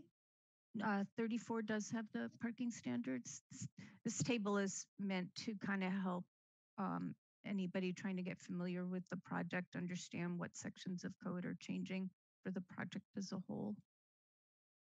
So, well, specifically then, there's regulations concerning fences and retaining walls. Is that going to be discussed on the thirteenth? Yes, we can discuss that on the 13th of, yeah, highlighting what's interesting to the commission. Um, and what we th- we think the major changes are. And if that's one of them that the commission wants to particularly review, we can make sure we cover that. Well, I would, I would like to review the combining districts, the, the, the agricultural preserve and farmland security combining district, the regulations for fences and retaining walls, the outdoor storage of personal property and materials, and the, uh, animal regulations specifically. And then on page thirty-five, the last, very last, Title sixteen, Environmental Resource Protection, um, design standards for rural private roads and driveways has moved parking and circulation. As has updates and clarifies ag and land preservation standards. Is that something we will talk about then as well? Yes, there's a access question in there, Anais. I Um, missed so- the beginning, so I'm not sure if we made I'd just like to know not. what, what has, what it is now and what the proposed changes are for those two sections as well. The um the first part of that question I can answer, which is just to say that the requirements for access and circulation um, have moved and were consolidated into 13, a new chapter 1316. 1316 is about parking and circulation. So if there's something in particular of Yeah, concern what, there. how, how have the design standards for rural private roads and driveways changed? They were moved into 1316. But that's, you haven't changed them, you've just moved them? We move them. There is some strike through and underline listed out in them. I think we actually made uh, the so the driveway standards, even though they were called rural driveway standards, some of those standards were applicable to all driveways. So um, we made that section more comprehensive to address standards for all driveways. All driveways, whether they're in the urban or rural services area? Right, right. You don't And so think there should be section different standards for places that are in large parcels in rural areas? there are still different standards that I don't have the section memorized, but there is strike through and underline for the exact areas where code was changed. Okay, and then moving up, and I'm, I'm, I haven't got many more, but on page fifty-three, um, I'm bringing this up again where I think it says the third paragraph, the, or the first complete paragraph on page fifty-three is breaking this cycle.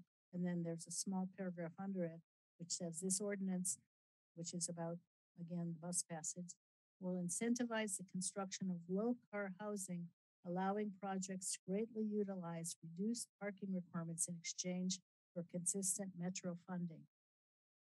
I think, you know, having underground parking, shared parking, those are policies that can achieve some of those goals and they're doable.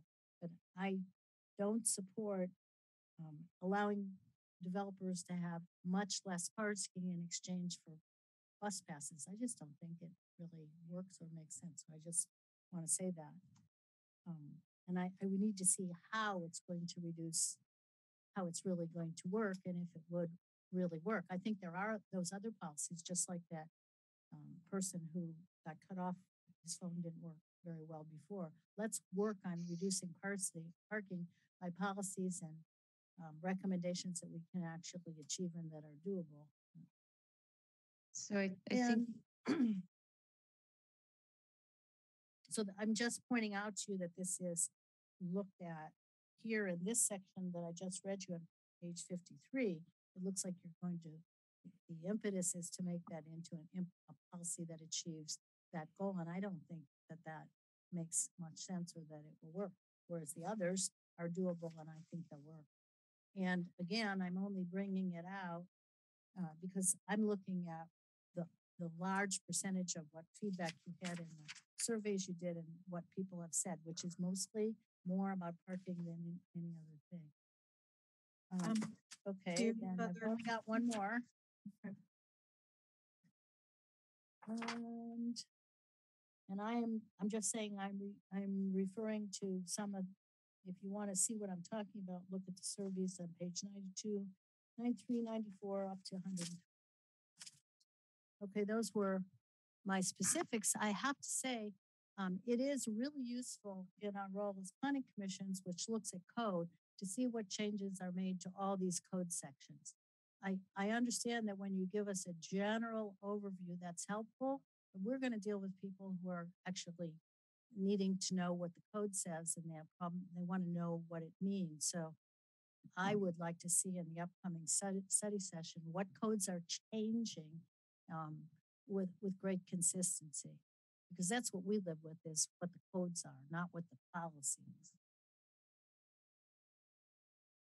Okay, thank you, Commissioner Shepherd. Those were all excellent comments, and I wrote down some of the follow-up items that I can summarize at the conclusion of our comments. Um, so is there another commissioner who's ready with their comments? Yes, Commissioner Sheridan, go ahead. Hi, thank you. Um, so in the um, recreational part of where you say parks, recreation, there's a section there that you originally referred to it as park, recreation, and open space. But then as you went down the column, it became parks and recreation. I don't know what page that's on, but I, I think it's important to be consistent and to include open space in all the sections that refer to parks, recreation, and open space, because I think they're all supposed to be under one title. Is that I'm not sure I'm mm. following the comment. Are you able to be more specific? So my understanding of parks is that parks is referred to as parks, recreation, and open space. That's their official title. They're not referred to as mm. parks and recreation. So at one point, it was referred to as parks, recreation, and open space, and then later in the column it said parks and recreation. And I think that could be that can be extremely confusing um, especially for somebody like myself who has had a lot of interaction with parks, recreation, and open space. So I think the title is really important to make sure that's included. You're, you're talking about the title of the department. Of the sections, that all the sections should include, it's, the department is not referred to as Parks and Recreation. It's referred to as Parks, Recreation, and Open Space. Okay, their actual title's even longer than than that for the department. Is it?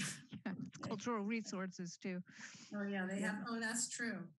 And then another comment I had about this is um, at some point you mentioned the um, trying to create a, a trail that was consistent through our county to connect trails and to connect transportation trails. And um, I can't be specific because I wasn't taking copious notes, but um, there's a little bit of a slippery slope when you start putting um, open space passive trails that then become uh, transportation um, avenues.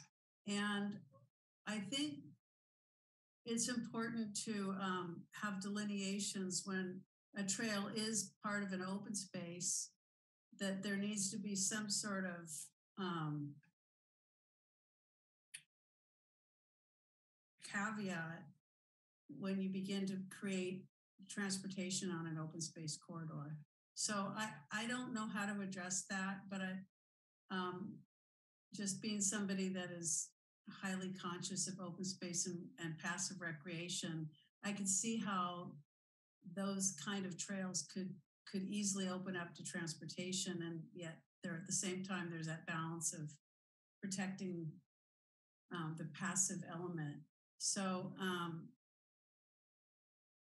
um, can I speak to that for a second? Yes. yes. So um, I'm not sure if I made that comment in the presentation or where that comment was made, but we did intentionally separate out trails as more of an open space recreational element and keep that in the parks, uh, recreation and public facilities section or element mm-hmm. um, versus the access and mobility element, which addresses more of a transportation facility.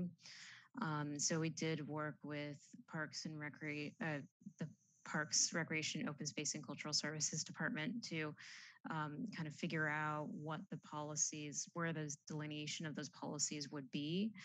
Um, and we know that they have a lot of work to do with regard to identifying trails and maintaining them and um, making sure that they aren't um, overutilized or um, not to say abused, but used for the wrong purposes. Um, so we did try to be conscious of that. We don't um, have a in this update to have a trails master plan or anything that identifies specific trails. Um, but I know that that is on the the radar for park staff. Well, I should mention that there has been plenty of work done on it in the past, and those documents still exist for Trails Master Plan.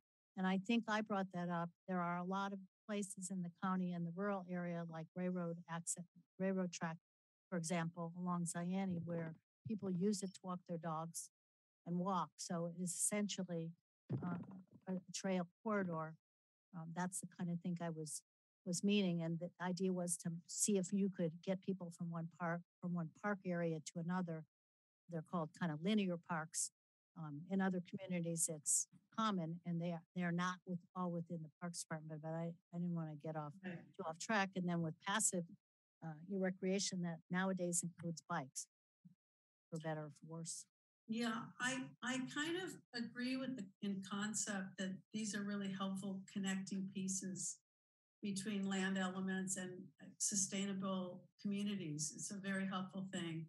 And um, I think ultimately, when you try to do something like that, you need to be able to have some caveats in there to protect an open space element that is definitely not, should not be part of something like that because there's elements in there. And when you start changing the general plan, sometimes those elements fall off and the protection elements fall off. So I think I'm just putting this in as a comment of an awareness and, and with no specifics, just that it's there and that it can be extremely problematic. Um, Well, well, one more comment. We don't have a lot of large open spaces, but up the North Coast we do. And I think what I was meaning is you, you want to have trail access put down when you develop property so people can get through them if they're large open spaces. And that's just part of a planning process. Yeah. All right. So, um, and then another, um, let's see. Um, all right. That's it for now, I think. Thank you. Okay, thank you, Commissioner Sheridan. Commissioner Violante? Yes, thank you, Chair Dann. I just had a, a couple of questions that I was hoping that we could, that could um, ask the staff. One of which, and I just want to pull up my notes here. Um, I, I had a question on that, the same chart that I, I think it was um, Commissioner Shepherd was asking about on page 11 um, in reference to the TDM. Um, when it's talking about the proposed changes, it says that the way that, because staff is proposing essentially um, reducing the size of development to be consistent with some of the actions of the board from 25 down to 10. But the way they're saying that this development can come into compliance was to choose from a list of strategies listed in an appendix to the general plan. And I apologize if I just missed it. No, I- it wasn't, I didn't see it either. I, I was, I thought it was valuable to have access to that list because the way in which um, developers um, could could could come into compliance with that TDM and and select from that list and that appendix was was I, I thought to be a valuable piece of information and I I'm glad to hear I wasn't the only one that couldn't find it.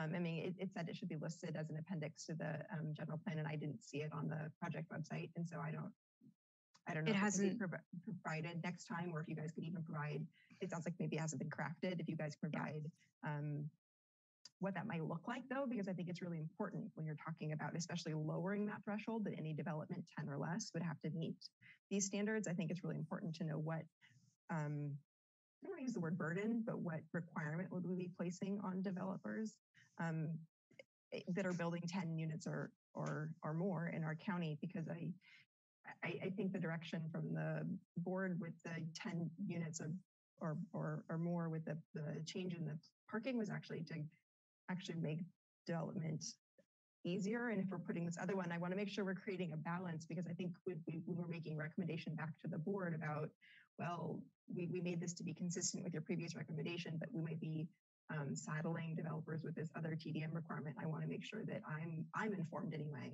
about what that looks like and what I'm what I'm making the recommendation back to the board. So I, I understand if it hasn't been created yet, but it would be helpful for me um, if when you come back, you could give examples of what that might look like, give us a sense of what that might include. Because for me, um, not having a whole appendix of the general plan uh, feels like I'm making a decision with an incomplete picture. So that would that would be helpful. Um, was a question I had. So um, thank you for letting me know. I just didn't I didn't just miss it because this is such a big package. I easily could have just missed a whole whole appendix to be honest. Um, the other question I, I still had that I I'm I'm still I, I would I know I don't want to beat it to death now, but I still would really like clarity on that Portola question. I, I would like to better understand really what we are saying we want for the future. The Portola plan is so clearly called out in the general plan and in their sustainability plan here um, that I want to make sure I understand what recommendation are we as a planning commission and, and therefore, and then the board ultimately creating as a vision and then saying we want as a community moving forward. I, I want to really better understand. So if you guys could come back to us, I, I know that there is some planning language with this planning line stuff, but I, I would like to really better understand are we just saying we want sustainable transportation in there? That's just too vague. So what what what parameters are we saying we're looking for? Because I know that there are it, was an imperfect pilot program, but I also know that the iterative response to that was that it didn't increase tra- bicycle transportation. And it, like, even if we set aside the fact that it had some obstacles with being able to stay in place, let's say, it's a polite way of putting it. Um, but we it didn't create the results that we wanted, right? It didn't create increased bicycle transportation, um, which is what we would have expected. And so I would like to better understand what is it we as a commission are saying and what is it we are saying as a community that we think sustainability looks like in that quarter because it's so specifically called out. Um, I would like to better understand when we come back um, what the planning staff feels that's part is supposed to say um, and what statement is the board saying? Because I think it's a really important piece of the transportation corridor. Just just similarly, like with our um, the the portion we did last time when it came to zoning, we had very specific um, language about what do we think the medical corridor is. We had we had rules, we have a vision. I feel like the the Portola piece is called out means that we have a vision for this piece of the community, and I just for me it would really help in making a decision to better understand what what you guys feel this language means um, so that I can make a recommendation in, in, the end. So those are the two things that I would really like clarity on um, for this piece. And I appreciate you listening. Thank you. Um, do you have any other questions or comments, Commissioner Violante? No, thank you. Okay. Um, so I have a few, and but um, I the first one was Portola Drive, and so I want to thank Commissioner Violante for articulating um, pretty much exactly what my comments on that are as well. So I don't need to go over that one. Um, so one of the things, and first I just want to start by thanking you all for the tremendous amount of work that went into this staff report um, and uh, the level of, of interest that we all have in this in the public, I think is that this is one of the more important um, elements of the plan um, that we're going to be considering. And when um, when we have development projects, uh, one of the main things we always hear about is parking and traffic. So it's of no surprise that this is um, probably one of the, the sections of this proposed update that's going to receive the most attention. So um, lucky you guys. So one of the things I just wanted to say in general um, is that there's a lot of um, a lot of aspiration in the plan, which is good. I mean, planners, policy planners should be aspirational and looking to the future. Um, so, but some of the things I think we need to think about um, a little bit differently. And one of the items that um, struck me was that Um, like I'll just use, for instance, with the VMT discussion on um, page 10. Um, there's a lot of reference to moving to VMT will reduce uh, cars on the road and um, reduce cars on the road will reduce greenhouse gases.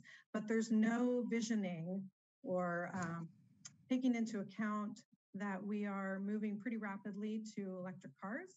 And I just read of um, something when I was reading this item, I started looking about what are the projections for electric cars in the future. Well, by 2040, um, pretty much all of the things I've read seem to be there's some an agreement that at least 30%, some projections are even higher, um, will be electric cars. So I do think that we need to take that into account when we're talking about um, cars being responsible for greenhouse gas emissions. That's going to change um, in the future. And so I think that this in general um, needs to think about how we're all, not just cars, buses, everything, moving to electric and um, not hang our, so we're not going to be able to hang our hat entirely on we're reducing greenhouse gas emissions because we're getting cars off the road. Well, greenhouse gas emissions are going to go down anyway because most of the cars are going to be electric in 50 years. Um, so that was that. And then I had um, I had a question about um, the TDM. And Renee actually was bringing up some of my questions, but then what came out from Renee's question was that we um, don't have a high quality transit um, system as defined right now. And so that wasn't made clear in the staff report. That came out as a result of Commissioner Shepherd's um, question. So I think that's really significant and needs to be acknowledged um, um, in the plan documents. Because when I was reading this, you know, I was questioning like, well, Jesus, you know, our metro is that gonna is are we are we uh, are we a high quality transit system? And then later on on page 11, it kind of implies that we're not, but it doesn't really say that. It says, you know, if we uh, we're going to, the element includes new policies that support the development of high quality transit.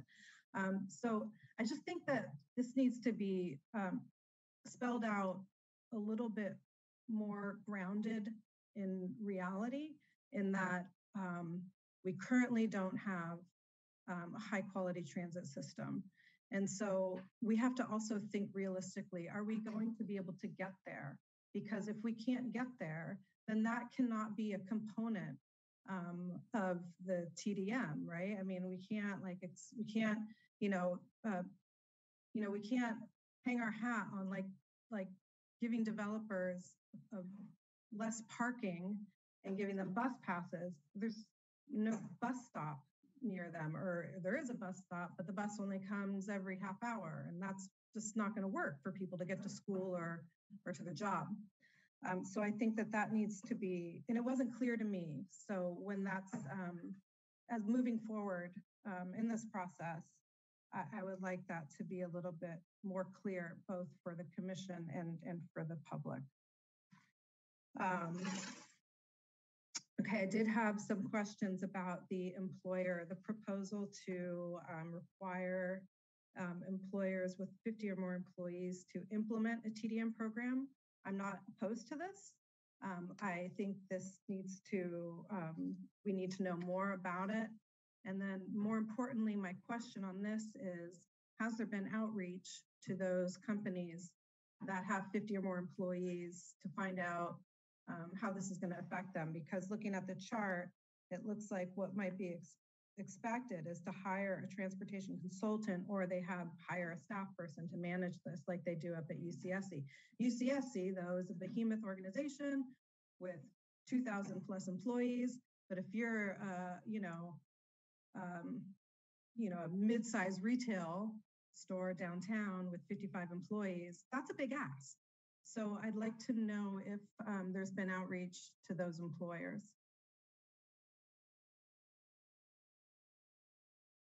So this is a requirement for new development or at enlargement of development.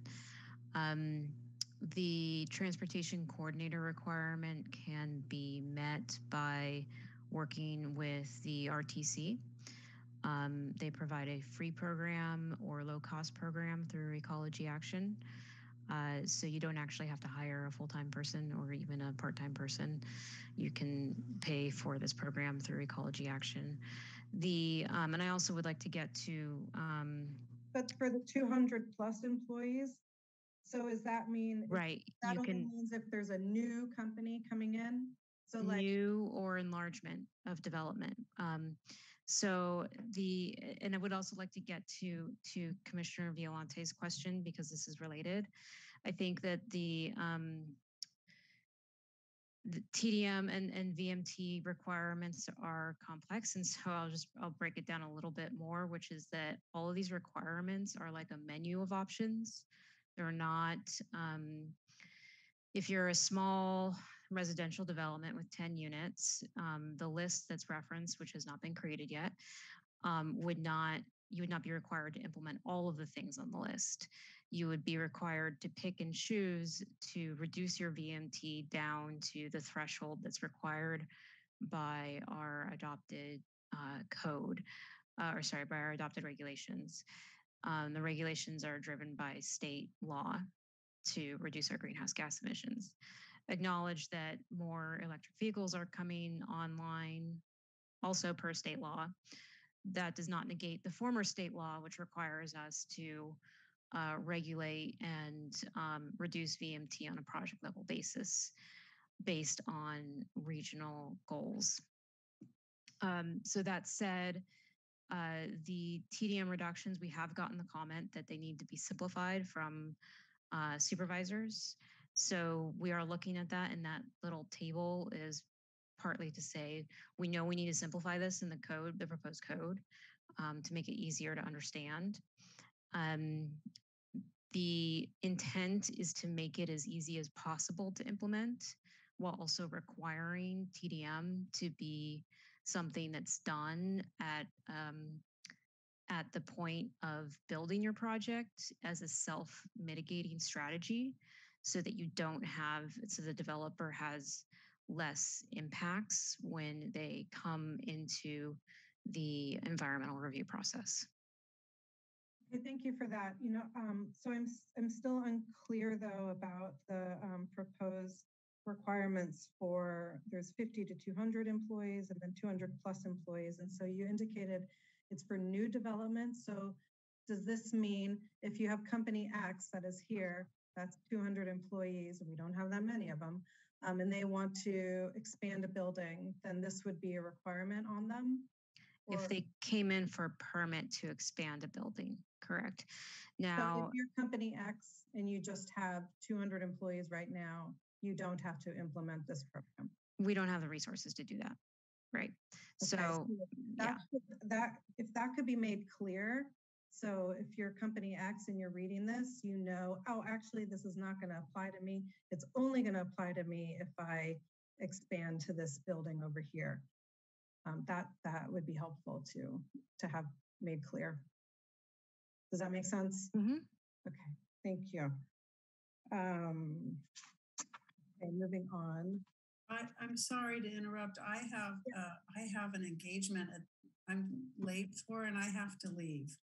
Uh, I don't know how that affects things and I don't think you're having any vote, but, and I'm sorry to interrupt.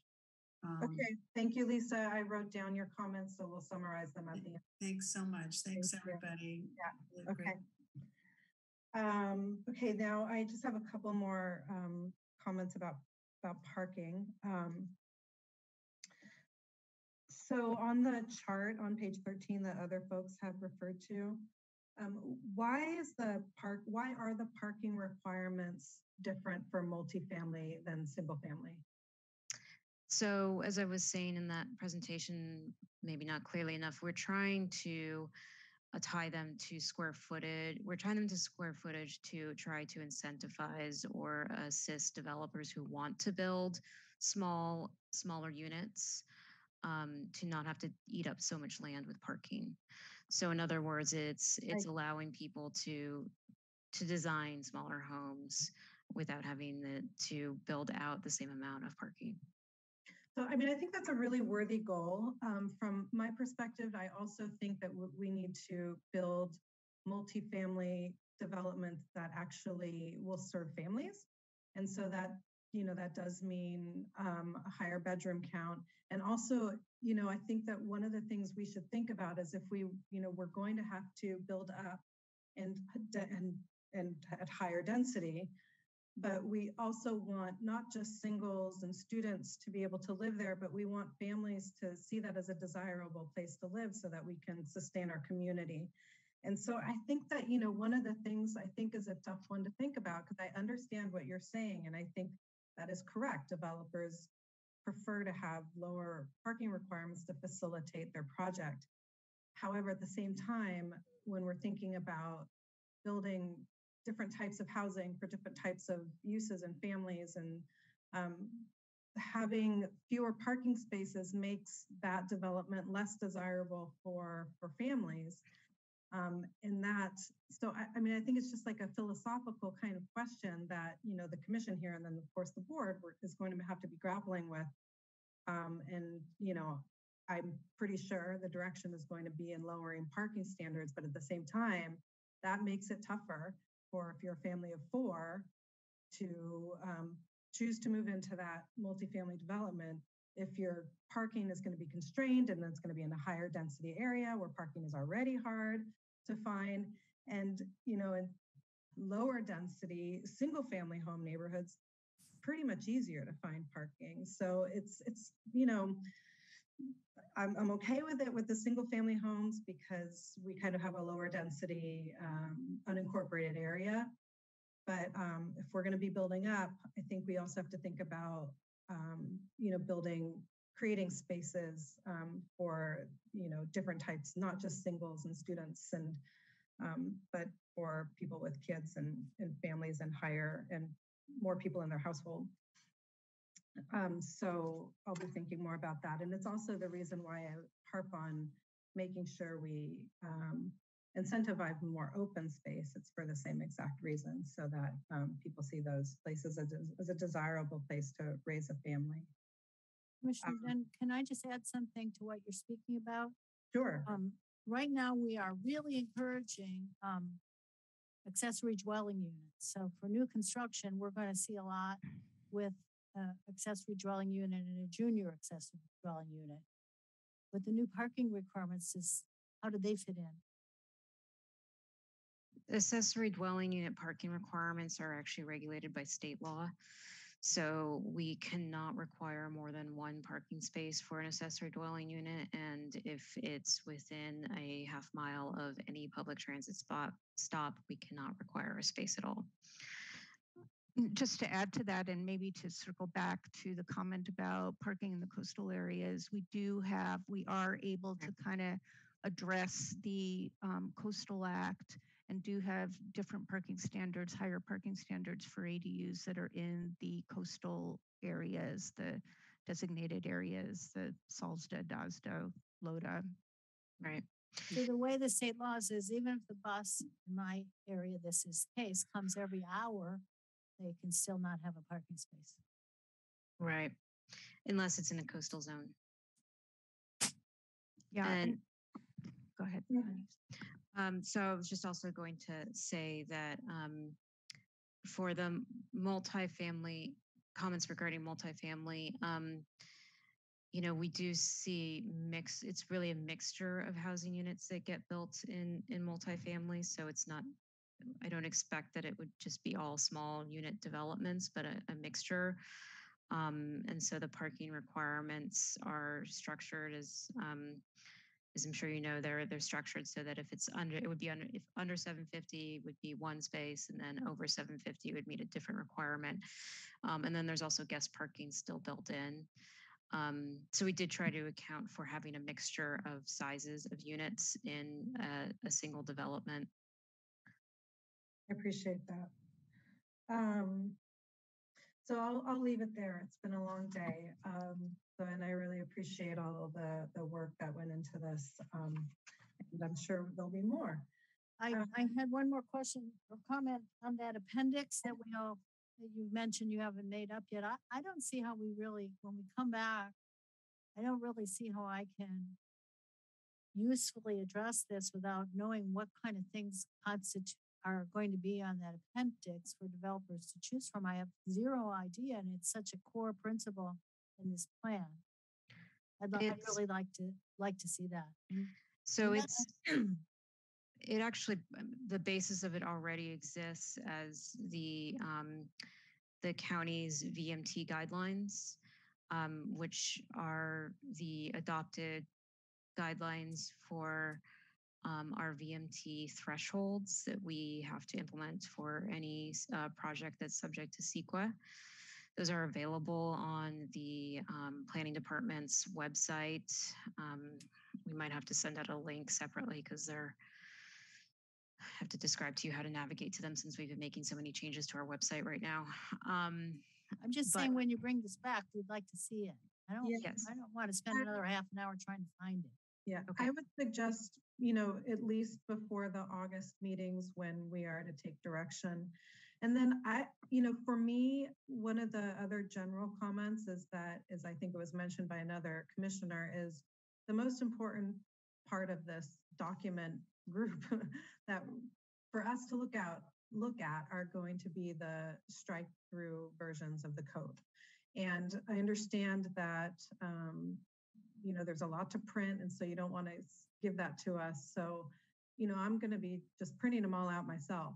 So, but if the staff wants to print those for the commission, I think it's really critical. I mean, that's where the rubber meets the road is the the strikeout version of of the chapter 13. I, I have to, I have to say, when, when my, con- when my constituents come to me, they have the current code and to have the strikeout version, what's proposed means I can explain things clearly and people can understand clearly. Because people don't go to the planning commission very often or planning department very often. So they may know what it was ten years ago. So having what it was and what it is, I, I- would agree. I think that's going to be a document that we'll keep and make use of and maybe save you guys some time and trouble later on. Yes. So I- what I was going to finish saying was that I understand it is available, so it is available online, and and I have been looking at it, but um, it's hasn't been super helpful to me to just look at online, and so I will be printing them myself. um, so I just so I just wanted to put that out there. It's it's quite a lot to print, so maybe you could consider and then let us know by email after you've talked about it amongst your staff whether or not that's something that you could provide to the commission. I'd Uh, pay for, I'd pay for getting it if that's the issue. It's, Um, we, we sorry, held off, it's thousands of pages, right? So, um? In making them available online gives the commissioners an opportunity to really choose which part of this massive project you want to look at. If you, if you're requesting that we print hard copies of the general plan or maybe just the strikeout version of the code, we can, we can do that. It takes, you know, takes about 10 days to make it happen. We won't charge you for them because it's probably, I don't know, $300 a pot, but we can, we can do that. You know, we're trying to save some trees and uh, trying to save poor Michael Lamb having to, uh, to do that. But if, if that's what the commission wants, that's fine. I mean, for me, I was really having the strike through version of the code is what would be helpful. And, and I also wanted to save you from all of the things you've just mentioned. Um, is the, is the, just the code changes a thousand pages? Because if, if that's the case, I almost feel like that's, that's a whole other separate issue maybe. Um, It's just pretty hard to navigate online, especially if you don't know to, as you say, the county site changes all the time. Not everything works. It depends on what browser you work. I really want to be able to have this as a, as a reference, that's all. And I agree, it is the code changes. We're happy to pro- provide you with the code changes and strike through in paper if, if that's what you're asking for. Um, the, the project documents are available in one specific place that has been available since end of February, is not broken down. Uh, we just added one appendix to it, hasn't changed. It, you know, it's all been there. Um, and I realize do realize this is very different from what the commission is used to. It is for us also. Um, but there is, there shouldn't, at this point, I hope there isn't any confusion about where to find the documents. They, they are Um, there. I think your website is great. I, I think it's really well done and all the documents are right there listed with the link to each one. And that's, that's been great and super helpful. But now, like, I feel like, at least for me, I'm getting to the point where I actually have to start really thinking specifically about what's being changed. And so when I get to that point, that's when I usually like to specifically look at what exactly is being changed in the code and not just kind of like what is described or theoretical. Um, so anyway, so yeah, that certainly would- order those and make them available for your next meeting. That would be great. Just want to express my appreciation because I do, and, and I really am hoping it's not a thousand pages of code. It might be. It's possible. The underline and strike through, you know, tend to get really Yeah. long because you've got Well, both the true. existing and the That's new. So it's like two codes, two sets of code. Yeah, it is. Yeah, but that that's fine. Do that. Okay, I really appreciate you. Um, Yeah. I- Now, uh, just to be clear, the what we'll print is what is out there for public review now. It it won't have any of the changes that we've been talking about. I think we'll have to kind of take the commission's action and incorporate that into the next draft that that we make available that you'll have for ordinances as we go to public hearing.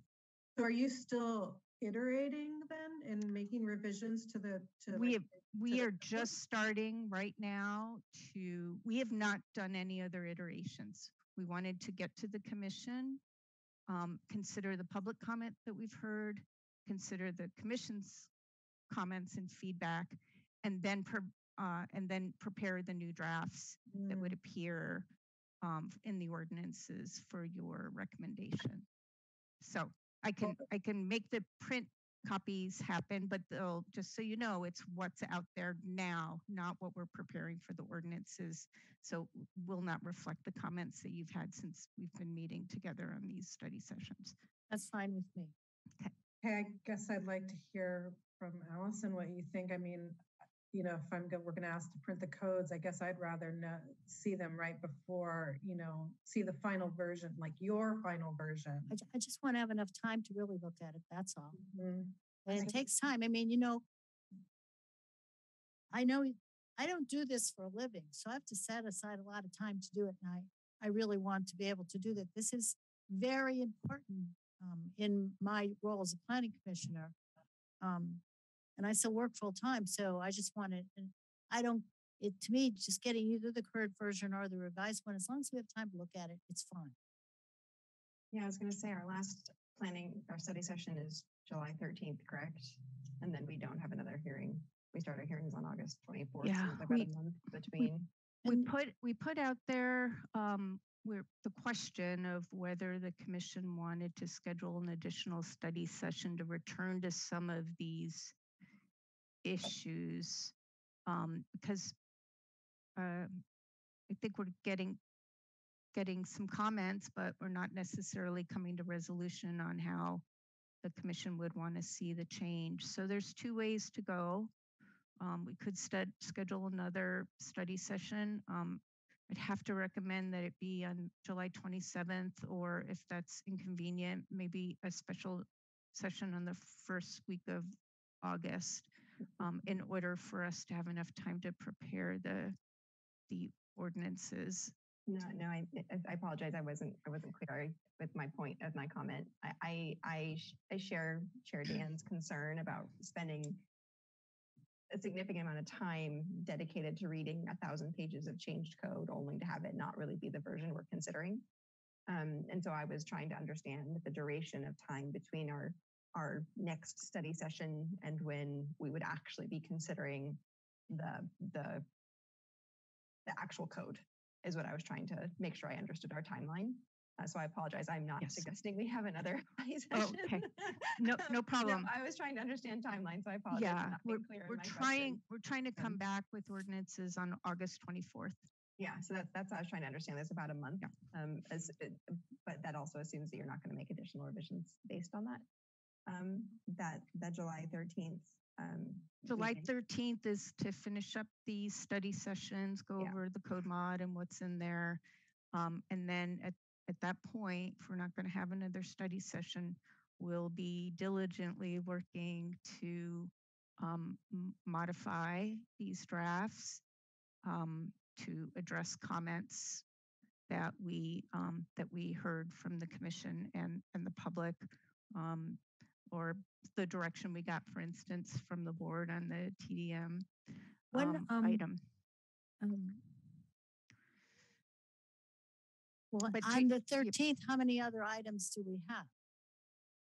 On the 13th, we Mm-hmm. have a big agenda. You thought this one was big. This is the code mods, which is a lot of what's happening in the code changes and uh, changes to agriculture and natural resources. There's not too much in natural resources. Um, and then we're going to do an overview of what's in the EIR so that you're aware. Well, I of would be willing to break it up and have a meeting in late July. I guess my concern is I want to make sure we, whatever we're reading, I want to make sure it's the final version. I don't, I, I, I don't know that it serves the commission to spend hours reading code that is not really what's going to be before us whenever we take it up. I almost, if, if the timeline hadn't been so public, I, I almost would recommend that we push out our hearing on this in order to give us time to read, since you are making changes, I, and I, don't- know that's even possible, given that we've published, published our, our hearing timeline at this point. But I almost, given that you are making changes, there are revisions, and I want to make sure the commission, I mean, for my own comfort, and I, I don't know, again, I don't even know if this is possible, given that we've made our timeline public. Well, I Um, agree. This is probably one of the most important things we'll do for many years. And I don't want to try and do it, see how fast I can get through it. That's not the way I want to do this. It's almost like I would, and, I- and I don't know, Stephanie, I'm seeing your face, like how, how possible that is, because I, it's, it's- if there's going to be revisions to this huge package, I'd rather have us dedicate the time to reading the final code, what your, the changes staff is making based on the input we've provided, and give us the extra couple weeks to, to not have our first hearing until, I don't, I'm not talking about adding a meeting, I'm almost talking about mm-hmm. del- like del- delay, delaying until like September 14th being our first hearing or, or something like that. Again, I don't know if that's even feasible or legal, given that we've already published these timelines, but I'd rather have the commission, and I obviously would like to hear my fellow commissioners' input. I'm sorry that there's only two other ones of them here today about this idea that they're, you know, that if, that if you guys are still in the iterative process, I, I don't, I'd rather not waste my colleagues' time reading code that's still changing. I don't know, Commissioner Dann or I totally agree with that. I would rather just get a printout of the final uh, code changes and as, you know, as far in advance to the August 24th hearing as, as you can do that would be great, knowing that we have another opportunity, I think, September 14th to make a final recommendation. Um, So yeah, that, that I agree with the Commissioner Violante. Okay, I, I, I would agree too, as long as, you know, I think that's, that's a plan. If we have to renotice something, well, then that's still possible.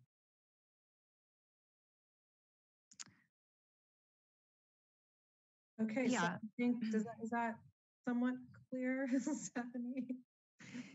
Thank you. Yeah, I, I guess what I wanted to say is that um, staff staff has some corrections. You know, we've seen some errors, perhaps cross references aren't correct, that that kind of thing. Um, we the more substantive changes are anything that's happening at this commission. So um, there wouldn't be wouldn't be all new material. Uh, it's just like, oh, we never saw this before. We never talked about this before. You know, we we're thinking if you're if the commission is unhappy with this parking standard or whatever that that standard would change, we would highlight that piece. I, I just wanted to say that these are not um, documents that are going through big rounds of changes. You know, as you're reviewing them, just so you know. To help with that, my recommendation um, to staff would be that when you do provide us with the with kind of the final version, that you use a double strikeout underlying version so that we can choose to start reading it now. Um, and, and that we would know come the version you ultimately provide us, what changes are based on our own comments. So that we can, we, this provides us the longest timeline in advance so that if we choose Yeah. to read the code now, we can. And then when you do provide us the ultimate um, version, that we know the, by using the strikeout, the double strikeout underline version, um, we would know that these are changes Right. since then. So Right. if, if you, if your staff, if staff is amenable to that, I, that would be my recommendation. It would make it easier for me in reading the code, because like, for example, the, um, I agree. The- That's a the- great, that's a good idea. The OWTS item I actually found difficult to read because they had like blue and red changes in the staff item. And I was like, well, are these all changes? But if they just used this double strikeout underline version, it would have been helpful for, for me. Can I What did- just chime oh. in for a second? Uh, you know, this is riveting conversation. Um, and definitely something that I spend a lot of time doing is pouring over the code. So, um, you know, the only changes that are going to happen are going to come from my office at this point. Um, they, Stephanie is and her team have handed them off to me to review. Um, and um, creating a brand new version that is a clean version that incorporates the changes that you have made i think would be um, it's doable given that it's probably not going to be a lot right? I mean the changes that you're going to pro- to you're going to propose are going to be probably not that lengthy i would imagine right? So i think we could provide copies of a new strike through underline with that with just those specific sections right? Because as you've heard and as we've been talking about i mean these are thousands of pages. It's very very long. Um, this is just an incredible lift for all of you for staff for everybody. And um, I just want to be cognizant of creating new versions of of things that so just that you know that you know it would just be those sections that you touch. And um but I think if we're going to be kind of editing the code and as, as I think is your duty right as commissioners is to go through and, and propose edits and suggestions um, then yeah another study session makes a lot of sense but it, it's something that I would urge you to begin now. Um, just if you haven't already, is looking. It's it's it's very dense. It's very long, tedious work, and so as somebody who's been doing it um, for weeks, it's just uh, I don't know how much time you're going to have to really go through each and every page, but um, yeah, it's like Stephanie said, we're not going to be making substantive changes. So what exists now online is pretty much what it's going to look like. Um, and those substantive changes that are going to be that are going to be incorporated are going to come from this body. Dana, What about the, using the double underline suggestion? I think that's a good idea and doable. Dana, Um, would- Go, sorry, um, Commissioner Shepherd. Yeah, the double underline meaning the changes that you all have made. Is that what you're suggesting? Is that Well, what that? we haven't made any changes, so What- we're yeah. just giving general feedback. So any changes will be staff's iterative changes from what's already posted online right now. In We won't make any changes until August 24th. but it, Yeah, so I guess what I'm what I'm asking is is um, Commissioner Shepherd's suggestion that there be double underline. So what are we talking about when we say double underline? well, Stephanie, why don't you explain again? Um, no, I don't want to speak to Allison, but I I'm think sorry, what uh, we were maybe Al- trying to Allison- Allison trying to do was- is to highlight changes that have been made since the version you've already looked at. Right. So Um, there's- whether that's double underline or highlighting or how, however that happens, but so it's real clear to to you what has changed since the version that was prepared. I think that was the concept. Well, when I look at legal uh, contracts in my business, that's what we, the double underline shows you what's been changed since the last version. I think that'll work. So I think that the concept was we should all get going on digging into the code now, but that uh, at a certain, after the conclusion of our study sessions, staff will be working diligently to make any additional modifications to the code.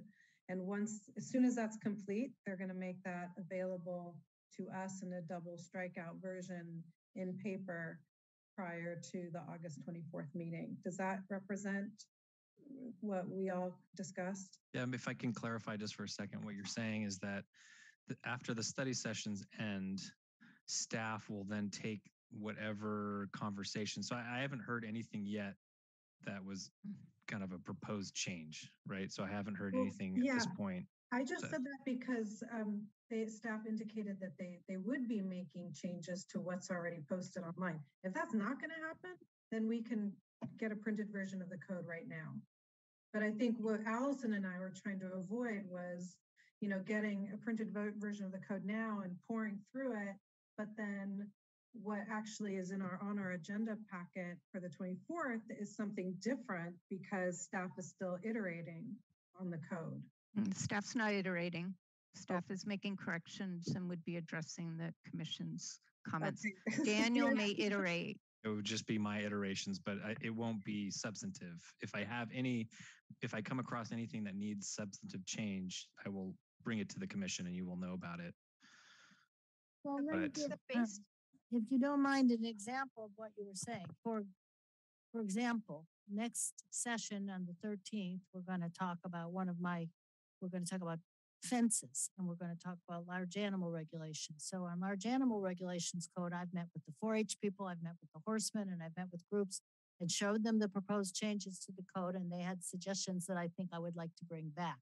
So I will be making specific suggestions th- in this, I feel like I just expressed my reaction to and uh, thoughts on the code, but it, on what we were looking at in this, but we, because we haven't been looking at code.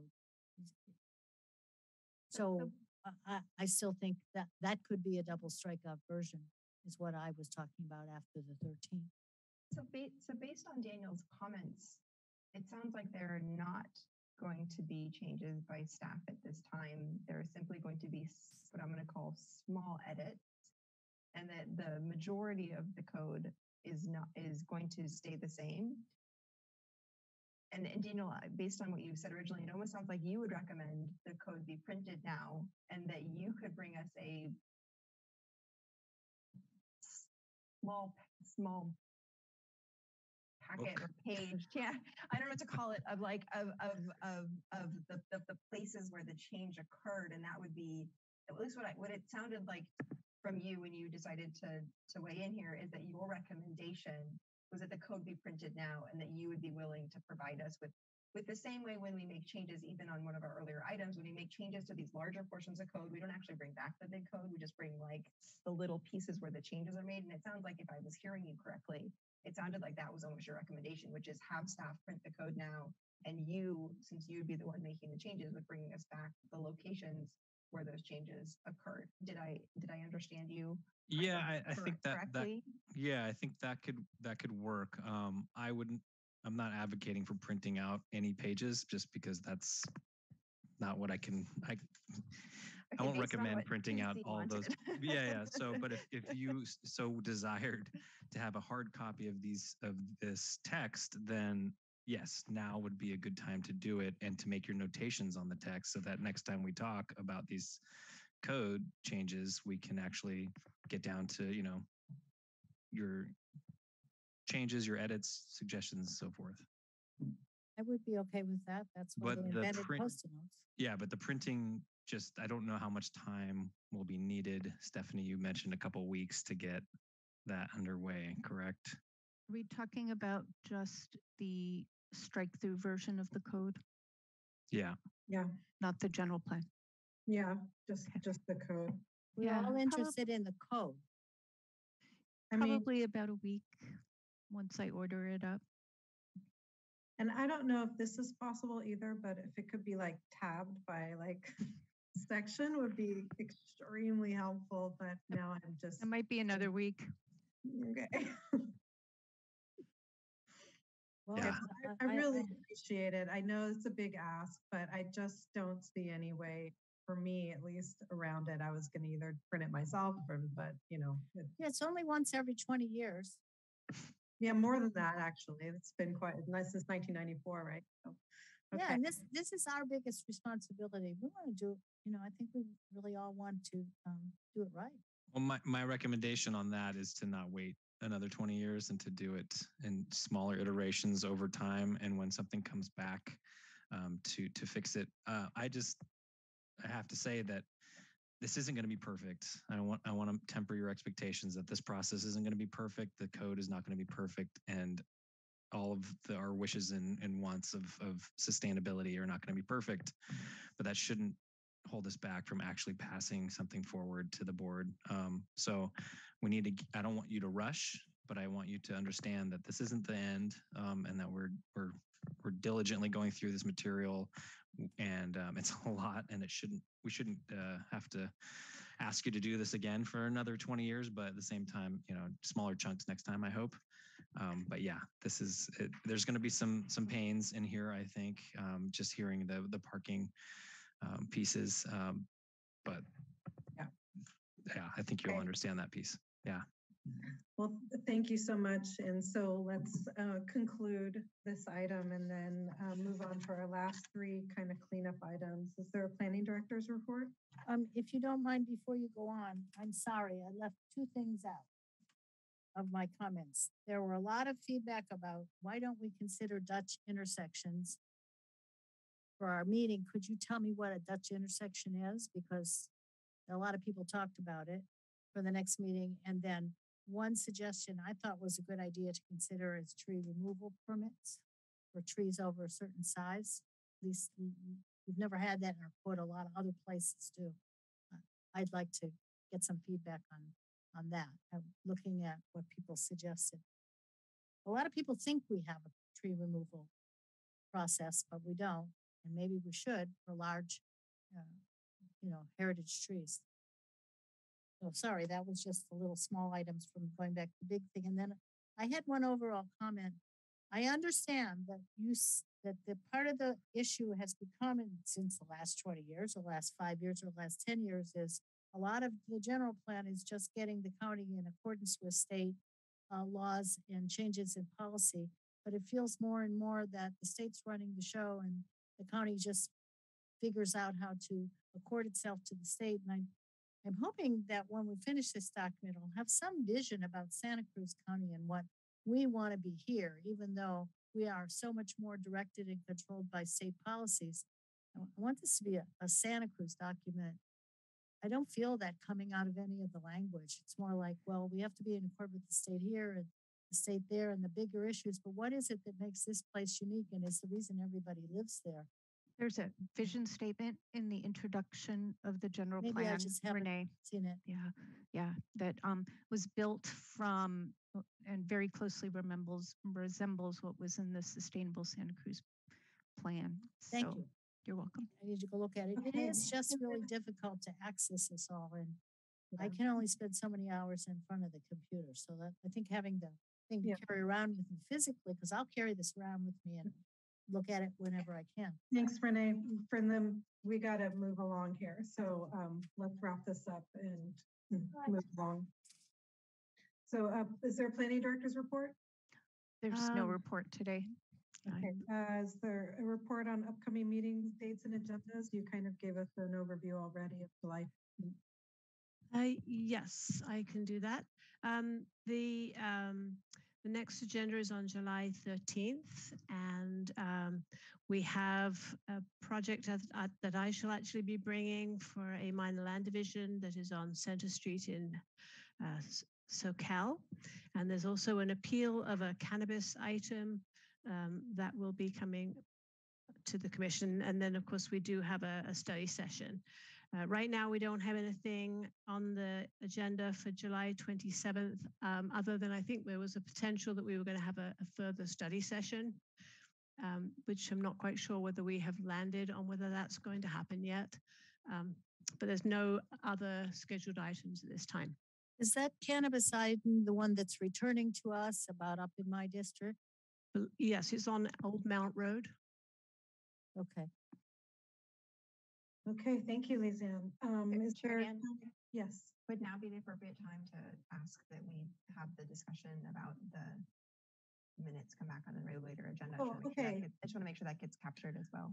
Oh, you're you're jumping the gun there, Chair. I mean, uh, Commissioner Violante. I'm going to address that in just just a moment. Okay, perfect. So just, Yeah. just we were discussing upcoming agenda items. Thank you. Yeah, are we ready for my uh, report? We are ready. Well, I am happy to report that I consulted my Sturgis, uh, you can't really see it very well, standard code parliamentary procedure. Doesn't, sorry for the filter. Anyway, um, so the Planning Commission is under the Sturgis Rules of Parliamentary Procedure, and I will read from the approval of the minutes, and you'll be happy to note that uh, no motion is even necessary to approve minutes. So you, the board, um, can can entertain minutes. So if there are no corrections after or after all corrections have been made, the presiding officer should state, quote, if there are no corrections or further corrections, the minutes are approved as read or as corrected. And that is all is needed by general consent. So if um, if the chair does not say if there are any if there are no corrections, the minutes are approved. If the chair does not say that, then a motion can be entertained to approve the minutes, but um, I read that to also mean that you do not need to be in attendance to approve the minutes. Um, something like that has just never come up. Um, also means that if you weren't in attendance, uh, you're, uh, you know, if you were in attendance and then the next meeting, you won't be able to correct anything in the minutes. But let's be honest, nobody really ever corrects anything in the minutes other than spelling and grammatical errors anyway. So that being said, we can um, talk about if you want uh, if you want to agendize something for next meeting about whether or not to move them to consent. Um, all that's really needed from the chair is to ask for corrections, and if there are no corrections, to basically say they've been approved by general consent. Um, and if anybody, you know, they can voice their corrections. So I don't know if it matters. I mean, Commissioner Violante, you can you can kind of speak to this if you wish, as far as whether or not minutes should be on consent or not. They will likely be treated the same way uh, going forward if they're on consent or not. Just sounds like uh, folks need to get a chance to read it, and then the chair can really just approve them without a vote. Okay. Um, yeah, that sounds good to me. So I would just suggest we let Tim, the chair, know of this procedure so that he can implement it at the next meeting. Yeah, he'll figure it out. I'm just kidding. I'll send him an email. Good. I will take the responsibility for that one, and um, I will. I'm also happy to report that I will be with you all on July 13th, and that will be my last meeting. Okay, well, as I won't be there on July 13th, let me wish you well. Thank and you. Good luck in your new position. We will Thank miss you. Thank you. Yeah, I'm sorry to to leave you with uh, such a large project in the middle of it, but I'm going to get done as much as I possibly can before I hand it off to my colleague Justin Graham, who's more than capable to handle this project. Great. Thank you, Daniel. Okay, I think that concludes our meeting and um, so the next planning commission meeting will be July 13th and I wish you all a, a great July. I'll see you in August.